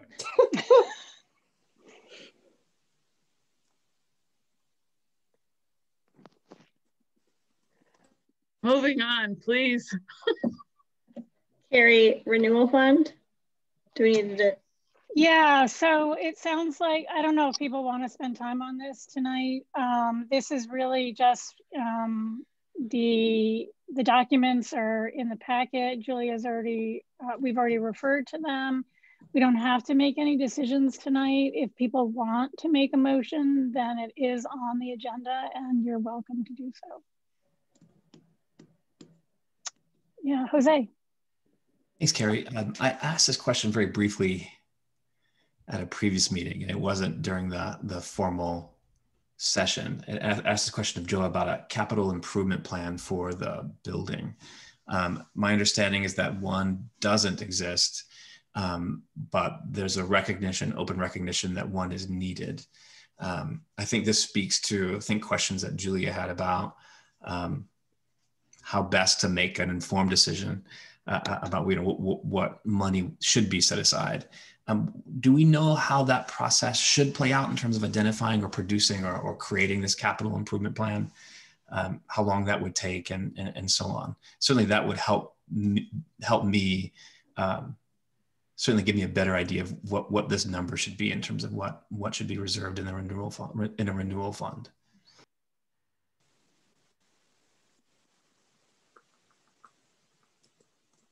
Joe, do you want to respond to that? Sure. Uh, so far, what we've done is we've just taken a, a, quick look at current day costs associated with replacement of floors, windows, and roof, which are the three single biggest ticket items. Um, if we were to dive into a process in detail with Tim Sears and with outside experts looking at all of the various failure points within the building and trying to use best practices in terms of looking at what what needs to be renewed and when and what sorts of liabilities we have there. Um, th- that's a process that would take significantly longer to do in detail. It's also something that in, in my opinion should be done as a district wide plan because we, we do have a number of costs that will need to be layered um, as we go through the years and our two elementary schools are also at the point where windows for sure at Lanesborough Elementary School are, are a topic, need to be a topic very soon. Um, and costs like those are ones where we need to figure out how to stack them and do them in, in a process that allows those hits to towns' budgets to, to not lump up to not be big bulges as we go through the year. So it, the, the best way to go about it would be to look at the district as a whole, three buildings that we want to maintain as best we can, um, and try to tackle each one with a fair amount of detail. Um, at this point, state programs are are there. Um, they're once your limbs are falling off, what kind of money can you get from the state to to try to shore things up? So we really need to look at it locally and at a level of detail that that involves also our towns ideally in terms of what sorts of plans we can try to put in place in partnership with them. So it's a bigger and, and just to follow up on the the the regional agreement again, um, because the towns own the buildings, the elementary school buildings, and lease them to us for a dollar. Um, they are responsible for the repairs um, to those buildings over a certain amount of money. Is it 5,000 on a given project. So we need to, that's one of the reasons, of course, we need to work with them um, to uh, come up with a, you know, budgeting. Julia? I'd like to make a motion that we uh, plan to set aside $1.5 million for a renewal fund. I would second that motion. Okay. Discussion. Uh, was it? So, oh wait, sorry, Steve. Steve had a yeah, I had my hand up before the motion was made. I just wanted to say that it's worth remembering that if we vote to set aside a certain amount now, we can always set aside additional amounts later. And thus I would prefer to vote now to set aside $1 million not 1.5. I think there's a motion that's been seconded, so we would have to vote that down and then you No, can make another motion. was- But Jose, go ahead. Um, I think I'm, I, my tendency is to be conservative about, you know, you know, preparing for future and likely unknown costs. Uh, but this feels a little bit arbitrary in terms of what number we allocate to a renewal fund. Um, I'd like to hear from from you, Carrie, and perhaps from your finance subcommittee members. What what if you have a sense of, of, of what a number should be um, and why? Yeah, the numbers that we discussed, um, Steve had proposed something under a million and both uh, Michelle and I had um, had said that we would be comfortable with a million. Um, Michelle, do you want to speak to, you know, why a million was good in terms of? Yeah, so I think I started at 1.5. Uh, I think that's my preference. However, um, I would not want to sacrifice the 0.5. I wouldn't want to sacrifice the track for a 0.5 is what I'm getting at there. So I'd like to have the money available. Um, should this project come in way under what we think it is, um, then I think we can add additional money to it, as Steve is saying, but I, I am comfortable with a million. Um, Joe did a, a nice sheet for us with, I think it was a million, 1.5 and two, right, Joe, that you gave us the estimates on moving forward. Um, so looking at those numbers, which I, I don't have in front of me at the moment, because at this point I'm very tired. Um, I, I was comfortable with a million, but no less than that.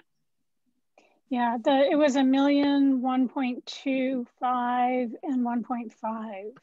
Um, and I, I agree with Michelle that, you know, the, the track was estimated at about 40, 450.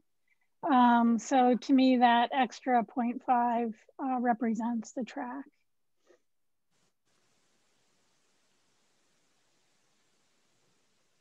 I, I, I was I was convinced to move up to a million from those arguments, and you know, considering how many people use the track, I think right now it's better to have the flexibility. We can always add more later.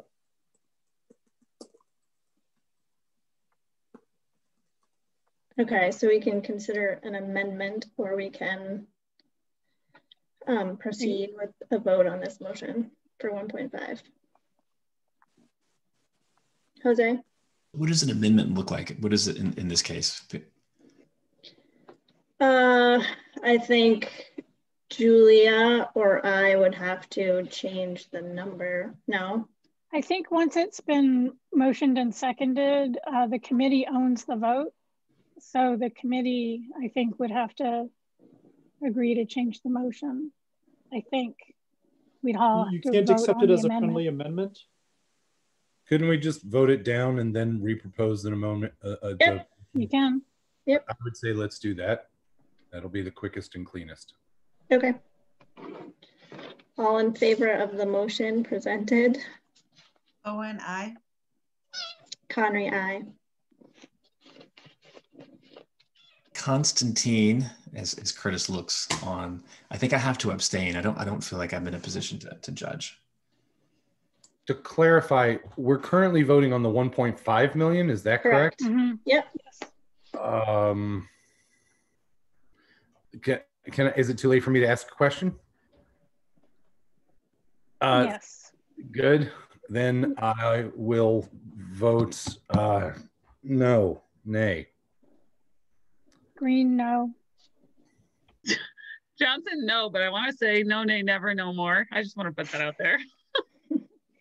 That sounds like a drinking song. Um, I'll vote no as well. Miller, no. Okay, so that motion does not pass.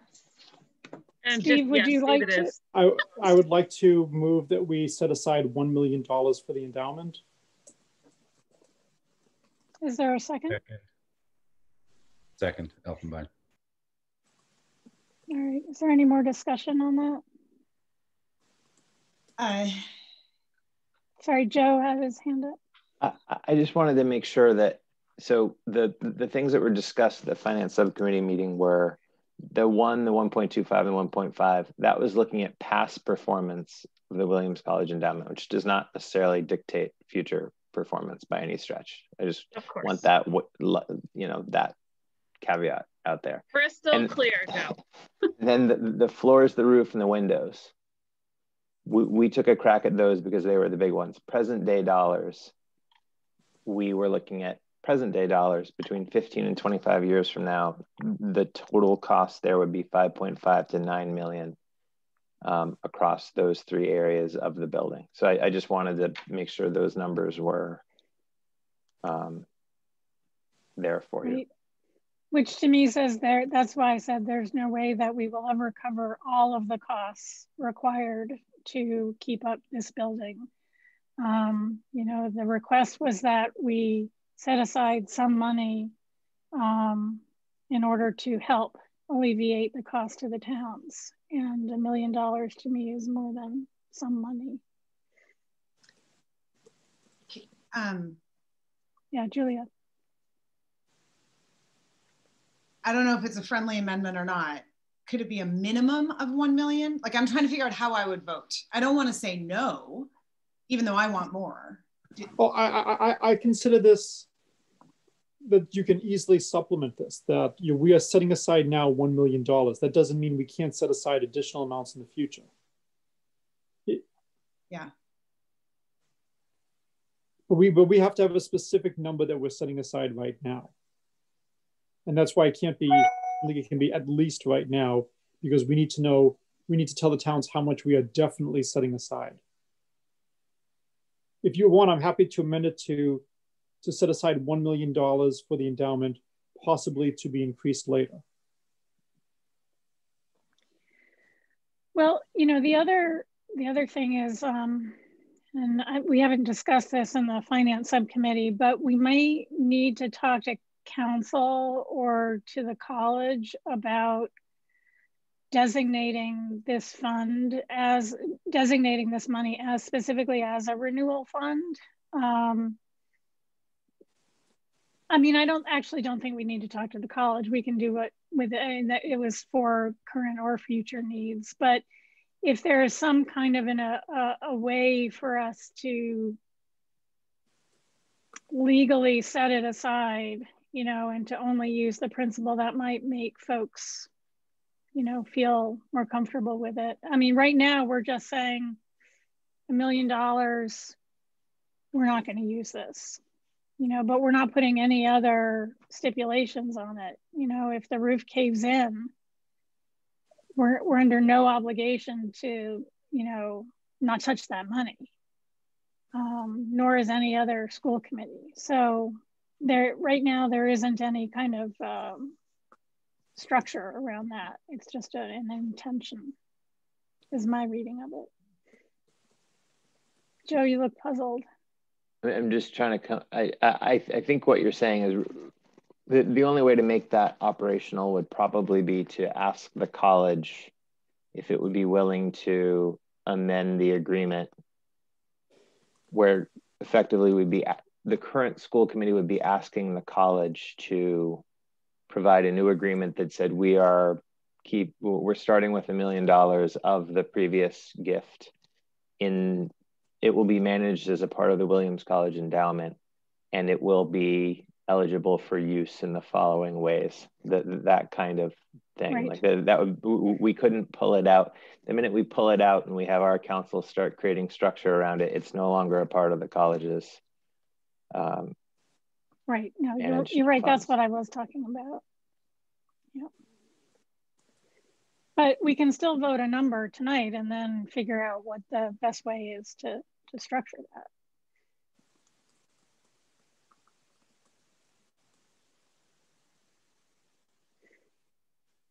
Steve, do you have, Steve has his hand up, Carrie. Oh. Steve? I know, I, I, I'm sorry. No problem. Are folks ready to vote on this? Aye. Christina, do you want to call the vote? Sure. Um, all in favor um, of the motion made by um, Steve and seconded by Curtis.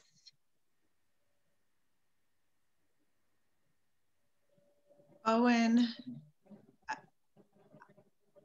um, I, I, I want more, but I guess I'll take a million if I can't have more. So Bo and aye. Uh, Conry, aye, same. I think for to, to be consistent, Constantine abstain. Elfenbein, aye, and same. Green aye. Johnson, aye. Miller, aye. Okay, that motion passes. Moving on to the next agenda item, Carrie, unless you have anything else. Okay, here we go. It's gonna be a quick one, guys. Um, school committee workshop date discussion. In your packet um, was a, um, a draft outline of what discussions would happen um, during our workshop. And we, um, we, I spoke with um, our MASC rep and Glenn Koocher, and they threw out the dates of January 9th or January 16th. Um, I am anticipating it would be from 9 a.m. till noon.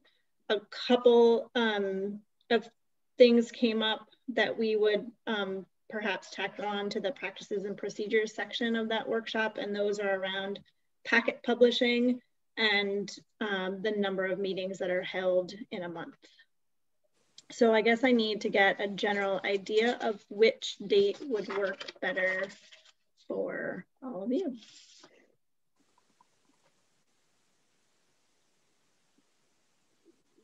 Julia? Either one is fine. Okay. Uh, Steve, I can make either work. Okay. Is this like a full day thing, Christina? Nine to noon. Nine to noon. All right, either day is fine with me. Same, either day's fine. The 16th is better for me.